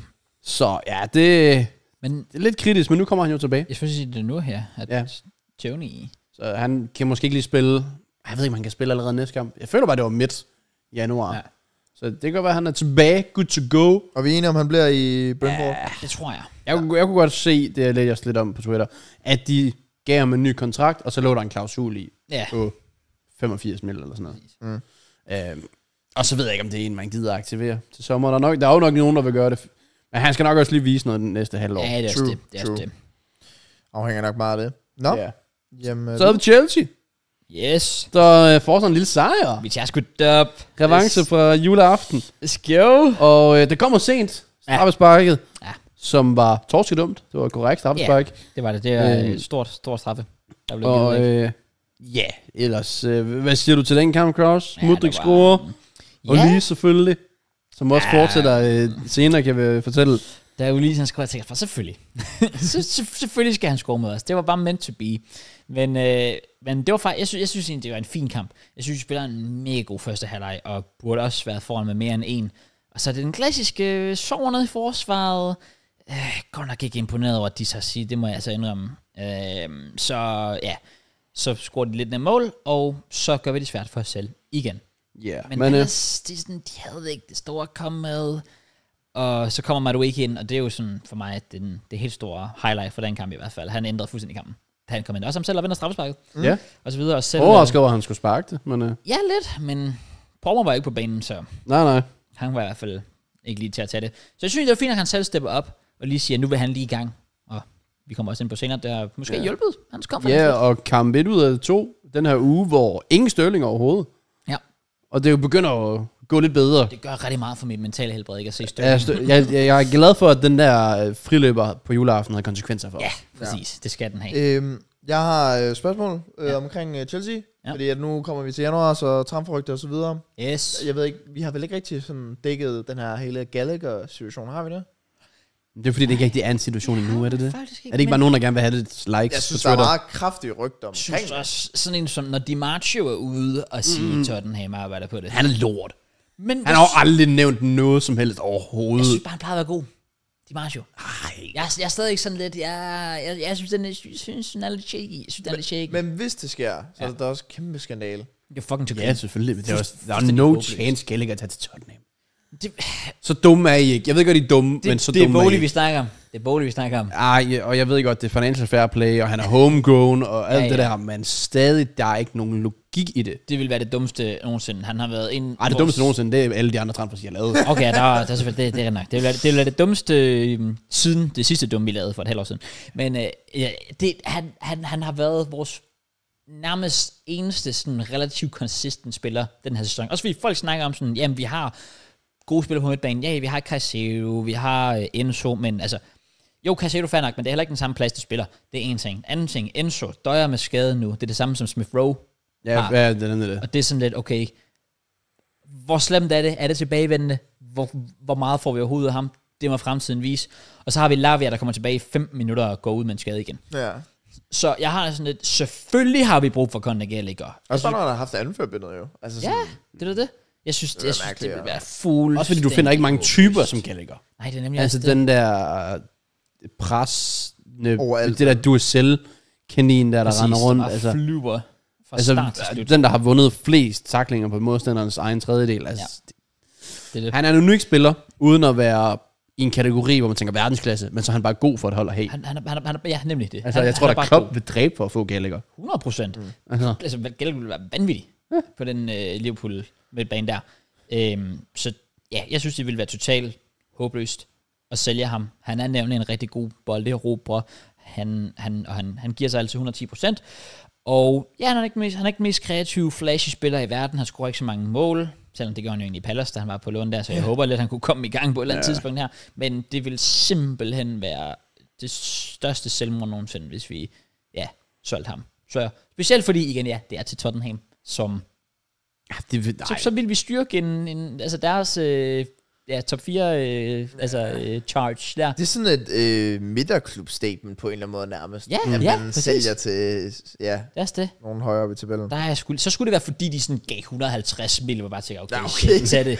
Altså, men 50 mil, det er jo ikke engang et sådan vanvittigt stort beløb. nej. Nej. Også med Så- engelsk tax og, Ja. og homegrown, skulle man tro, det var endnu højere. Præcis. Unge Og så i januar. Ja. Det er også derfor, jeg, jeg er... ja, det ville være håbløst. Hvis jeg skal lægge procenter på, jeg lægger 10 procent. Max, jeg lægger 7 procent. Jeg siger, jeg siger 30. Ja, jeg ved heller ikke med Chelsea, så jeg siger sådan noget 30. Ja, det, noget. det, men Det det, det, godt det, ske. kunne godt være, at Bowley han lige... Måske også med øh, noget financial fair play. Og det er nemlig det. Det er jo selvfølgelig også det, vi kigger efter. Ja. Men ja. sådan det. Ja, vi går videre. Næste Ja. kamp, City, de tog til Goodison Park. Yes. Et Everton-hold, der er lidt, uh, lidt jo-jo. For nu har de ramt ind i, uh, efter en rigtig god periode med tre sejrstreg, eller fire endda, har de altså fået tre nederlagstreg. Yes. Og uh, ja, det City, det, det er også fair nok. De kommer ellers foran. Mm. Igen Everton, Rodri lidt shaky, ja. uh, som han egentlig har været lidt den her sæson. Mm. Og så Stones går altså igen ud skadet. Ja. Men så stepper de bare op i anden halvleg. Og jeg synes især, at Phil Foden de sidste par kampe har vist sig rigtig, rigtig god. Det har han. Helt enig. Han er kommet godt back on track. Ja. Ja, så kontrollerende sejr for, øh, for Peps tropper, der var tilbage efter at have vundet VM øh, for klubhold. Præcis.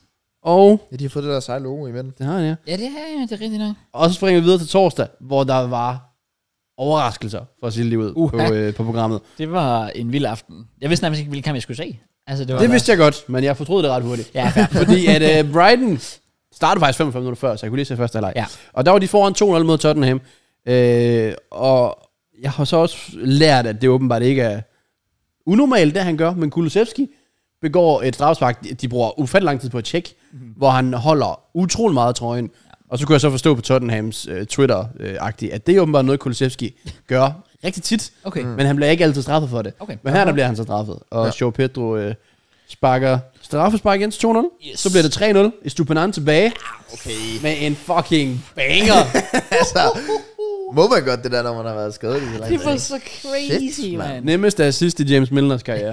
det er et lille et hjørnespark, og så bare hamret op i hjørnet. Ja. Inden det igen, nyt straffespark, 4-0. Og så begyndte det at blive lidt shaky med, med to mål til sidst Ja. for Tottenham. Men øh, ja, det, det, det blev så ikke til mere, og, Men det er faktisk... og Jeg Brighton går, tager sejren. jeg går ud fra, at I så West, eller Arsenal West Ham Ja. Nu, jeg, jeg, jeg, sad og så, jeg sad og så Brighton Spurs der, og øh, altså, først er det reduceret til 4, jeg sådan, nå ja, okay, fair nok. Og så er det hurtigt, de kommer på 4-2, og jeg, jeg er ikke sjov, efter det har de også chancer. Der var også nogen, der skrev på Twitter, ja, hvis de bare egentlig scorer på deres sådan store chance, de har, så får de også noget med derfra. Ja. De har virkelig muligheder for få, altså få minutter efter den der 4-2-reducering, og gøre det til 4-3. Mm. Og så er det lige pludselig. Altså, så bliver det shaky. Ja. Så, øh, så jeg, jeg, altså, jeg, jeg synes, det var meget spændende at følge med til sidst, for der var, der var sat med knald på lige pludselig. De skaber mange ja. gode chancer til Tottenham. Og Brighton igen, den der sådan lidt... Det, her så jeg, hvorfor Brighton ikke har holdt et clean sheet i Premier League. Øh, har de, Nej, det, ikke nu. Det har de vel ikke Nej, endnu, nej. nej. Øhm, si- simpelthen, fordi de bare snorksover. Ja. Pisse naive. Ja, jeg så godt reduceringen der, hvor der havde jeg faktisk skiftet lidt over. Jeg sad bare sappet lidt frem og tilbage, hvor jeg bare, altså, Louis Dunk kunne legit have fået rødt kort på Ja, Kulusevski. ja, 100%. Og så ryger den bare ind til ham der ungdomsspilleren der, der hakker den ind. Meget glad for at reducere til 4-1.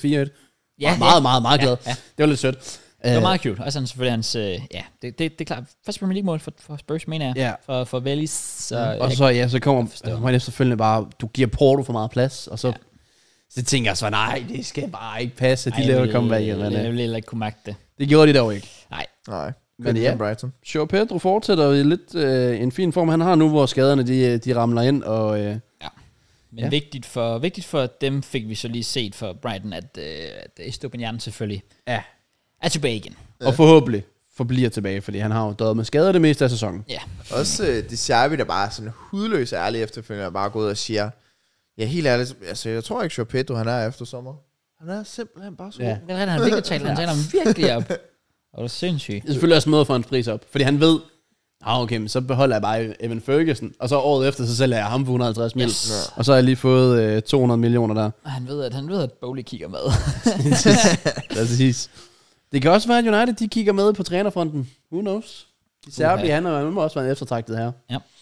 Men en mand, der i sommer var en eftertragtet her, det var Declan Rice. og Han skulle møde hans tidligere klub for første gang. Ja. West Ham, i Jeg hvad der ikke blev et mindre, øh, mindeværdigt... Øh, Mødte dem ikke i Kabagkom. Jo, og der tabte vi også. spillede han der? Han kom ind. Ah, trist. Well. I hvert fald første gang i Premier League. Ja. Og øh, ja, det var ikke, hvad Rice havde håbet på, Arsenal havde håbet på, og præcis hvad West Ham havde håbet på. Det, øh, det gik lige efter planen. Ja. Kunne have vundet 3-0, hvis det ikke var for Raja, der reddede straffespark til sidst. Det kan de. Efter Suchek fik scoret, efter Bowen lige præcis potentielt holdt bolden ind. Og hvor Parners siden Arsenal dukker op på et perfekt slået hjørnespark, er selvfølgelig James Ward-Prowse.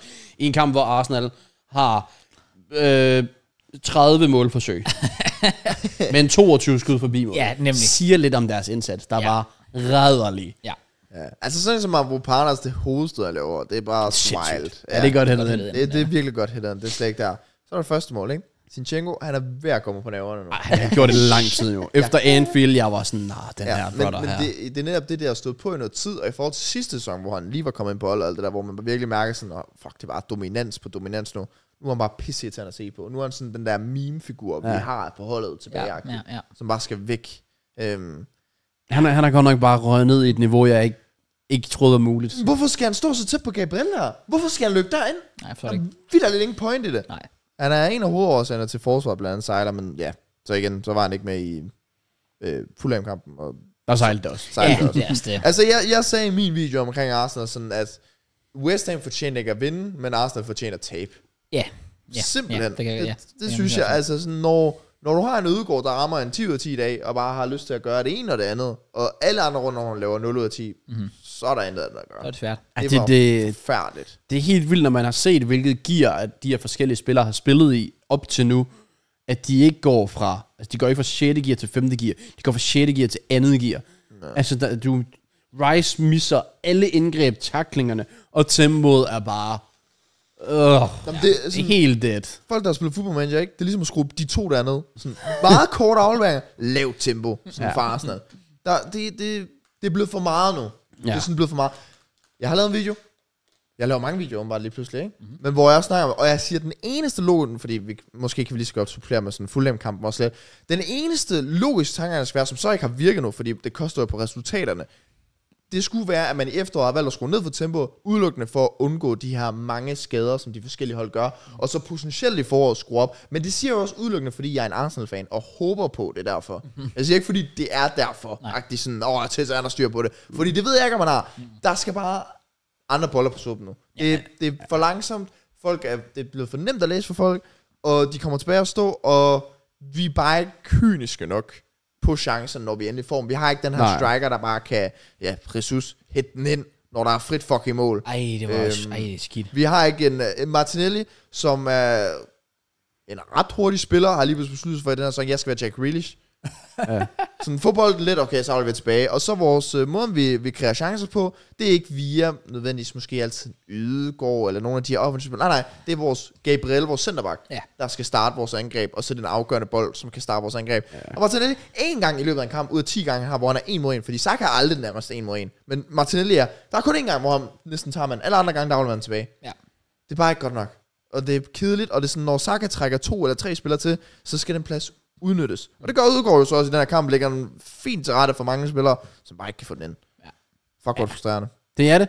Det, øh, man kan godt se, især i situationer, hvor, okay, nu går det lidt langsomt, men der er rent faktisk, mm, altså, det der med at springe et led over, du går fra forsvar til potentielt en højre kant, så skal, du, så skal West Ham til at skubbe hele deres hold, i stedet for at tage den fra forsvar til midtbanen, gå den op, og så give den til Saka, der står 5 meter væk. Ja. Altså sådan, Ben White har jo ikke lavet en aflevering over 10 meter de sidste 3 måneder. øh, og det, det har Declan Rice heller ikke den seneste uge.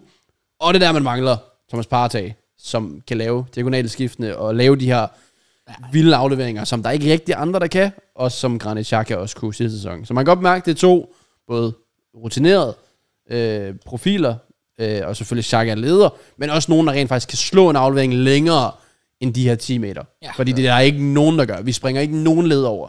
Og Sinchenko kan jo ikke mere. Så prøver han på Anfield, og mister den 14 gange. Nå. Så jeg kan godt forstå, hvis, de ikke, hvis han ikke tør længere, og de andre, de kan så bare ikke. Så ja, der er nogle spørgsmålstegn, men trods alt igen, for en uge siden, det lå Arsenal nummer et, at de ligger fire nu. Øh, Jeg føler ikke lige frem, det er fordi, at folk de skal til, åh, oh, så er mesterskabet slut, nej, nej, nej. men man skal bare lige også indse, at der er, der er steps på vejen, Ja, der er. og der er plads til forbedring. Og så er det bare mere den der, fuck, nu, nu er ham Kevin De Bruyne tilbage, så det hele ender sikkert, som det plejer. Ja, det er nemlig også det. Men øh, Men det er mere det der med, at jeg godt gad at se en reaktion, sådan at, okay, nu prøver der at ske noget nyt, i stedet for at du begynder at køre Kivior ind i den her fucking Sinchenko-rolle og alt muligt fisk, at vi begynder at prøve at spille lidt hurtigt, fordi igen, ligesom imod Fulham-kampen, som vi jo så også taber, der er det der med, at det er først efter 2-1, vi kommer bag 2-1, at vi faktisk begynder at reagere og spille hurtigt, og prøve at spille direkte. Så skal vi jagte. Men på 1 der spiller vi stadig det her langsomt frem og tilbage. Og, ja, de ser fuldstændig trætte ud, og Ja. ja. det, det, det er ærgerligt, fordi det er jo ikke, fordi der er en undskyldning, for de skal være mere trætte end så mange andre. Øh, også fordi Fulham kommer direkte fra et nederlag af West Ham. Jeg tror også, de kom fra et nederlag, og de var uden deres to startende centerbacks. Paqueta går ud efter en halv time med skade, mm. og det sejlede bare fuldstændig. Ja. Så det er desværre lidt, uh, lidt jammerligt, og der mangler noget intensitet. Og det kan, kan også være, at det bare er, altså nu starter det der, hvor der bare, nu er det umuligt at score, fordi folk bare har lært, hvordan Arsenal spiller. Ja. Altså du faktisk bare kan parkere dig og køre to mand på Saka. Hvor sidste år, der kørte du en mand på Saka, så satte han nok manden, slog et indlæg, fik en assist, skød, scorede. Nu kan du give Saka 10 chancer, og han scorer på en af dem. Ja. Altså han, han scorer ikke på de chancer, han får. Martinelli har ikke kigget op i 6 måneder. Han kigger bare ned i jorden. Ja. Jeg ved ikke, hvad der er dernede, der er så spændende at kigge på. Og så er det nærmest kun Ødegaard, der rent faktisk leverer noget. Altså Jesus laver heller ikke det mål, han skal, Nej. og brænder de chancer, han ikke må. Enketia bidrager ikke med noget som helst. Og en kamp, hvor vi faktisk bare spiller langsomt, der er Havertz ubrugelig. Uh. Fordi så kan han tage et dybt løb, men igen, der er ikke nogen, der slår bolden. Nej. Det er jo Thomas Partey, der skal gøre det. Uh. Og han er jo ikke kombinationsmand, han er mere løb dybt og strække forsvaret udagtig. Så ja, det er lidt spændt på, øh, hvordan januar kommer til at gå. Super deprimerende at se min video, hvor jeg skulle reagere på for et år siden. Jeg sad bare og spørger mig selv sådan, har vi vundet ligaen? Jeg tror, vi har vundet ligaen. Fuck. Så er jeg sådan, nej. nej. Goddamn. Ja. Men der er op og ned til i fodbold. Det er der, og prøv at, i marts, eller whatever, der var vi foran med 8 point i ligaen, så der er fandme intet, der er lukket endnu. Den er ikke længere. Nu tager vi til Dubai, vi viber, har det hyggeligt, møder lige Laka Auber dernede. Det er ikke sikkert, vi tager til Dubai. Hvis, hvis Liverpool-kampen med en uge, så er der returkamp, jo. Så vi må ikke spille uafgjort med Liverpool i FA Cup. Men jeg mindes faktisk, at det var sidste år, hvor vi tog til Dubai, at det så gik galt. Ja, det er rigtigt. Så vi har det sjældent godt efter at have Undgå været i Dubai. Dubai nu. Ja, ja, ja. Gør det. Ja. åbenbart. Vi skal have Laka ind. Chemistry. Det er det, vi mangler. Ja. Ja. Jeg er faktisk, det er, jeg vil faktisk sige, hvis vi alligevel skal snakke transfers næste uge, så kan vi selvfølgelig tage den der. Du vil gerne men have en fri transfer på Auber, eller hvad? Jeg vil, nej, selv ikke. Okay. jeg, vil, jeg vil meget gerne sådan høre jeres take på, hvad Arsenal mangler det her vindue. Fordi det er nærmest så åbenlyst, hvad I mangler, og så alligevel, så synes jeg, mange af jeres transfers er også sådan lidt, ikke mærkelige ment på en negativ måde, men de er sådan lidt anderledes. Fordi ah. Arteta, han sådan virkelig har set, okay, han har en vision for den her spiller, mm. den, her, den her spiller. Altså, det er sådan, altså Sinchenko kunne godt virke som lidt random transfer, Havertz virkede lidt random, men Sinchenko har tidligere fungeret, Havertz er kommet i gang nu, og så videre. Så Jeg aner ikke, hvad vi mangler. Ja, a- altså sådan, jo, på nogle punkter, men jeg ved ikke lige, hvilket sådan profil der skulle ind. Det er også det der med sådan, vores to mest scorende i sidste sæson er Saka og Martinelli, og de har jo bare fået at vide, at de nærmest skal prøve at stå bag sådan sidelinjen nu. Ja. De skal stå om på den anden side, så langt ud som de skal. Mm. Så det er jo klart, at de to, du nærmest scorer flest mål, dem tager du så langt væk fra spillet som overhovedet muligt. Så er det også bare svært at lave noget, og så afhænger vi for meget af, at Jesus skal være kynisk. Og det er han ikke. Og Enketia er heller ikke kynisk, så det kommer heller ikke til at fungere. det er jo derfor, jeg tænker, at oplagt er så ikke en striker. Jo. Men det er også bare aldrig rigtig realistisk i januar. Altså, at vi fik Auber dengang, og nærmest et mirakel. Ja, ja. Øh, men det var også, fordi han virkelig var problembarn i Dortmund, så de så jo bare for at komme af med ham. Ja. Lige nu, der, ja, så har øh, Napoli fået en ny kontrakt til Osimhen, som tillader en klausul fra sommer af. Og det er sådan 150 eller et Ja, jeg tror, det må faktisk kun 120, men Okay. stadig, altså stadig det er dyrt. Og Ivan Toni ved du ikke, hvor han står, og hvis Nej, de det vil er have op mod 80 for ham, så bliver man skræmt lidt, men igen, Thomas Frank var også ude og åbne og sige, vi skal have 40 for Raja. De fik 30. ja. Så det er alligevel 25 procent kottet af. Ja. Øh, så det, ja, det er lidt, øh, lidt spændt på, men nu står Brentford så også i en situation, hvor de har brug for Tony. Men hvis man kigger West Ham, de fik også pengene for Rice, og har brugt dem sindssygt. Det har det. Altså, ja, ja, præcis. Så det kan jo også være, at det er noget, der kan motivere Brentford til at tænke, okay, så, så er det det, vi gør. Ja. Får nogle penge og bruger nogle penge. Men, Men, øh, sådan, sådan Ivan Tony, altså han er jo skræddersyet til, altså sådan hans, han, hans pers, altså, øh, personlighed, men, men sådan den type han er, føler bare, han passer godt ind i Arsenal. Ja. Altså det er nærmest som, jeg, jeg, jeg, jeg, jeg kan se ham stå i en Arsenal-trøje for mig. Det er som om, det er bare meant to be, der er et eller andet over det. Jeg håber det også. Ja. Men, det, men jeg synes, det vil være risky en spiller, som har været ude et halvt år, skulle tage ham ind i et titelkonkurrerende hold. Ja, Det synes jeg. ja. Det vil være svært. På den anden side vil jeg sige, hvis der er en spiller, jeg tror har the confidence til at gøre det, så det er Ivan Tony. Mm. Altså Også han, bare, jeg synes allerede nu, du kan jo se på en spiller som en Kungu, som han bare, han hører bare til der. Ja, og han nærmest ikke spiller fodbold. det er det. Så der er nogen, de har det bare. Han siger jo også bare det der, Tony, han vil løbe igennem en mur for den rigtige træner. Ja. Og det, eller bare for en træner generelt, men mere hvis han får tilliden fra ham. Og det der, Arteta køber jo kun spillere, han har fuld tillid til. Præcis. Nej, men han har også flyttet lidt med Arsenal. Hvad jeg mener. Ja, han flyttede med Liverpool, den er nok urealistisk. Ja. Så var det lidt med Arsenal. Men uh, nu må vi se. Ja, ja. Jeg, jeg, jeg, jeg tror ikke, at det er noget, vi gør. Øh, men vi har brug for et eller andet. Det har vi virkelig. Fordi det her langsomme pis her, det vinder du ikke ligaen på. Du vinder nærmest ligaen på intensitet. Altså Liverpool lige nu er det mest intense hold, jeg nogensinde har set. Okay. Det er som om, de har sat strøm i er spillerne. Og de flyver bare afsted, ja, og jeg ved ikke, hvad der er sket. Det er next level mm-hmm. fra et hold, der skulle skrabe sejre hjem, til bare at smadre XG-rekorder. Ja. Så det er lidt det, man skal have. Men øh, det, det kan være noget mental træthed, noget psykisk træthed, noget fysisk træthed. Ja. Who knows. Men det var i hvert fald, ja, det var det hele på mig, efter at have set kampen. det, var, det var en lang aften. Ja, jeg. Så der kan vi fik revanche på dag senere. Nå, fredag, der var ikke noget. Lørdag, der var lige seks kampe. Vi starter med Luton mod Chelsea. Yes. Hvor øh, Cole Palmer, Cold Palmer, Cole han, øh, han fik kukket en masterclass hjem. Den er så den er iconic allerede en julescene. Jeg elsker det. Ja, Har I set interviewet med Maduika Cole så Palmer lidt af det. bagefter? Hvor, hvor, hvor Maduika bare sådan, that's why they call him Cole Palmer, in it? ja. Så rigtig, han er rigtig road, man. Inden han kaldte intervieweren for en bro, som er en kvinde, eller ja, hvad? ja, det er det. ja. Ja, men det er så godt. Men ja, vi tager den sgu. Faktisk en kamp, jeg var lidt bange for, fordi Luton, ja, vi skilte med på hjemmebane, men Luton har sat været gode på hjemmebane mod, mod de store hold. Mm. Mm. Altså et mod Liverpool, I slog dem i sidste minut, øhm, foran mod City. Mm. Også, altså, det, altså jeg, jeg sad og var sådan lidt, Ja, den er ikke nem. jeg tror ikke, det blev sådan en walkover i forhold til, Nej. hvor de ligger i tabellen. Og det var det, der var sådan lidt nederen. Også fordi min jul var lige blevet ødelagt af mm. nederlag til Wolves. Jeg gad set mig ikke, min nytår skulle, øh, skulle være der også. Øhm, og de var, de var lige, de skulle lige alligevel Bro, lige... til øh, sidst er det lige ja. nærmest meant to be, jo. uh, ja, ja, altså ja sådan- præcis. Der gjorde de jo alt for det. Jeg mener også, Petrovic har et par redninger til sidst, eller Er, det, er det den her kamp, hvor han har den der på overlæggeren? Ja, Ja. ja. Sindssygt ja taget. præcis. Ja. Øhm, men, øh, men ja, starter jo egentlig rigtig godt ud.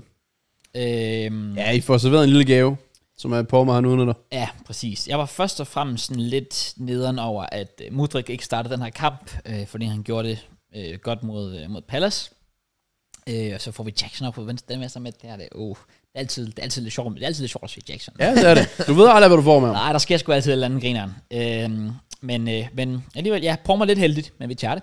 Det var også. Det var en god start, og, øh, og så den, øh, den, den Madueke basse, den var altså bare, øh, Det er godt hugget ind. Men Det godt, det, det må øh, man give ham. ja, Og igen, som jeg også nævnte sidste uge, jeg kan godt lide Pormer, når han ligger i det her rum, ja, hvor ja, han har lidt mere, fri, altså kan kigge foran sig, yes. og finder ikke.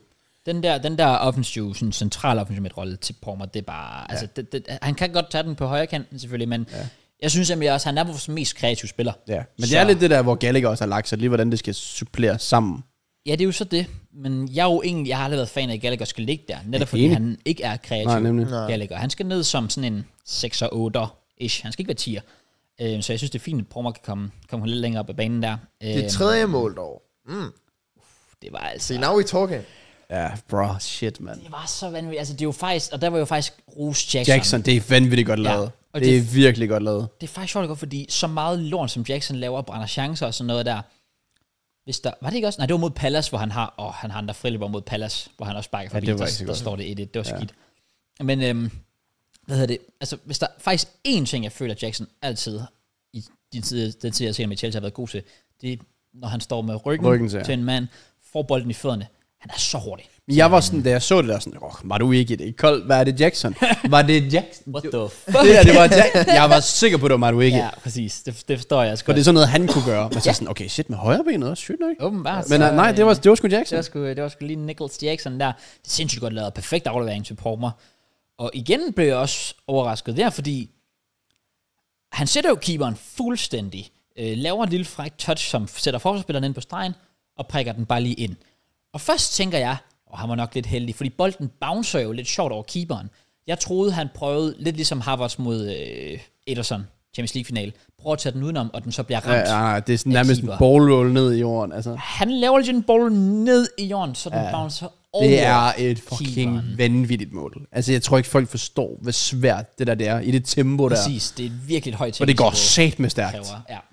Så øh, det, det er bevis i hvert fald for mig, at okay, altså Palmer er sådan by far vores mest tekniske spiller. Ja. Og Altså- Chelsea's eneste gode indkøb, jeg ved ikke, hvor lang tid. Ja, og hvilket er super rart. Jeg er glad for, for en gang skyld, at folk begynder at øh, sige, at det er City, der har fucket op ved at sælge til Chelsea, og ikke omvendt. Ja. Fordi fuck alle de Kevin De Bruyne og Mohamed Salah, min, nu så vi godt nok ikke direkte til Liverpool og City, men jeg vil bare, altså det er min våde drøm, det er bare, at Palmer bare bliver kæmpe stjerne i Chelsea, og alle bare snakker om, åh, oh, damn, City fuckede virkelig op og sådan noget. Giv, giv mig det. Jeg har været igennem det. Nu er det ja. min tur til at være på den anden side af det der. Men øh, ja, det, han, han, han er vores eneste sådan, indtil videre 100% succeskøb, Ja. vi, har, vi har haft. Sindssygt flot, øh, sindssygt flot mål. Og så tænkte jeg jo sådan, nå, fordi han scorede til 3 efter 70 minutter, vi hygger. Og på det tidspunkt, det var der, jeg kørte ud for at se det der øh, indendørs stævn i lørdags. Mm. Så jeg tænker, nå, fint nok. 3-0. Ja. lukker, lukker ned for kampen, og øh, så går der jo lige Så gik det stærkt. kvarters tid, jeg tænker, jeg skal lige se sådan, nå, hvad, er det blevet 4-0 eller sådan noget? 3-2? Men Hvad fanden? man kunne godt se, at Chelsea ikke havde prøvet at være foran komfortabelt Ja. Ja. i lang tid. Ja. De anede ikke, hvad de skulle gøre. Nej. Altså, det var, det var helt, åh, hvad gør vi nu, agtigt? Skal man angribe? Skal vi forsvare? Vi kan ikke forsvare. Vi kan ikke angribe. Hvad fanden gør vi? Ja. Præcis. Det er faktisk rigtigt. Jeg, jeg, jeg, jeg, jeg, jeg var også hjemme og se de sidste 20 minutter igennem igen, for jeg skulle lige se, hvad fanden det var, der gik galt. Og det er nemlig det, der du siger. Det, det, det, det var bare altså, mangel på disciplin og, og, og, og, og sådan rigtig klassisk ungt hold-syndrom. Sådan, ja, som du siger, hvad, hvad, hvad, hvad, hvad gør vi nu? Fuck, de er reduceret. Øh, skal vi blive ved med at spille vores mm. spil? Skal vi, altså, det blev for usikkert for, øh, for alt, alt for lidt tro på, at man bare kan køre Ja, der var ingen tro på egne evner. hjem. Nej. Nej. Og selvfølgelig skulle Ross Barkley også lige score. Jeg havde også sagt, at hvis jeg skulle spille på noget inden kampen, så jeg Ja, Ross jeg vidste også, at Ross Barkley ville Ja, score. ville komme til at ske, 100%. Han er stadigvæk en baller. Oh, ja. Han spillede virkelig godt. Ja, Er det så lige var et hovedsted, at du skulle score på det? Ja, det har jeg ikke er set ikke kommet, men... uh, Jeg synes Øh, generelt, han gjort det okay for Luton. Ja. Det, det synes jeg også. Og så var det, er det Bayo, der øh, reduceret yderligere. Øhm, og det er også derfor, jeg har ham hængende. Thiago Silva, I'm sorry, han er den eneste forsvarsspiller, der kan være de sidste minutter bekendt. Øhm, Det er også den erfaring der. Men Ja. var det ikke også ham, der var sur efterfølgende? Var han det? var fuldstændig op i det røde felt. Der er vidderligt, hvor altså, alle, til sidst, når kan man af, så kommer kameraet ind på banen og filmer spillerne, der står og giver high fives og sådan noget. Og Thiago Silva står bare sådan nærmest med hænderne på skødet og bare kigger, og han er tydeligvis pissehammerende frustreret. Ja. Øh, og han står, når kameraet kommer sådan tæt på, så skubber han det sådan væk og sådan noget. Og slet ikke tilfreds. Og det synes jeg bare er fedt. Fordi selvfølgelig, vi får en 3-0.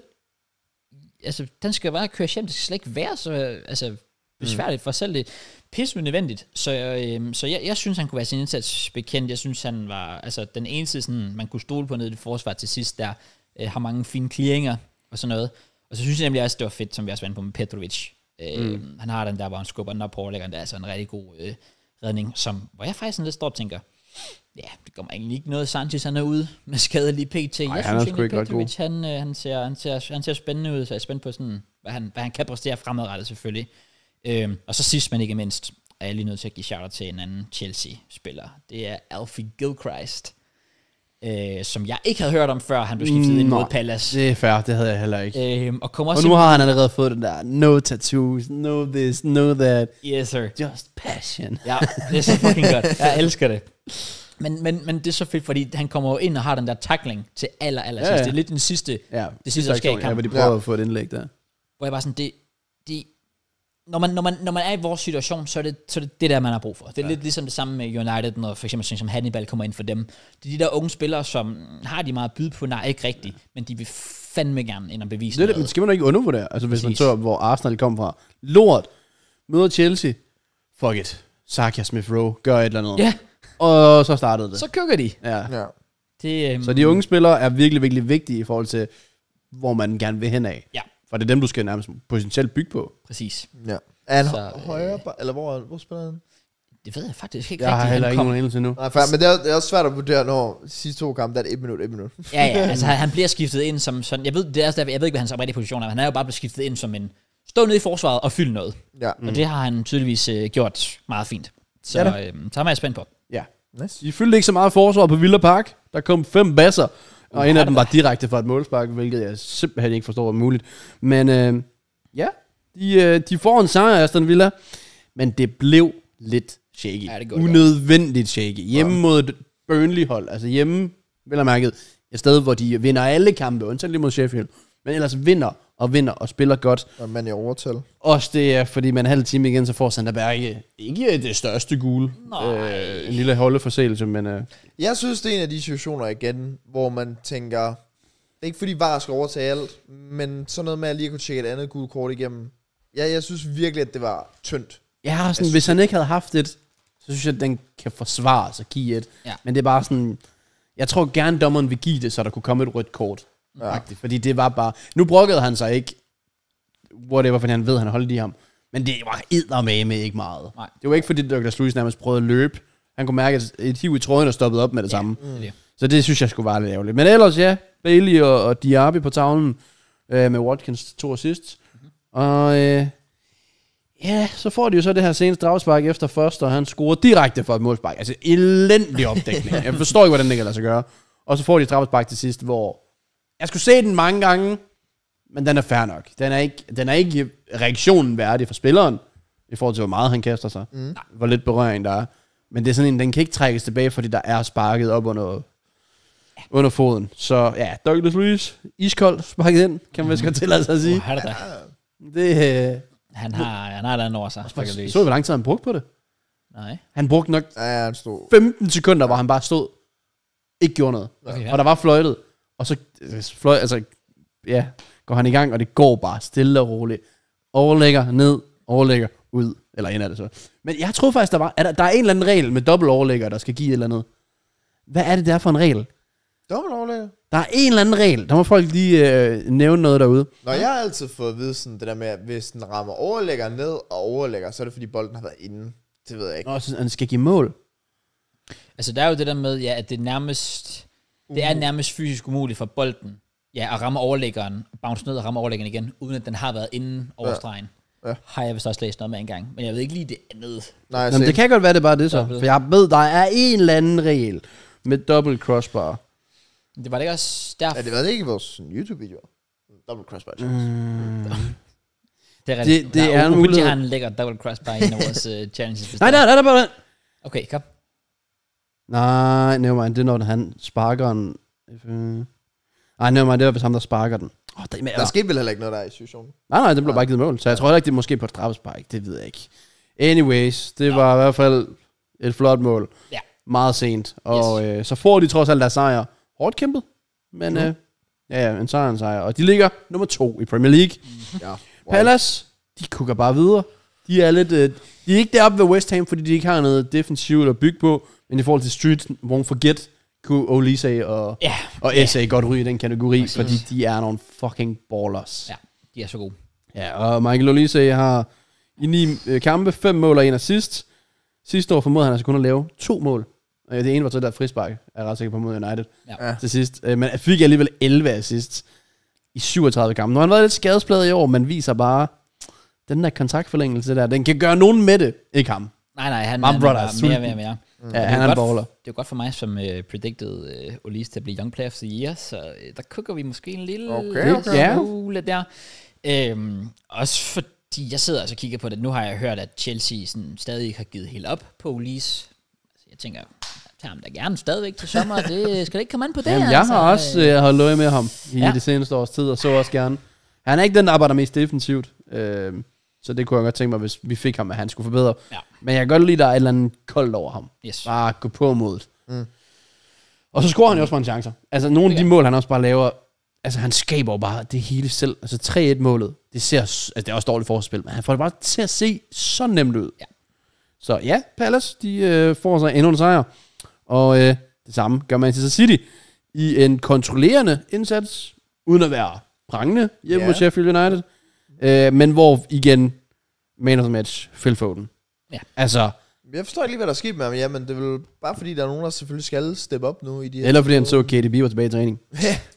Så jeg var lige... Uh, ej, han har godt nok været god de Han er, sidste par han, er, kampe. han er så god for at få den. Jeg elsker at få den. Det, det må man skulle sige. Han er fandme fornøjelse at se på. Ja. God indsats for ham. Stabil indsats af at sige det der. Der tillader en lille smule, og Sula kunne godt have scoret den her kamp. Uh, men ellers, du går for banen med 82% af boldbesiddelse, 18-4 i skud, 3 point. Du har ikke brugt så mange kræfter. Det var, Du chiller. det var så kontrolleret som Og man ved stadig ikke noget med Håland. Sådan, Nej, han er ikke sikkert tilbage i næste kamp, for nu har jeg lige taget ham ud af FPL. Så det skal da bare lige passe. Ja. Men nogen, der i hvert fald spiller flot fodbold i en kamp, der bølgede lidt frem og tilbage, men hvor Wolves de bare kører på, kunne have vundet endnu større. Øh, Pickford har en af de vildeste redninger den her sæson til sidst. Men de vinder 3-0 Wolverhampton. Det er også Den har jeg godt nok ikke set komme. dejligt. Jeg følte også en 50-50 kamp, og så smadrer de dem bare. Ja. De, øh, de kørte dem over. Ja, Evertons øh, lille krise her, den, øh, den fortsætter. Øh, mere forståeligt med nogle af de andre nederlag, de har haft, men altså, den her, det går nok wow. Kørt over, Killman scorer til 1-0, lige med en øh, trøje op mm. til Lemina, hvis far åbenbart er gået bort, så ja. det er da god stil at, at hylde ham. Og så selvfølgelig bare Kunja Chan komboen. Ja, ja. Ballers. Det må man sige. Forget. Jamen, det er det, der er. Altså, når man ser dem spille, også bare sådan en som Sarabia, synes jeg faktisk, han leverer nogle gode ting. Ja. Jeg tænker, der er nogle ballers. Ja, ja, det er der. Og nu begynder sådan en som Kunja, han har lidt, eller det som Gibbs White har. Ja. Men Gibbs White har bare lidt mere slutprodukt. Men nu begynder han at tilføje mål og assist også mm. til hans spil. Jeg Så synes, kan han altså blive farlig. når jeg kigger på det her Wolves-hold, så ser jeg bare et hav af spillere, der har et vanvittigt højt topniveau. Ja. Problemet er jo bare deres bundniveau. Det er derfor, de ligger ja. trods alt, som de gør. Men netop sådan som Kunja kan blive vanvittig, for han har virkelig hele pakken, føler jeg. Men han skal normalt bruge 30 chancer for at Ja. score i mål. Og det er jo det, der er hans problem. Det har været en problem hele sæsonen. Han har brændt Ja. ja. mange store chancer. Altså Huang, øh, synes jeg bare, at han, sådan, han er ægte sådan, øh, fighter. Arbejder mm. sat med hårdt, og ikke, ikke altid det mest flashy, scorer så mange mål og sådan noget der. Men også bare en spiller, man er glad for at have. Og så netop, så der jeg synes jeg, er en fucking fornøjelse. Han har godt nok 10 mål den her sæson. Men, uh? Ja. Ja. Har han så mange? Ja, han har været on fire jo. Med, med Shit. bastard. Okay, okay, jeg tror faktisk ikke. Der er grund til at have ham på FBL, hvad mener du? Ja, fair, fair. Okay. Det er bare fordi, jeg synes bare, jeg har set ham brænde mange sådan store chancer. Den her sæson. Ja, det er vel med Wolves, som når de først ikke rammer dagen, ja. så er det meget sådan at skabe mange chancer, så brænde mange af de Ja, lettere.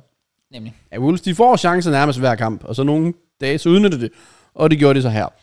Øh, og nogen, der hverken havde chancer, eller udnyttede det, det var Manchester United. i, øh, i hvad der burde, ifølge mig, have været Ten Hag sidste kamp. Det kan jeg straight up sige. Det var fucking pinligt. Det var det. Manchester United. Tandløse, idéløse, energiløse. Der var intet Nej. mod det her Forest-hold, som så de er der for the taken. Du skal kunne slå dem, du skal kunne bygge på noget momentum. Mm. Men det tror jeg også, jeg sagde også sidste uge, slår Villa, det, kan de, det skal de bygge videre på. Det tror jeg ikke, de gør. Og der var intet. Nej. Altså, intet. Højler var desværre også blevet syg, jo, trods alt. Ja, men Det er jeg- også uheldigt, fordi ja. så er man tvunget til at starte med Anthony. Ja, og du sætter Rashford på toppen, og du sætter Garnacho tilbage på venstre. Det er selvfølgelig noget, fordi du lige har haft noget, der lige fungerede. Ja. Så det vil du gerne bare bygge videre på. Men derfor må du jo godt give dig lidt. Mhm. Mm-hmm. Altså sådan, der, der, det virkede oprigtigt ikke til, at de gad at spille den kamp. Nej. Måske mig nu. Men så tager du ud i pausen. Ja. altså, fy- for satan, han skal da ikke spille videre. Åh, oh, det er så Så skørt. kan du få McTominay ind, og så fungerer, altså så bruger ham som sekser, hvor han ikke, Ja. han ved ikke, hvad en sekser er. Sorry. Det er ligesom, jeg, jeg, jeg, skulle, blive, jeg skulle spille sekser på et tidspunkt i, i Birkene. Jeg anede ikke, hvad der foregik. Altså sådan en lone sixer med to foran mig, hvor jeg skulle rende rundt og dække to forskellige spillere af, og så lå jeg nærmest altid på den forkerte. Det er sådan de der McTominay-vibes, han giver mig. Ja. Cutbacket til Gibbs White. Han kunne, nå, han kunne have taget en kop kaffe, inden han sparkede den ind. Altså, jeg, jeg fatter det ikke. Den eneste potentielle positive ting, de har, det er, at Diallo nu er tilbage fra skade. Som måske i hvert fald kunne være med til at få noget nyt ind, Ja. frem for sådan som Anthony, yes. eller sådan noget lignende. Han må ikke spille fodbold. Hvem? Anthony. Nå, nej, nej, det må han ikke. Hvordan det er jo du- også helt absurd. Hvordan ja. kan han slutte 2023 på et mål? Et fucking mål. Det er lige så mange som Rob Holding. Han har fem Premier League minutter. okay, det er sygt. Det er fucking crazy. Der er fandme mange, man kunne lade sammenligne med. Ja. Lars Keeper. Ja, det, er det, altså, det er faktisk helt crazy. Men det, der er endnu mere crazy, det er netop, at han koster 100 millioner. Altså, sådan, Ja. jeg ved godt price tag og så videre, men, men det er bare crazy at tænke på, hvilken verden vi lever i, at han har kostet det, og så har leveret det her produkt. Ja. Der er absolut intet over ham. Tit, hvor jeg simpelthen sidder, fordi jeg ved, som Chelsea-fan skal jeg passe på med at snakke, for vi har fandme også haft nogle dumme transfers. Men jeg har næsten lyst til at sige, der, jeg, jeg, jeg synes ikke, der er en, der nærmer sig så skidt, øh, som, som den Ancient der, netop på grund af, af prisen. For selv dengang man henter ham i Ajax, var man sådan lidt, Det gav jo ikke engang mening Øh. dengang. Nå. er der virkelig noget øh, Men jeg tror faktisk, alle det? nærmest er enige. Jeg, Ja. tror, det, jeg tror, det er en af de få ting, man kan blive enige om i fodbold, det er, at Anthony sådan, værdimæssigt er den værste transfer. Ja, det er det. det er helt absurd. Det er fuldstændig vanvittigt. Ja, ja. Altså, sådan, men, altså, nogle gange så spiller han sådan en kamp, hvor han sådan løber lidt og presser lidt. Og det er jo også det minimum, du kan forvente. Mm-hmm. Men der er intet over ham, hvor du, sådan, du giver ham den, og du ved præcis, hvad der sker. Ja. Men det er vel også, øh, altså nu ved jeg godt, at han måske ikke har været involveret i alle transfers, men jeg kunne bare forestille mig sådan som Ten Hag, det er vel også kritik mod ham i forhold Det- til player profile. Det skal det jo være. Ja, ja præcis. Ja, fordi det virker jo til, at de jo trods alt steppede ret meget op i forhold til, hvor mange penge de vil tilbyde. Som om, at det var bare en, de skulle have. ja. Så at han har været så shit. Ja, det, der var ellers en spiller på det andet hold, man godt nok kunne bruge i form af Elanga. Men øh, han røg for 15 millioner, og har nu været 4 mål 4 sidst. Ja. Den her sæson. Det, så øh, ham efter øh, kampen, hvor han var henne ved, øh, ved Nuno, hvor han bare græder. ej, jeg vil også sige, han kørte den højt op. Det er, det er som om, han virkelig blev tortureret i United. Ja, Det, Ja, det, det er måske lidt meget. det var lidt voldsomt, men jeg kan, jeg kan, godt, jeg kan godt forstå ham. Fordi prøv lige at jeg overveje at bare blive vurderet ikke god nok Ja, ja. I, i United. Men det så- var jo heller ikke, fordi han viste ret meget. Åh oh, nej, jeg forstår det godt. Altså, det er jo ikke, fordi han lige ved, at Hattrick blev bænket kampen efter. Nej. Så jeg synes lige, at han skal basse lidt ned. Men, øh, men, øh, men, men stor forløsning for, for ham, i hvert fald, når man ser det, han er blevet replaced med, trods alt, jo er Ja, ja. nærmest, nærmest værre. Altså, altså lige, nu, lige nu, der sidder, altså hvis jeg var Elanga, jeg tænkte, hvordan kunne I ikke bruge mig? Ja. ja. Men det er jo bare nemt at være bagklog, fordi igen, havde han leveret noget i det her hold, det er jo ikke til at sige. nej, Nej, han nej, viste meget sådan få momenter. Han havde vel også den der away tour i Champions League med noget, var det Atletico Madrid eller et eller andet, hvor han også fik scoret, og noget Brentford away for United, men ellers var der ikke rigtig meget andet. Nej, han var ikke consistent nok, så det er ikke fordi, man skal grave dybere i I det. forhold til, når vi skal lave kig på indkøb og så videre, der, United kommer nok til at tage lidt tid, men øh, jeg er mere spændt på den her sådan, skadesituation til de forskellige spillere, hvor de snart står, fordi Der. Sandro Martinez skulle vi snart være. Jamen det er nemlig det, han er jo den vigtigste. Ja. Altså sådan, nu mister det nok under Nata Afcon. Det mener jeg ikke er det største tab i hele verden. Nej, det bliver faktisk Men, spændende at se. men resten siger. har de jo øh, tilbage, trods alt. Jeg Ja. tror ikke, der er flere, der skal afsted. Martinez skal de have tilbage. Altså det bliver de simpelthen nødt til, ja. fordi han er... Og han sætter sig igennem, han giver sig 110 procent, Yes. og han er også god i opspillet. Ja. Øh, og kan florere lidt rundt. Han kan spille centerback, han kan spille venstreback, røre på midtbanen. Yep. Øh, det vil nok igen betyde, at Ten Hag skal til at eksperimentere, fordi han ikke ved specifikt, hvad han skal gøre med de forskellige spillere. Aha. Hvilket er skræmmende, fordi det er så langt inde, men når der kommer skader hele tiden, så er du tvunget til det. Ja. Men jeg vil simpelthen sige, jeg synes simpelthen, at den mand, han har tabt sutten fuldstændig. Og gå ud og forsvare af taktiske årsager at tage Maino ud for McTominay og sige, at du ikke fortryder det. Ja, det Og begynde at håndplukke positive ting, i stedet for bare at kalde en spade for en spade og sige, det er lort. Det kan jeg ikke tage seriøst. Nej. Det kan jeg simpelthen ikke. Og de spillere, de skal også til at tage ansvar. Og det er de unge, og det er de rutinerede. Altså Christian Eriksen. Ja. Mm. Hold nu kæft for hans stinkende ring. Ja. Ja. Det, han, han må da også selv have lidt selvindsigt. Men, Jeg synes ikke, han, altså, det værste, jeg synes, han var okay mod Aston Villa. Eriksen. ja, men så igen, du bygger på, Ja. og det gør de ikke. Nej. der er ikke nogen, der spiller back-to-back gode kampe for United. Nej. Det er der virkelig ikke.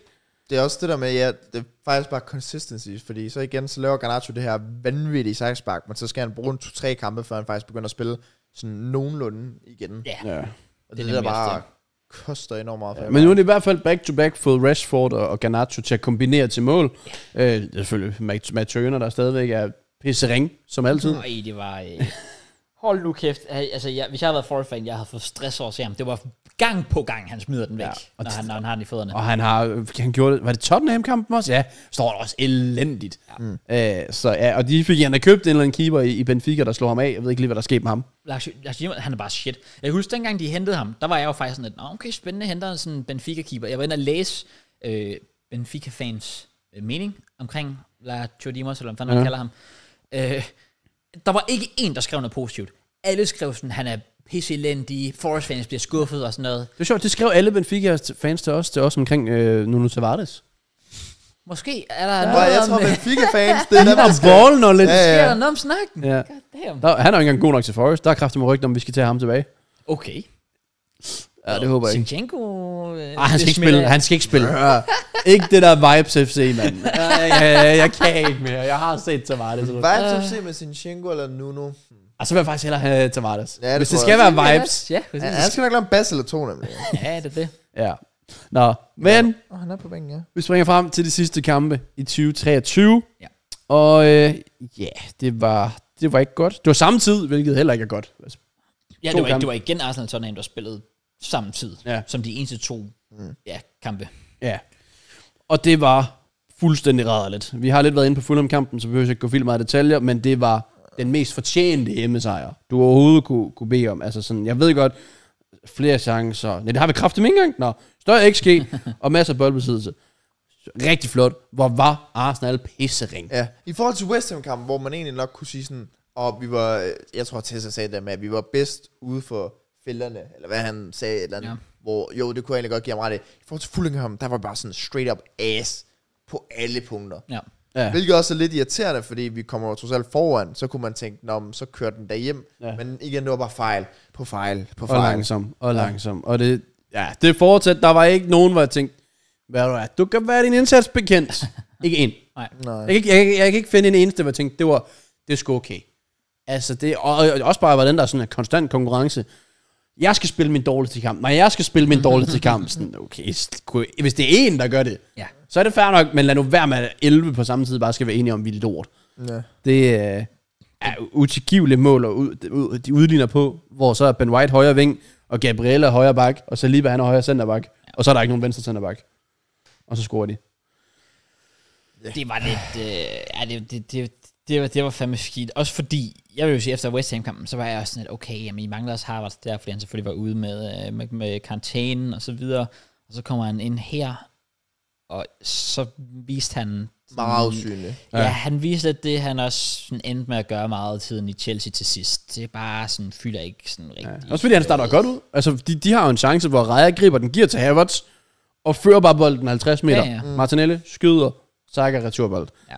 Men så så vi så heller ikke rigtig mere til Havertz. Nej, det, men, men det der, det mål, det er jo sådan noget, kunne, kunne man ikke gøre det bare lidt oftere? Sådan det der direkte der. Ja. ja. Kør direkte ned. Prøv at se Martinelli, kommer ind, direkte, får en god chance. Det var faktisk en god redning, vil jeg sige, alene. Ja, Og så får man score, bum, hurtigt, quick. I stedet for det der, om så afløber vi til Gabriel, og så til Saliba, og så Ben White, og tilbage til Saliba. Fortsætter. Ej, hvor er det irriterende. Ja, men man kan forudse Arsens næste aflevering 10 sekunder før spilleren overhovedet får den. Ja, og det er det der er problem. Og hvis vi kan det, så kan modstanderne også det. Så det var fuldt fortjent til Fulham. Mm. Der fik uh, Jimenez tilbage efter karantæne. Og så bare igen, det andet mål er bare så kludermål. Ja. Okay, for det er frustrerende. Ja, sådan er det. Ja. Andet sted, Tottenham de fik revanche efter deres nederlag til uh, Brighton, men uh, en sejr over, uh, over Bournemouth, hvor uh, din gode ven Alex Scott kom i gang. On now. Fik, uh, fik lavet hans første og andet mål, men som så blev annulleret for, en, uh, for en offside. I en uh, kamp, hvor Richarlison bygger på, og, uh, og sådan og scorer lige inden han smutter til, til Asia Cup. yes. Hvor de sidste to kampe, Alex Scott, han har været different. Watch out. Han var også Hvad er der, god hvad er der, hvad er der med Alex Scott? Hvad er det, du... Han var, han var så god mod, han kommer fra Bristol. Nå, nå, Bro, nå, ja, I det er got rigtigt. him. Nej, nej, nej, for faktisk. Ja, ja. Han Ja, baller den. Han, han er en baller, og goddammit. hvis han kan komme i gang i, i Bournemouth, så har de en, en kreativ spiller indover efter, efter den store skade. Så er det fedt, at han kan komme i gang. Mm. Ja, Tottenham, de kører sådan set øh, en sejr hjem, som jeg jo sjovt nok ikke kan vurdere at ramme ud fra, fordi den kørte samtidig øh, som Arsenal. Ja. Men øh, ja, Richarlison, det fortsætter trods alt. Så en skade til, til Sar, der vist koster hans AFCON, men Bentancur tilbage, spiller sig vist dårligt. Ja. Ja, jeg er lidt spændt på igen, hvor de, hvor de skal stå nu, fordi øh, sådan er vigtigt. Ja. Så han er rigtig, rigtig vigtig. Men øh, Enig. de har heldigvis andre spillere, der øh, også er på vej tilbage. Fende Ven skulle snart være tilbage. Yes. Og Men Romero er han ikke lige... Uh, jeg ved faktisk ikke helt, hvad status er der med Romero. Jeg tror snart, han er tilbage. Så ja, igen Madison. Madison det er skulle heller ikke... sige, Øh, Ja, præcis. Han har ikke så lang tid, de skal vente på ham. Bissouma kommer vel også... Er det bare hans anden karantæne? Men det kan være, han skal vel også tabe, skal han ikke? jo. Så, ja, så Det, det, det var det der med, at der først gik uh, to måneder, før han spillede, eller et eller andet. ja, Det er rigtigt, ja. Men han når faktisk lige at afzone sin sidste kamp. Det er jo i FA Cup'en her i weekenden. Så det er heldigt nok ja, okay. for Tottenham. Der, så, så, så kan de sådan lidt bruge den på en ligegyldig kamp. Så Ja. clear. Men det er jo en god sejr mod Bormerfolk, der er jo faktisk Ja, de har, de har spillet flot. er Det har de virkelig. De er fucking... Altså, de er vores største regler til top 10. Ja. Fuldstændig sindssygt. Altså, Bormer var syv kampe ude, så. Mm. Så. Ja. Man, Det man må er- ikke sove på det. Det er den flot sejr, og nødvendig sejr. Ja. Og øh, nu går de så også på en lille pause her, med tre point. Og altså, top 4-ræset, det er, det, det er åbent. Øh, titelræset er de jo egentlig heller ikke teknisk set. Hvis man vurderer Arsenal til at være inde, skal man næsten også vurdere Tottenham til at være inde jo. Så Ja. der er et point mellem dem. Ja. Øh, og så er der det der her spring ned til, øh, til West Ham. Så top 5 lige nu, den ser lidt, lidt låst ud i forhold til, Ja, det gør den. West Ham burde ikke kunne skubbe på. United, Brighton, Newcastle, ja, Chelsea for den sags skyld.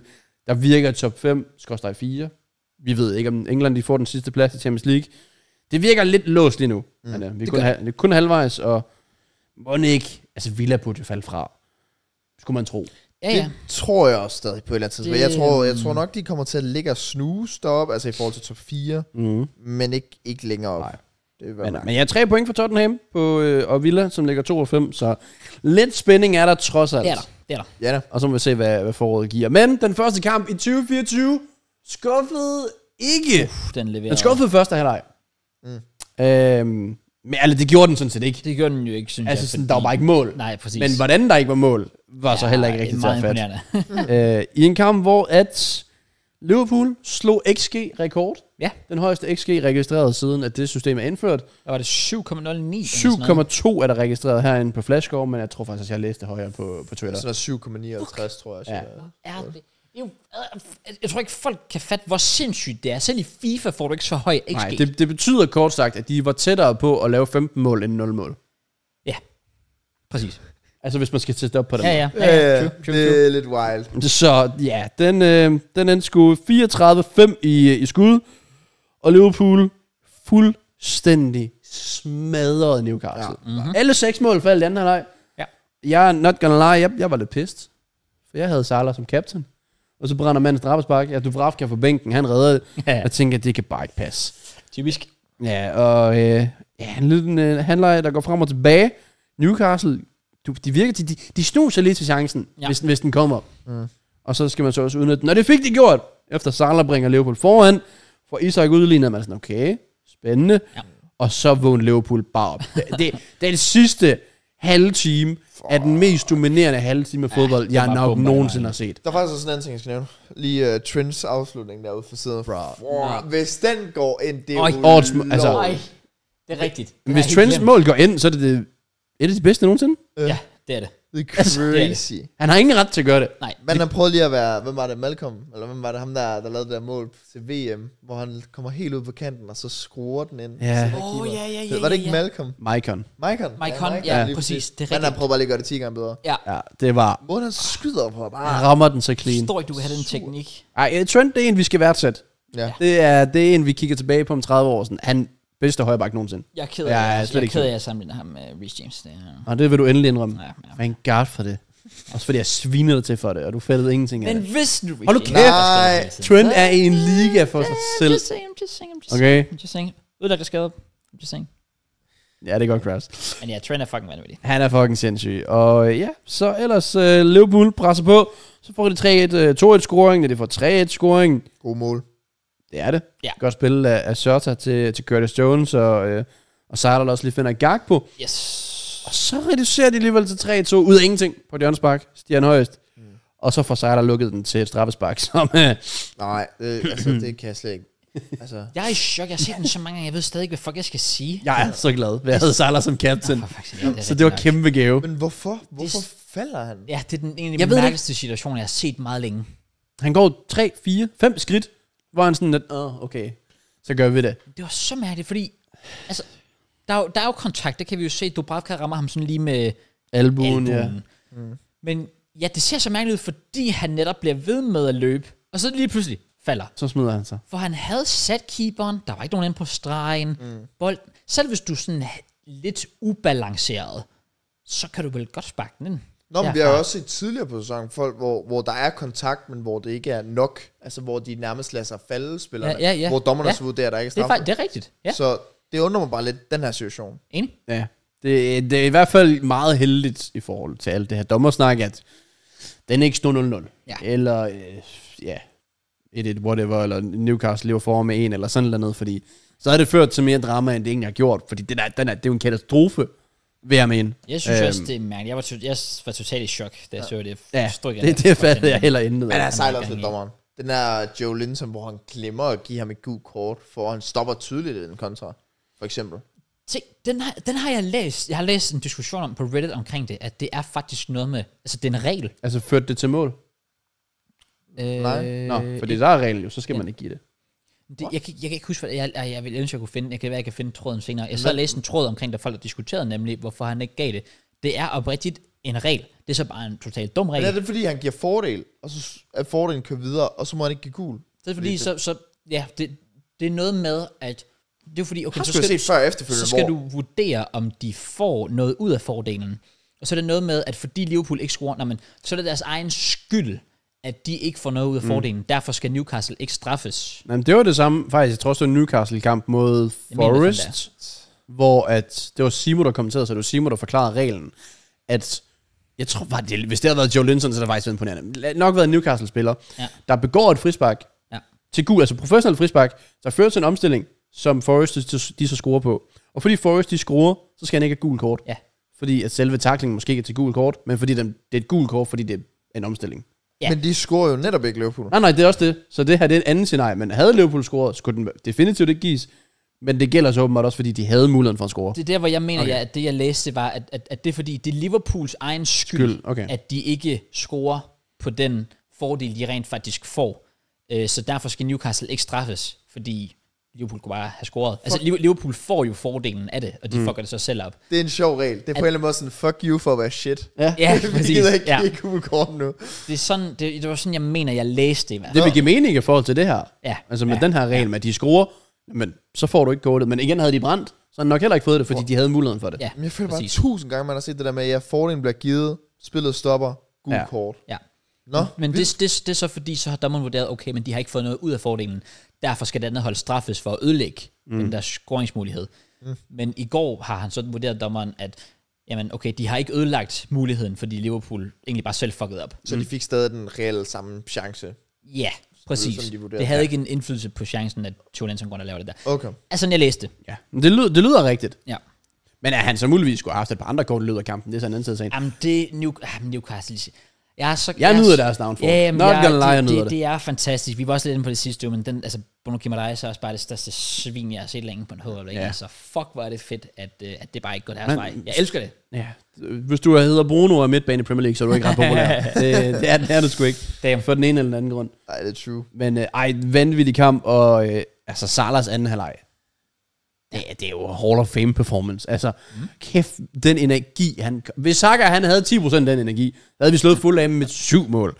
øh, ej, hvor var det fornøjelse at se en spiller få den i fremdrift, og, og bare være på tæerne hele tiden. Mm. Altså, Salah, han løber på tæerne. Ja. Så, men så når han gør det hurtigt, så ser det sindssygt ud. Det gør det. Og han kunne have fået flere mål flere sidst. Jeg kunne få endnu flere FPL-point. Men så er det det. Må, øh, må nyde dem, jeg fik. For kæft, hvor var han god i anden halvleg. Og så, at, at de skal miste ham til AFCON.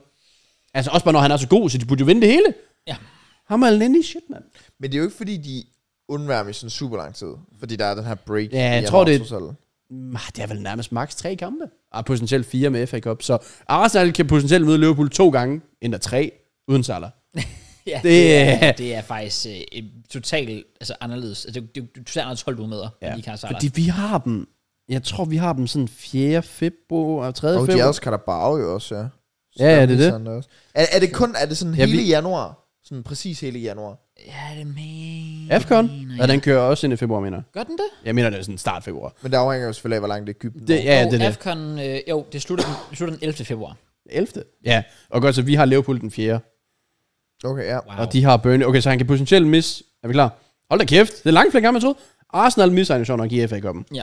Så er der EFL, hvis jeg ikke de skulle spille, men færdig. Har det i Fulham, det er semifinale. Ja. Så den er over to. Yes, det er to, Så det er to de oveni. Salah. Hmm. Så er der Bournemouth i Premier League ude, og så igen retur med, med Fulham. Og så er der Chelsea den 31. Uh, det er nice. Arsenal den 4.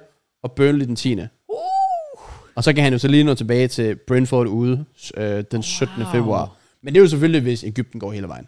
Ja, ja. Ja, det, det er jo nemlig... Og nu har vi set nogle af de afrikanske dommer der, der bare fløjer efter det kan 85. godt, de kan godt Man ved ikke, hvad der kommer til at ske Nej, dernede. det er det. Mængden af memes, der kommer den næste måned for AFCON. I will be there. Ja, jeg glæder mig. Jeg glæder mig, jeg glæder mig. Det bliver godt. Tror vi, tror vi, tror vi, altså, tror vi oprigtigt, Liverpool falder fra hinanden nu? Nej, overhovedet ikke. Har du set dem? Nej. Det er også det, fordi alle, ikke. taler det op, og jeg kan ikke lade mig at tænke sådan lidt, Nå, jamen, okay, det kan godt være, at de måske smider et par pointhister her, men jeg, jeg tror ikke, det kommer til at have den store betydning. Dyk. Altså, det er heller, heller ikke, fordi Salah han har spillet. Det var jo hans eneste gode kamp nærmest den her sæson. Han har bare været maskine i forhold til output, når han skulle være der. Men de viser, der er stadig spillere, der ikke spiller ret godt. Ja. Altså, Soboslej synes jeg Ja, ikke ja. spiller ret godt. Men der er bare nok spillere. Ja. Spillere fra bænken kommer ind og gør en forskel, som nok også kan nu begynde at få lidt mere spilletid. Altså, Darwin kan jo miste 10.000 chancer, ja, men så kan man bare sætte shots ind, og så sker der et eller andet. Altså, Curtis Jones spiller vanvittigt godt PT. De får snart Robertson tilbage. Ja. Øh, så ja, jeg, jeg tror, Liverpool, de, øh, de står et godt sted. Jeg tror også, de klarer sig.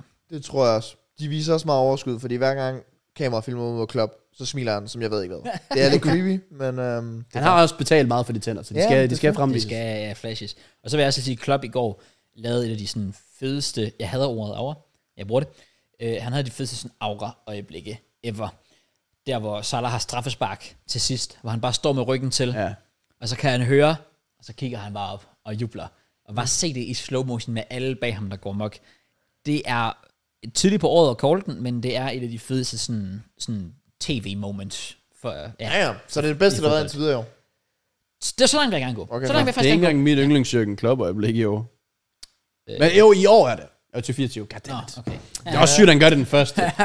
Det er det? Ej, jeg vil sige, den video med ham der, øh, den irske Liverpool-fan, øh, Di, Di, Diary eller sådan noget, Ja. den er different. Altså, det var sådan gåsehud. Hvis I ikke har set den, så skal I se den. Basically bare en irsk Liverpool-fan, uden arme og ben, Nå, ham, ja, jeg har set det. hvor han bare, alt for ham, det er bare Liverpool, og jeg er sådan, nah, fuck off, Klopp, du er alt for flink. altså, han behandler bare, som om man har kendt ham hele hans liv, og Ja. alle spillerne er bare, altså, de, du kan bare se, hvordan Liverpool, de bare en stor familie. Den video, den er topklasse. Den er på Liverpools uh, Twitter, kan anbefales. Ja, okay. Den viser igen, viser bare, hvilket menneske Klopp er. Ja. Altså sådan, uden for banen. Jeg ved godt, på banen, der er følelser og intensitet og alt det her, det, det, det, det er wild for Klopp og for rigtig, rigtig mange. Men uden for banen, der, der finder du ikke mange bedre end Jürgen Klopp. Det viser, hvordan han er, når han ikke snakker med journalister.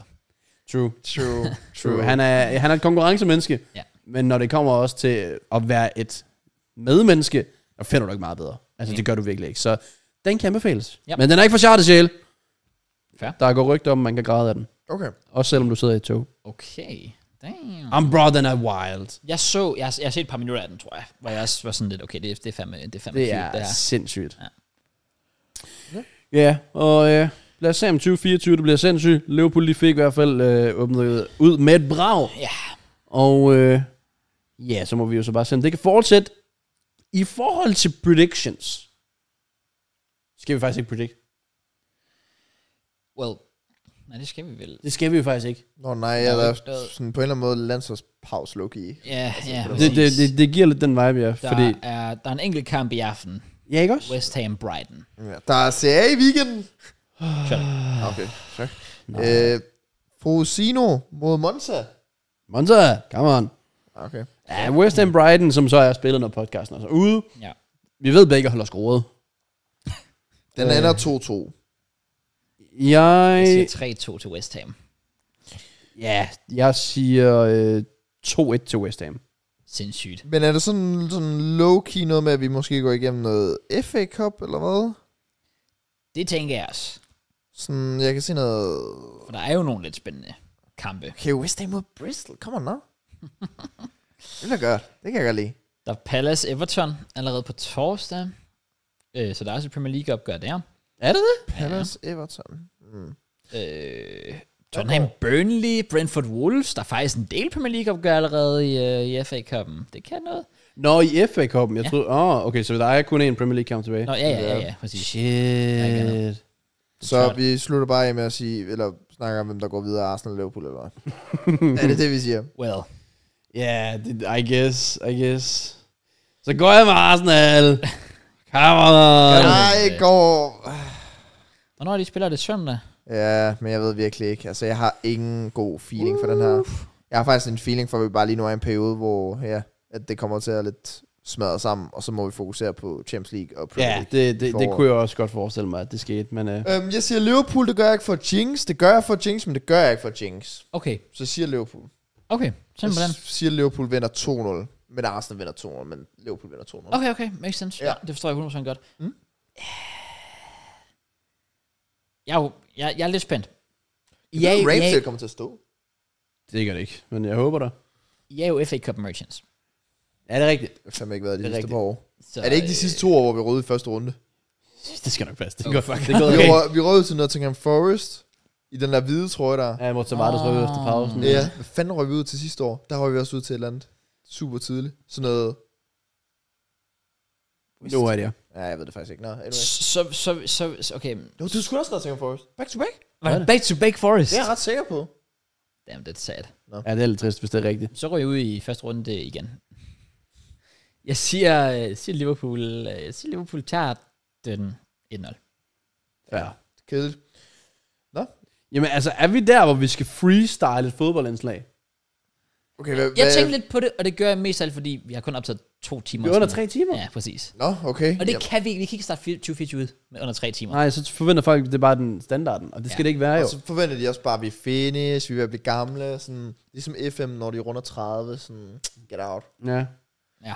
Så, Så okay, hvad er freestyle? Hvad, hvad skulle det være? Det må jo næsten være indkøbende til de forskellige. Nå, okay. Ja.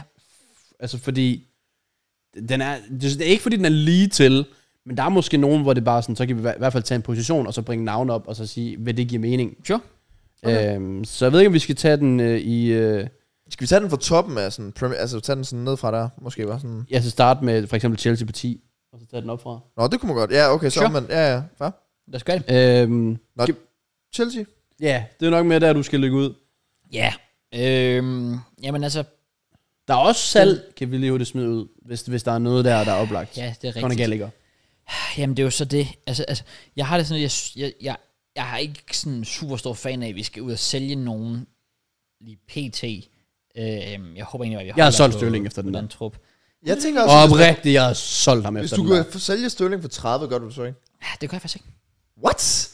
Jeg synes, altså jeg er meget frustreret over Sterling, men man må heller ikke glemme, hvor vigtig erfaring kan være, hvis han bruger den ordentligt.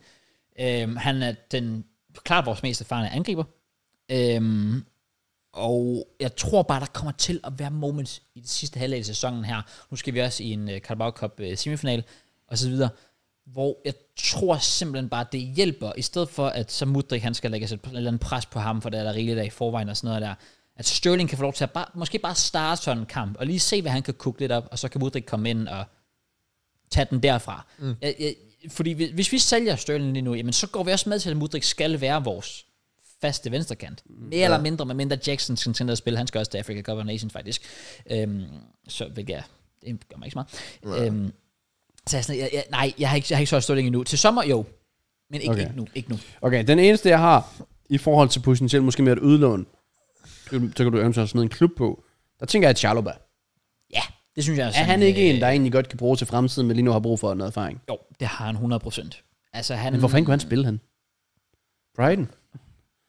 Når du tænker, at det skal være en Premier League-klub. Nå, nej, overhovedet ikke. Han, men jeg kan ikke lige sige, at han passer perfekt ind i Mon- Monsas system til weekendens kamp her. Det sjovt var, jeg tænkte faktisk AC Milan. Fair. Der er bare sådan, altså de, de har det bare sådan lidt hyggeligt med at hente vores tidligere spillere, Loftus Cheeks, Giroud, Pulisic, Tomori. Jeg, ja. Ja. Du, Er det ikke sådan en kla- altså, Chalobah, er det ikke sådan en klassisk championship øh, udlån? Jo. Det, hvis, jeg, mm. hvis, hvis han skal have sådan en seriøs spilletid, og rent faktisk sådan få noget af det, så skal han til championship. Preston, jeg siger Preston. Ja, han tager til, Ned til Mads Brygger. Jeg skal ned og hygge med Mads ikke? han tager til West Bromwich. Spændende. Nå, men hvad med indkøb så? Ja. Øhm, jeg synes jo, Grunden til, at jeg synes, det, okay, jeg, grunden til, at jeg synes, det er lidt svært med indkøb, det er fordi, jeg ved stadigvæk ikke endnu, hvad fanden Poch har tænkt sig med en kunku. Men jeg synes jo, at en kunku er oplagt bare at smide op på angriberen. Mm. Fordi nu har vi Palmer på den 10'er der, hvis man nu ikke kan kukke lidt på højre, og så Mudrik på venstre, så synes jeg, at angriberen er oplagt til en kunku. Men ellers vil jeg sige, at angriberpladsen var en, vi skulle ud og forstærke, fordi Jackson ikke er god nok til at starte. Brogia har vist øh, de få chancer, han har fået nu. Han er langt fra god nok til at starte. Ja, Øhm, og jeg har ikke noget imod, at Jackson så kan være sådan en bænkspiller, der kan komme ind en gang imellem og få lidt minutter. Men vi har brug for en fast striker, der bare klapper den ind. Øh, og en Kunka er kommet okay i gang indtil videre, så hvis han kan fortsætte på den angriberplads, så synes jeg egentlig, det, det er okay. Men hvis vi skulle ud og forstærke noget, så vil jeg faktisk sige, så vil jeg sige keeper. Jeg er stadig på Hvad med keeper. baksene? Altså med, med skader og, og det her. Jo, altså jeg er glad for, jeg synes, Gust- Gustav har gjort det rigtig godt, Ja. når han er kommet ind. Så det er jo også sådan lidt, okay, så mangler vi måske lidt en højre bak, men det er jo bare svært, fordi mm, hvor står vi med Ja, James? Reece James, men den, det, det er sådan, ikke fordi det er et lukket kapitel, men jeg synes, det, at afhænge af ham, det kan I ikke. Nej, nej, det er, det er jeg også enig i. Så, skulle det, men så vil jeg hellere kigge på venstre bak, Okay. i hvert fald. Fordi at Chilwell er lang tid skadet, hvornår kommer han tilbage, det ved jeg ikke. Kukurella er jo så også ud, men skadet nu, så er vi også lidt fucked der. Og jeg synes, I'm sorry, men Colwell på venstre bak, det er ikke, nej, nej. Nej, han Det er, fungerer ikke. Ja, nej, nej. Et er en et. Øh, han skal bare ind og spille den venstre centerback der, sammen med Thiago Silva på højre centerback, og så er den ikke længere. De skal ikke i nærheden af, af startelveren der, og, øh, og jeg synes, det er fint med lidt konkurrence til Badia Shield, fordi han skal da ikke føle sig for sikker, hvilket måske han har gjort, siden han lavede de fejl. Øhm, så jo, venstreback, men hvad fanden skulle man hente? Ja. Ja, Jamen, det er også det med navn, det er måske heller ikke, det er måske også lidt svært at gøre on the spot, Ja. men sådan en position, det er måske, ja, hvis man, Ja. ja. Så, hvis der skulle være en position, så er det venstre bak. Jeg vil stadig sige keeper først og fremmest. Keeper og så venstre bak. Ja. Hvis det skulle være et drømmescenarie. Okay. Ja, det vil jeg sige. Okay. Og så måske angriber, men der har jeg ikke noget mod, vi venter til, til sommer. nej, Fair. det er Men- også en af dem, der, den er så dyr, at Ja, det, det er at nemlig... gøre det i er januar, så bliver den bare endnu dyrere. Ja. Så, men, så hvis der er nogen, der skulle byde 100 million on Ivan Tony, så er det altså Bowley, der godt kunne finde på det. Skal Det er det? jeg Ja. ikke En kiss, ja. tvivl om. Nej, stop. Men Ramsdale, den er nok deroppe af. Jeg vil hvis du gerne- skulle have et navn på. Jeg vil, jeg, hvis jeg skulle vide et navn på, vi henter, så giv mig Ramsdale. Ja. Meget, meget gerne. Det forstår jeg godt. Nå, så øh, ja, hvis vi absolut igen, Brighton, det bliver bare et eller andet random ASL. Eller et random AS spiller for ja, siden af, siden kan de hente. sydamerikansk, ja. Ja, så må de ikke de henter noget der. Men så, øh, ellers er der selvfølgelig Newcastle. Der synes jeg, de skal have en højre kant. Jeg synes, Almiron er håbløs. Jeg ved ikke, hvad der er sket. Han er så elendig. Øh, altså, det er sådan en byttehandel med øh, ham og Anthony. Du, der er ikke nogen, der vil lægge mærke til det, tror jeg. Nej, det var lidt sådan one season wonder måske. Ja, lidt det er over det det. virkelig. jeg tror igen, jeg har set nogle Newcastle fans bede Jack Grealish om at kalde ham shit igen. Fordi det, har, det har han tydeligvis brug for. Ja, fair. Så der skal de have et eller andet. Ja. Øhm, jeg synes, det kunne være sjovt. Jeg ved ikke, om det ikke sker. og Han, jeg ved ikke engang, hvor meget han overhovedet spiller. Jeg tror ikke, det er ret meget. Men sådan en som øh, en fuld ud pace af Dammer Traoré. Det gad jeg fucking okay. godt se. Bare spam ned den linje. Okay. Spam indlæg ind. Også fordi, han, altså, han har Trippier bag sig. Så hvis han lige kan finde form igen, Ja, ja, ja. det kunne være, jeg synes, det kunne være meget sjovt. Ja, han har jo næsten ikke kunne rørt Fulham sådan Nej. spilletidmæssigt. Nej, overhovedet ikke. Så jeg, jeg synes, øh, at Dammer Traoré, det, det synes jeg kunne være lidt sjovt. Ja. Ikke, han er ikke en, en god fodboldspiller, men det er Almiron bare heller ikke. Nej. Og han er også bare dum. Okay, han har også været skadet, og Dama, nej, fuck, hele sæsonen nærmest, ja. Nå, det vidste Ja. jeg ikke. Ej, men Almiron, han vi altså bare i går, så havde han også flere muligheder, hvor jeg bare tænker, fuck, hvordan er du professionel? Altså, Ja. Jamen, det, det, nogle gange, så kan, så kan du undre dig. Øh, har de pengene, så er der ikke nogen tvivl for mig. Så er det Michael Olise. Uh, Ja, okay. Ja, ja, ja. Øh, og jeg vil mene, de har ja, pengene. ja. Ud fra det, det nye... Øh, Men hva- hvad skulle man så af med i januar for en Michael O'Lease? Fordi så er vi vel... så er vi 60. Ja. I skal huske tror, på, han han, han har han- jo lige Han har lige sin forlænget, ja. for et halvt Men det var også, siden. der havde han også en frikøbsklausul sådan 35. Ja, præcis. Men jeg er altså også ret sikker på, at han har en klausul, der bliver aktiveret til sommer. Nå, og det ved jeg ikke om. Jeg, jeg, jeg siger, Palace vil have mindst 80. Prøv at tænke, de, de ville have 60 for Wilfred Zaha dengang. Det er også wild. De, Ja, han bliver heller ikke... Ah, sorry, hvis han kostede 60, vil jeg også sige, så, så vil jeg også så, meget, at han Ja, præcis, så skal vi fucking tage Ja, ham det er mere bare, han har lige haft lidt skader og, Ja, og sådan noget, men øh, Jeg tror 80 er et godt bud. Ja. Ja. Bare sådan hypen, og det er januar og så videre. det tænker jeg nemlig også. Ja, ja, ja. ja, må vi se, hvad er han, 22? Jeg tror, Ja, 22, ja. Ja, det, han bliver i hvert fald svær at holde på, hvis han fortsætter det her. Og Newcastle, de, de kunne godt bruge sådan en type som ham. ja. Det kunne I. United, har vi... Hvor øh, fuck skal vi starte? har vi... Øh, det kan være, det bliver fire timers podcast lige pludselig. Ja, fuck det. United, der er... Du kan nærmest tage position by position. Ja. Altså, de er jo helt utroligt. Hvor, vi må jo næsten holde det... Skal vi holde det på to? To. Så er der også høje krav til os. Jeg ved det godt, men bare hvis vi begynder at tre, så er det sådan, "Nå, så tager vi bare ind i hver Ja, kæde, så- og så går det nok. Jeg synes jo... Så synes jeg... Jeg aner det ikke. Okay, jeg synes, de mangler meget. Så, så siger jeg centerback og kant. Okay. Du er ikke på, du er ikke på sekser. Nej, nej. Okay. Det, der tror jeg, at de godt vil kunne... Nu ved jeg... Altså, hvor bliver Casemiro af? Hvornår kommer han tilbage? Det aner det ikke. Ingen idé. Altså- Altså, manden er forsvundet. Ja. Men jeg mener stadig ikke, altså... Nej, men han var også shit, Ja, ja, men, men, det er jo, men det er jo ikke, fordi han er blevet sådan gammel, gammel. Altså, han vil jo godt kunne komme tilbage og finde et nogenlunde niveau. Hvor, hvor, jeg Det tænker, tror jeg hvor, nej, men hvor, hvor jeg tænker, Anthony, det er jo, det er jo helt hårdt. Ja, ja, det, men der tror jeg også, at de kører Garnacho. Ja, okay. Men det, det er også for mig ikke noget at prale over. Det er jo årets gennembrud, følge dig jo. Ja, ikke så, så, øh, så så jeg om at spille. Nej, øhm, nej men jeg, jeg, jeg føler på, på kanten kunne de godt bruge noget nyt og frisk. Det kan også være, at det er ham af Diallo her. Han gjorde det jo ret godt i sidste sæson. Ja, Sunderland var han baller. ja. Skadet lang tid, så det kan være, at han kan give noget. Ja, ja og så centerback. Men prøv at, man skal simpelthen ikke spille med Johnny Evans. Det, det, sorry, han har gjort det sikkert stabilt nok, men du skal ikke spille med Johnny Evans. Det skal man bare Nej. ikke. Øh, og Varane har heller ikke været noget sådan imponerende show overhovedet heller. overhovedet ikke. Øhm, så hvis man kunne få Lisandro Martinez tilbage, og så ved siden af ham, få et eller andet nyt lækkert ind. Ja. Uehi. Fra Palace? Mm. Ja, det bliver for dyrt. Så er vi jo Kim Andersen, hvis vi skal lidt ned i budget. Ja. Han kan i hvert fald Ja. ja. pinge de der bolde til Rashford. Øh, diagonalboldene, som ja. Joachim Andersen er mester til. Hvor bliver... Øhm, nu kommer jeg også til at tænke på en helt anden. Hvor fanden bliver Maguire egentlig af? Fordi han gjorde det jo egentlig også meget stabilt. Skadet. Ja, han er skadet, er han ikke det? Jo. Lyskeskade. Det er han. Fordi han gjorde det egentlig meget stabilt inden. Ja. Ja. Vi øh, fik sin skade. Det var lidt øh, øv. En, der gør det overraskende godt, der ikke vil være ret dyr, men det- jeg tør ikke engang tænke på, hvor gammel han er. Ej, jeg ender min. Jeg tror faktisk, kan spiller og sekser. Jo. Kan du tage på Okay. Ja, det tror jeg faktisk. Okay. Fuck, hvor, nu, nu kommer jeg også lige til at tænke på en ting. Jeg skal lige ud med nogle frustrationer. Amrabat, holy crap, han er godt nok også lort. Ja, Ja. ja. Det er Ja. ja. helt sindssygt. Men det hvor- overrasker mig en- slet en, ikke. En, en tackling på en Mbappe kan gøre. Ja, ja, Det er ja, ja, sindssygt. præcis. Enig. Fuck, mand. Ja, jeg, jeg kiggede lige alder på Tarkovski. Det er, det er 31, så den, øh, den sletter jeg igen. Men han har haft en god sæson Ja, det er rigtigt. i, øh, i Everton. Ja, øhm, altså, jeg, jeg, jeg, jeg, jeg er enig i, altså jeg, jeg holder faktisk på en centerback og en sekser. Fordi jeg, jeg synes også, det der kantsystem, hvis de kan få Garnacho på den højre, Rash, Rashford på venstre, og så Højlund op foran, så tror jeg egentlig, de er okay. Netop fordi sådan en som Diallo også kommer, kommer tilbage.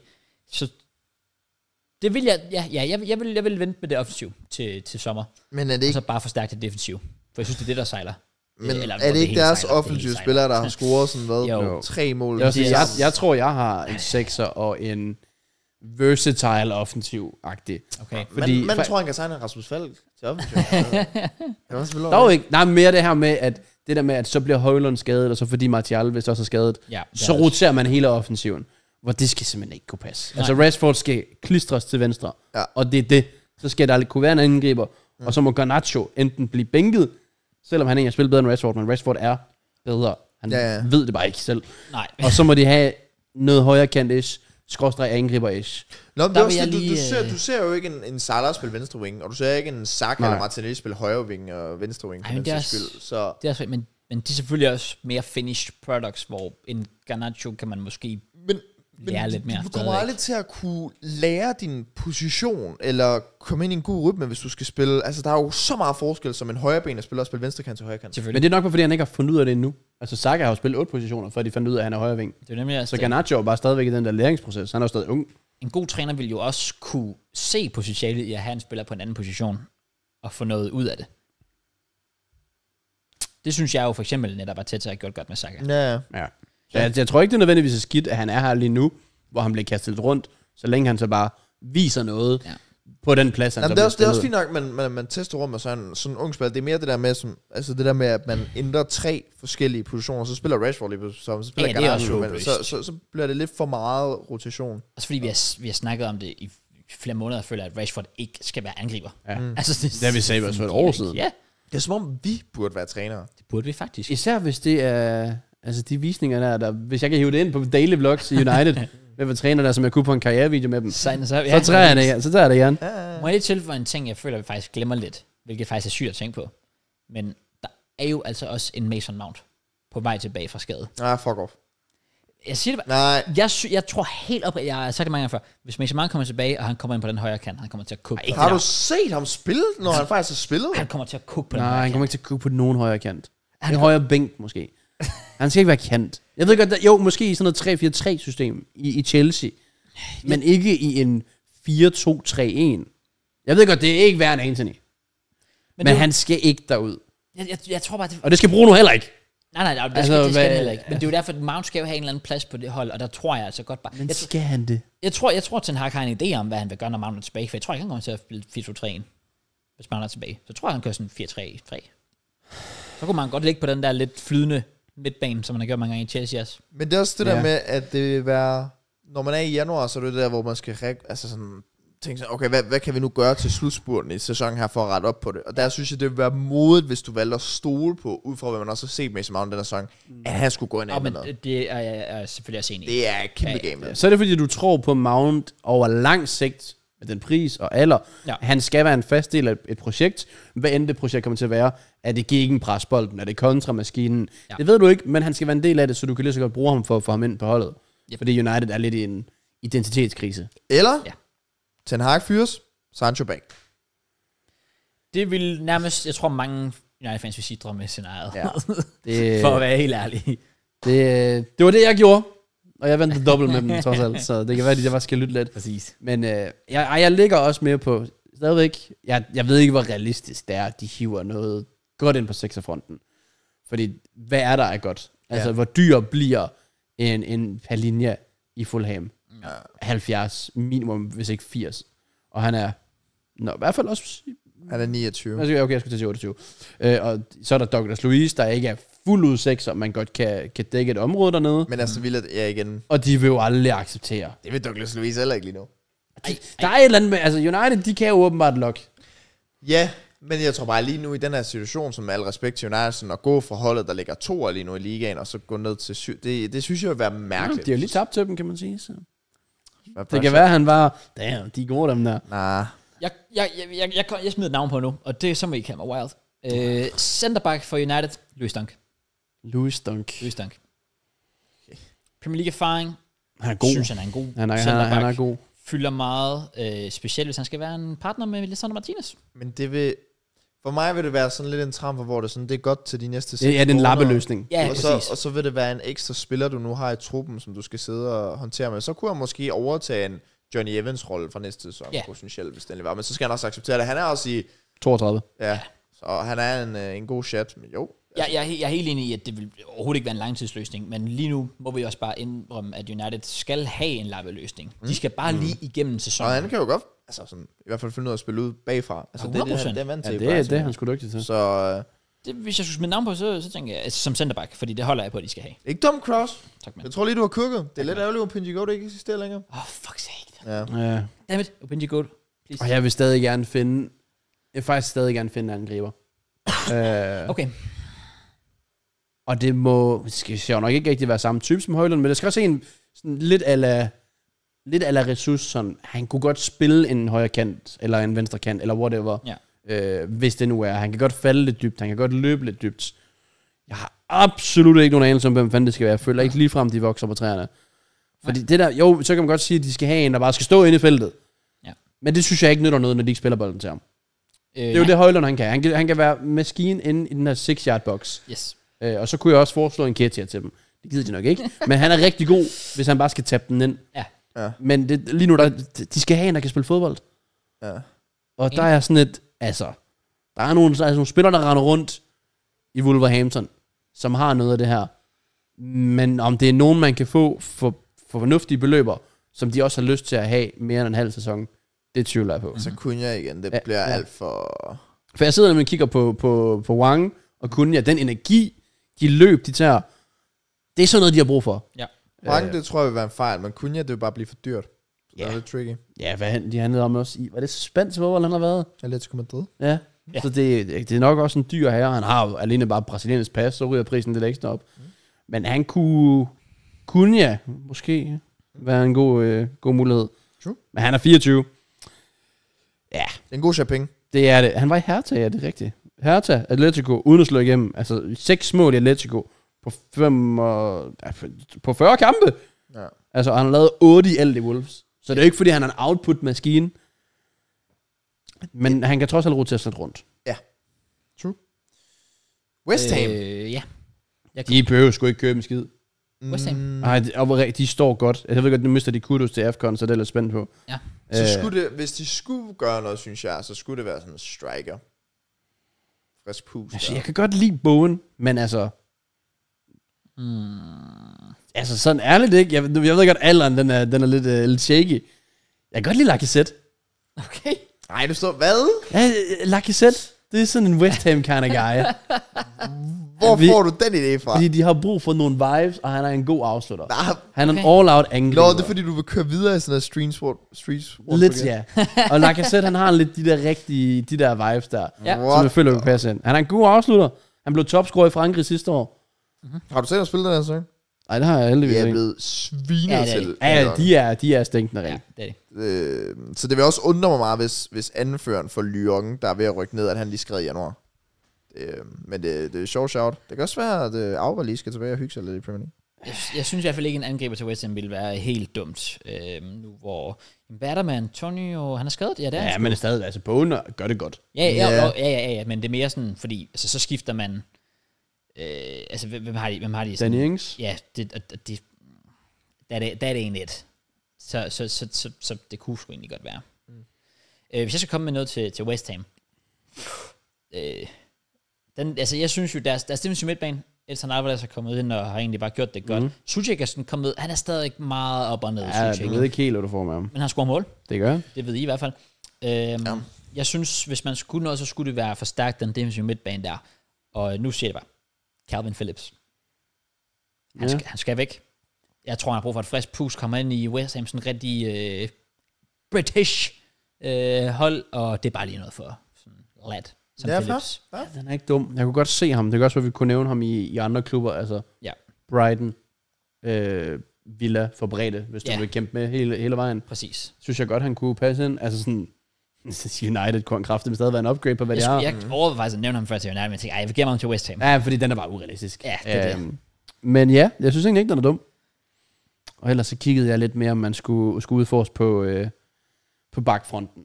Ja, Om de skulle have noget der. Men jeg synes egentlig, at West Ham står okay, så det er også det. jeg tænker ikke, de gør det store, og de behøver heller ikke alt for meget tv-tid hos os.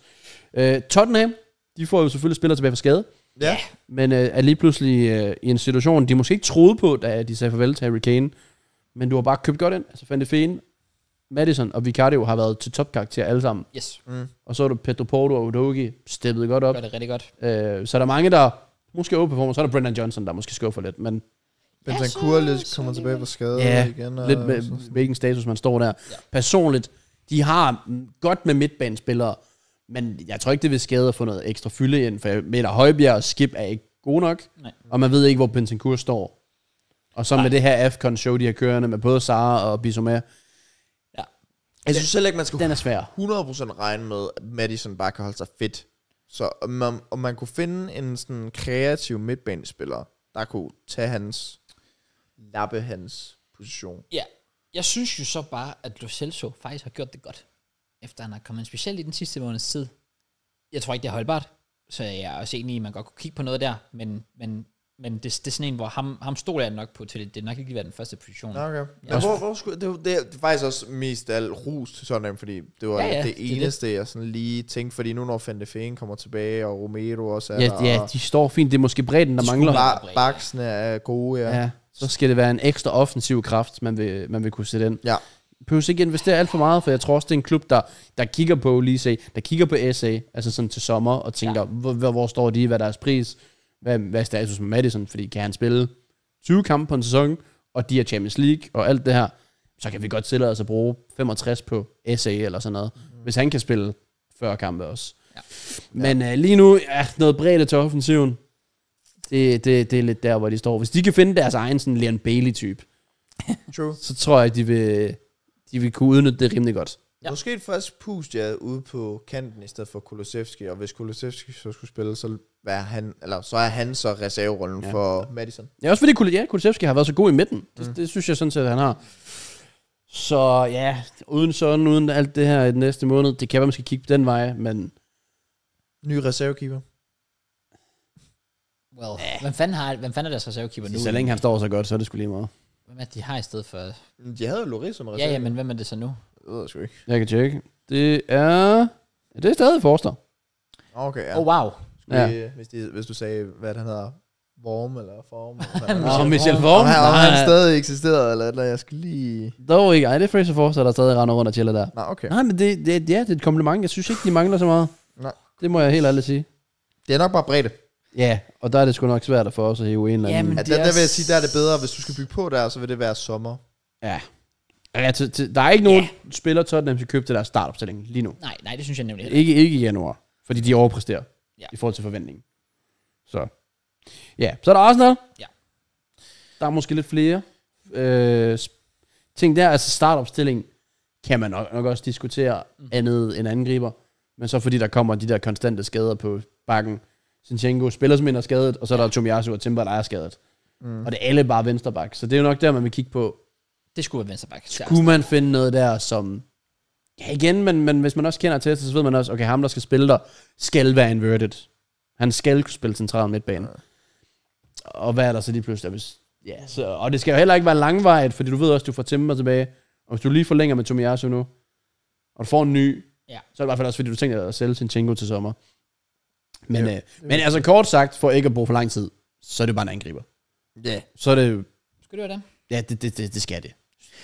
Ja, det vil jeg også sige. Det var også det, jeg mente før, da jeg sagde det med, at, at det er nok obvious, hvem I mangler. Fordi Jesus bare ikke... Man kan ikke stole på ham. Nej. Men jeg synes helt ærligt også, Martinelli skal til at steppe op, og jeg synes heller ikke Trossard. Nej, det er det. Altså, noget jeg-. Så, så noget... Jeg vil være ærgerlig, hvis jeg var Smith Rowe og se, hvor lidt spilletid jeg Ja, fik. det er det. Altså, selvom jeg, jeg kan bedst lide ham i den her venstre 8, så er han lidt med i midten. Men altså, han har jo spillet vink før, og været fin. Ja, præcis. Så, men det hjælper bare også mere, for han er god i boksen. Og vi har jo som Matt også set den der regel med, nu skal de kraftigt ligge ud, og altså, hælen, den skal røre baglinjen, eller sidelinjen hedder det. Det er jo ikke Smith Rowe's rolle. Så, ej, jeg, jeg ved ikke helt. Hvem skulle man hente ind, som man kan? Paolo Gun? Se mig nej. Ej, det, det, det, det er jo enten Tony eller Oshiman. Ja. Det er de to eneste, der er altså, mulige for os. Ja. Øh, sådan styrkemæssigt, føler man, der kan betale sig. Jeg Altså- siger i hvert fald Ivan Toni 100%. Folk har jo også visket lidt om uh, Vlahovic. Ej, det gider Ja. jeg ikke. Nej, jeg gider, ja. Men det var også sjovt, fordi da Chelsea sådan var rygtet lidt til ham i sommer, så var jeg sådan lidt, nej. Nej, og det er sådan, jeg tror, de fleste får, når man tænker ham frem for Tony eller Osimhen. Ja, det. ja Er det, det er det, det er Premier League proven. Og, jo, han har Jo. afvist os en gang. Hvor jeg også lidt... Så der var han valgt Juventus over Ja, os. præcis. Det, så, så, så er I altså også desperate, hvis I, hvis I så går tilbage til ham. Det synes jeg ikke, I skal. Ja, nej. Må jeg lige komme med et short shout? Okay. Nu er han sådan lidt skadet, så jeg ved ikke, hvor seriøst det er. Men, men jeg mener det faktisk sådan lidt seriøst, hvis han ikke var skadet. Øh, Vensterbak, Kukurela. Jeg, altså, jeg kan godt lide det. Jeg synes, han har... Han har den der sprudske energi Præcis. der, som man, man, man godt kunne bruge. Han er jo fin teknisk. Ja, det er nemlig. Kan sagtens, jeg tror sagtens, han kunne passe den der inverted rolle der. Jeg synes, han er lort.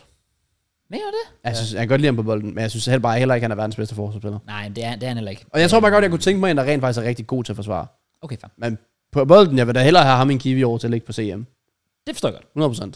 Jeg vil nærmest også hellere have ham en Sinchenko lige nu. Ja. Fordi han, jeg ved ikke, hvad der er galt med ham. Altså, det, det er også sådan, jeg, jeg, jeg synes nemlig, jeg synes nemlig, at er en rigtig dygtig spiller, som er blevet misbrugt i Chelsea. Jeg har Han er nok en systemspiller i hvert fald. Ja. Exclusive news, Okay. hvis det er.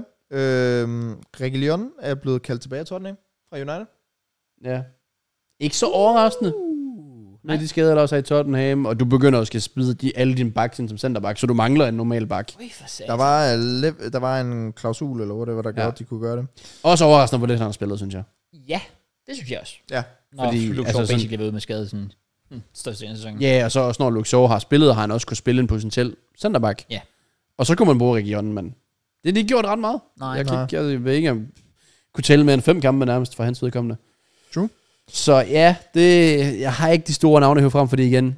Det, du gider ikke at betale alt for meget nu, hvis du kan få det billigere til sommer, men så igen, hvis der er et mulighed for mesterskab nu, vil man så ikke gøre det. Ja. I don't know, men jeg, Sidste shout, Damendøj. City Okay. Hvad, øhm, Der mangler ikke noget, gør der det? nej, ikke med Holland tilbage. Måske snart, og KDB, der kommer Så er ind. det fordi, man er lidt skuffet over Guardiola start. At du vil have en, altså det samme Ja. ja. med øh, den der venstre back type der også skal være inverted. Men Det tror jeg, de vokser ikke på træerne. Kukurale. Okay, nej. jeg, jeg, det tror ikke, øh, jeg tror ikke, City gør noget i januar. Det plejer de heller det, ikke. nej, nej. Så De står fint, de har deres bredde. Ja. De har klaret sig fint. Altså deres to bedste spillere har ikke spillet. Og, well, de har været fem point. Fem point for førstepladsen, men en kamp til gode. Ja. Ja. Så ja, de, de står okay. Aston Villa, Ja, det, de står jo også fint, men de er svære at shoppe til, ja. synes jeg. Fordi de henter nogle gange lidt de her sjove navne. Sådan en som Musa Diaby, hvis man sådan, "Nå, kan han gøre det? Det kunne han sgu. ja, ja. Ja. NBL, kan han gøre det? Det kunne han. Pau Torres, det kunne han også. Okay, shit, fuck. Altså, de har bare et, et, en god trup. Godt sammenspillet hold. Jeg synes, øh, det er svært sådan, at se en position, hvor jeg tænker, de har behov. jeg føler også, at januar det er virkelig et sted, hvor du gerne vil prøve at nærmest forbedre din startalver. Så det er, Ja. sådan lidt, det er lidt tricky, fordi Det er Jeg, ja, hvis det gør de ikke. Hvis du tænker på noget, så skulle det være sådan noget plan B for Watkins, for eksempel, hvis det endelig var. Ja, for det John Duran der, han er, han er my guy, men han, han holder ikke lige. Nej. John Duran. Det, det gør det sgu ikke. Nej, jeg synes, de andre positioner, der står de sgu egentlig fint. Ja. Ja. Det er selvfølgelig afhængigt af deres ambitioner. Altså, hvis de har tænkt sig at gå efter titlen, så skal de da til noget kraft. Ja, ja, selvfølgelig, men det er også bare sjovt, ved, altså, de er jo nærmest kun lige, og han har ikke spillet ret meget, begynder at spille lidt mere nu, men altså sådan en som Jacob Ramsey, han var så god sidste år, Ja. har bare været skadet nærmest hele sæsonen, og så er har- han lige kommet tilbage, og Ja. begynder at blive spillet ind, så Ja. De, de tilføjer lidt til offensiven der, og igen, Thielemans begynder også at få lidt mere spilletid. Ja. Han har Så, sådan en lille skadelig PT. ja, det er det, så det, ja, jeg, jeg synes egentlig, at de står et okay sted, og igen, hvem skulle de kunne hive ind? Calvin Phillips? Øh, Ja, men det er jo, ja. Ja. men det er jo nemlig, jeg, jeg, jeg kan godt lide dit shout med en angriber, i hvert fald, fordi det er ikke meget, altså, nu kigger jeg altså bare på deres bænk mod Burnley, der var intet at skyde med, mm, Nej, nej. offensivt, altså, øh, igen, jeg var faktisk overrasket over, hvor mange skader de har, altså en Villa, altså de mangler Buendia, Courtney Horse, Matty Cash, Bertrand Traoré, Mings, Dinje, Ja. shit, de mangler ud med skader, øhm, men angriber, ja, Et eller andet, de kunne i hvert fald smække ind, ja, hvis de har lidt problemer eller struggler. Det, det tror jeg kunne være sundt for dem. de leger en bro J Chelsea, let's go. Ja. Yeah. Gør Liverpool også det? Ja. Og så er den lå. Nå, okay, nej. øhm, Den er svær med Liverpool. Ja. De, øh, de gør det jo godt. Ja. Og de får nok ikke forstærket deres startelver. Nej. Og man er sådan lidt, ah, mangler de virkelig den sekser? Fordi altså Endo, han burde jo ikke være ham. Han gør det faktisk fint. Han er sgu... Og jeg synes, Curtis Stones gør det fint. Og Soboslaj ja. kan gøre det godt. Jeg synes ikke, han spiller ret godt lige nu. Det er også det der med, at Klopp er jo ikke afhængig af kvalitet, han er bare afhængig af, at systemet fungerer Ja. for dem. Mm-hmm. Og det gør det jo for sådan som Endo, for eksempel lige nu.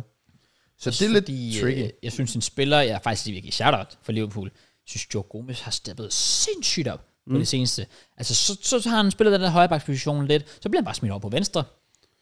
Gør det fint. Ja. Så, så altså, så, jamen, så, så du ikke, om du ikke har Simikas og Robo, det er ligegyldigt. Joe Gomez, han er bare sådan lidt, der er alle mulige mand nede i forsvaret. Så ellers havde den måske været den oplagte for mig at kalde en venstreback, men det synes jeg egentlig heller Ja, også fordi med Matip skade, så kunne man også argumentere for, at man skulle ind og kigge der. Ja. Fordi du ved heller ikke rigtig, man kunder til, hvor holdbar han kan være øh, over en halv sæson. Ja, jeg vil faktisk sige sådan, øh, måske en centerback. Ja. Ja. Det var godt, ja. Fordi offensiven er de jo sortet, i hvert fald med spillere. De har rigeligt at skyde med. Ja. Øhm, I forhold til nogle af de andre klubber, vi også har misset, Ja. ja. og så er der bare nogen, der baller den ud, men sådan championship-mæssigt. ja. Altså er der ikke nogen, der, der også er for gode til championship? Altså sådan Leicester har jo kukket løs, hvad jeg de har set. vanvittigt. Det var også nogle af dem, er så også ny. De fik jo uh, Marvididi ind, så den er, han er trods alt ny. Ja, men han er mm. rigtig god. Ja, øh, nok også for god til championship. Så er der, men sådan en som, øh, nu har vi kigget på midtbanespillere. Oh, hvad fanden var det for hvilke klubber? Jeg ved, dem vi har været inde på, der mangler midtbanespillere. Ja. Dewsbury Hall. Ja. Ja. Den synes jeg, altså det er sådan en rigtig Premier League øh, midterklub midtbanespiller. Ja. Som er blevet bedre og bedre. Øh, og spiller så nu championship, hvor jeg tror, han har det ret nemt. Han kunne godt være en folk, de skulle kigge på. Ja. Men hvem? Hvad fanden har vi sagt, der mangler midtbane? Øh, United. Ja, okay, måske ikke deroppe af. United ser vi... Og Øh, West... Var det ikke West Ham, hvor du jeg, sagde... jeg callede en defensive midtbane til West Ham i hvert Ja, fald. måske ikke så meget defensiv midt, så. Nej. Ja. Måske en god bredde spiller i Tottenham, hvis det endelig var. Ja. Ja. men på den anden side, så er det faktisk altså Leicester, altså Leicester er jo så tæt på næsten allerede at være sikret oprykning, som de er. De ligger med 13 point Ja. ned til Southampton, og så lige 4 point yderligere ned til Leeds. Altså, de kommer ikke til at smide den her. Altså, de dominerer ja. alle kampe. Og Henrik Vestergaard begynder at spille igen, og... Ja, og han gør det godt. Ja. Så det kan være, det er der United, de skal kigge ind. Ja, det jo, ja, det er jo så lige det. De har jo handlet centerback til Leicester før, så de kender det. Jeg ved, Ja, hvordan det er øh. Ja, ja. proceduren fungerer. Men, øh, men nej, Liverpool, der er altid spørgsmålstegn ved, ved sådan en som Darwin, om man kan lave hans mål. Det kan han nok ikke, men han er kaos. Og så har de alligevel bare shot og gag på, og alt det her. Salah jo. Ja, ja Salah og så... Ja. De skal nok score målene, og der er ingen andre på markedet, der vil kunne tilbyde dem mere alligevel, Nej. tror jeg ikke. Nej. Enig. Så jeg, Liverpool står fint. Måske, jeg synes heller ikke, centerback er, er urealistisk. Men hvor mange der så... Igen, så skal de have en et halvt år, så vil de smide det væk. ja. Det, er, Ja. jo- det, er jo, det, det, er jo, det er jo også lidt det der... Hvor er Connor Cody? Er det Leicester? Connor Cody, han er Leicester, ja. Ja. Ja. Han er Liverpool-fan. Ja, Ja, Så øh, det kan være, det er der, de skal kigge. det kan være, han lige skal tage den tur. Ellers så, øh, hvad det hedder, Somerville fra Leeds, han gør det sygt godt lige nu for dem. Okay. Han, Ja, ja, han Leeds kukker, gør det og han er jo generelt. ung med... Ja, og han er åben om, om han er for god Ja. til championship. Han er lidt... Jeg bryder mig ikke rigtig om hans attitude. for han ved godt, at han er god. og Han er sådan nærmest altså protesterer om at skal spille dernede. Det var Ja. nærmest, det var det samme med ham, der er Gnunto jo. Ja, Ja. Genonto, ja, han er også... Ja, der er lidt nogle, nogle sjove typer i Leeds. Ja. Ja, Sommerville, han har lidt af det der Diallo, han havde i Sunderland. Ja. Som United håber på, at han kan videreføre nu. True. Jeg kan fortælle, at som var for god til at spille i championship, har ikke scoret et mål i championship. Det var, det var, det var meget flot. Det er meget sjovt. Okay. Fair nok. Ah, jeg, jeg, jeg vil ønske, at jeg bare kunne smide et navn på Liverpool. Nå, lige et enkelt mål. Okay, nu kommer jeg lige med, en, øh, med, et, øh, med et lille call omkring Liverpool her. Shit. Klopp bliver fyret. Mitchell. Det, der kommer til at ske, det er øh, Marit-scenariet for Liverpool. Åh oh, nej. Her i løbet af januar, Nej. Alisson, bro, han får en vanvittig skade. Rygskade. Ja, han er bare ude Han hopper op på overlæggeren, falder ned på ryggen først. Præcis. Nej, ryggen. Og så sparker de ham i ryggen bagefter. Ja, Mm. Og han bliver skadet, langtidsskadet, ud resten af sæsonen. De spiller, mod, de spiller mod Brighton, men det er Bruno Gittemaes, der lige pludselig kommer ind fra sidelinjen. Træder på ham. Mm. Ligesom jeg skulle til at sige. Og så sker der det, at de mangler en keeps. Mads Hermansen. Og det var faktisk præcis det navn, jeg skulle til at sige. de går i Leicester, og så henter de en god gammel Mads Hermansen. På en låneaftale med obligation to buy. Ja. Obligation to... Hvorfor skulle de gøre det, når Allison kommer tilbage? Option to buy så. Hvor, hvorfor skulle Leicester så lege ham ud? Nej, nu stopper jeg. Jeg tror, jeg tror... jeg Obligation tror, vi- to nej, buy. nej, Nu, nu, Here we go. nu tror jeg, vi har peaked. Fuck sake. Nu tror jeg, vi har Okay. peaked. Jeg tror gerne, uh, Forrest vil med Turner, hvis det er. Så kan de ramme det amerikanske marked. Du ved, amerikanske ejere, det, Ja, det er rigtigt nok. det Det giver kan- mening. ja. Jeg havde faktisk, altså jeg havde lidt ondt af at Turner. Jeg synes, det var virkelig fedt at se ham sådan efter kampen. Han var virkelig op at køre, virkelig glad, fordi han har faktisk nogle vigtige redninger mm. mod United bagefter. Han Jamen, det jo, det er der. jo, men det gør han jo også mod Tottenham. Ja, ja. Der ja. har han vist også en redde. Ja, han har da et par er stykker. To stykker, Han hvor... giver os også to mål væk. Ja, præcis. Det Det er jo netop det, der er med ham, så... Ja. Ja. Han burde bare blive striker. Hvis du brænder to og scorer to, så er det... Så går det lige op, ja. Ja. ja. Nemlig. Gør det ikke som Nå. keeper. Ja, Oh Liverpool basically bare nyd det. I har det åbenbart ret godt. Ej, jeg kom lige til at om Brighton. Jeg har det perfekte til Brighton. De har brug for en keeper. Ham der fra Bryggen, han er fucking piss. Men det er ikke også Steel, der spiller lige nu? Han er også piss. Ja, det, han er ikke ret god. Jeg synes, altså... altså, altså Han er god med fødderne. Ja, ja. Og det er jo det vigtigste i Det, var, det, det, det er rigtigt nok. Øh, Og du skal sige, at der er god med fødderne nu, ellers så er du ikke med næste uge. min, min kæreste, hun er god med fødderne. Kan vi ikke godt stoppe podcasten please? Ja, Kraus er røget ud på et vildspor. ja, Okay, det er jo fuldstændig. Hvem var det, du gerne vil sige? Altså, de skulle bare have en keeps. Nå. Nå, jeg troede, du havde et navn. Ja. Um, det ved jeg ikke. Mads Hermansen. Brother, det var de svar på alt, eller hvad? oh, jamen, jeg ved ikke, hvad der er en Hvad er god... 2 plus 2? Mads Hermansen. Ja. Shit, bro. Mads Hermansen, han ligger bare op i hovedet. Og Ja, det gør han. Ja, fair. Nå. Ja. Men, det, men jeg, mit, mit call omkring keeper er sådan oprigtigt med Brighton. De er fucking piss. Ja. Deres Ja, keepers. det, det er ikke imponerende. De kan spille fodbold, men de er ikke så gode med hænderne. Ja. Og det er måske derfor, de ikke har holdt nogen clean sheets den her sæson. Yes. Men øh, sådan er det. Så fik vi også gennemgået holdene. Jeg synes, det var godt, vi gjorde det. Det Okay. var faktisk godt, vi gjorde Ja. det. Fordi Det, det, øh, ellers havde folk været skuffet over, at vi sluttede efter. Ja, det er rigtigt, men så må fodbold steppe op. Det må det. Ja, det, det, der er måske noget mere ballade. Altså ligesom vi skal være mere øh, drama, så skal fodbold også være mere drama. Præcis. Ja, vi har brug for noget vildt. Ja. Det har vi sgu. Men så i næste uge, der bliver det fuldstændig sindssygt, når vi skal lave Team of the Season so far alt det fisk der. Ja, måske, måske skal brevkassen lige snuses lidt til og sådan noget. Den er ved at samle lidt støv, har jeg set. Så skal Nå, lige... Ja, skal vi... Det kan være, der er nogle fodboldindslag, vi skal hive op igen, som vi også... Der er meget støv på dem i hvert fald. Jeg, tænkt, jeg har faktisk tænkt på det længe nu, vi burde lave øh, gæstspilleren. Hvem er jeg? Igen. Okay. Så, så gør vi det bare øh, det. Så, Spændende. så jeg, jeg, Jeg siger Mads Hermansen. Bare så du ved det. tak for Ja, okay, godt. Jeg laver, jeg laver en med ham. Ja, men det er jeg ikke i tvivl om. Nå, men øh, med det, så er vi done. Yes. Første podcast i det nye år. Ikke den sidste. Jeg ved aldrig. Nej, nu så Det kan være, der kommer en stor fed meteor og bare rammer lige ned i kontoret, hvor vi sidder sådan lige nu. Ja, så er det done.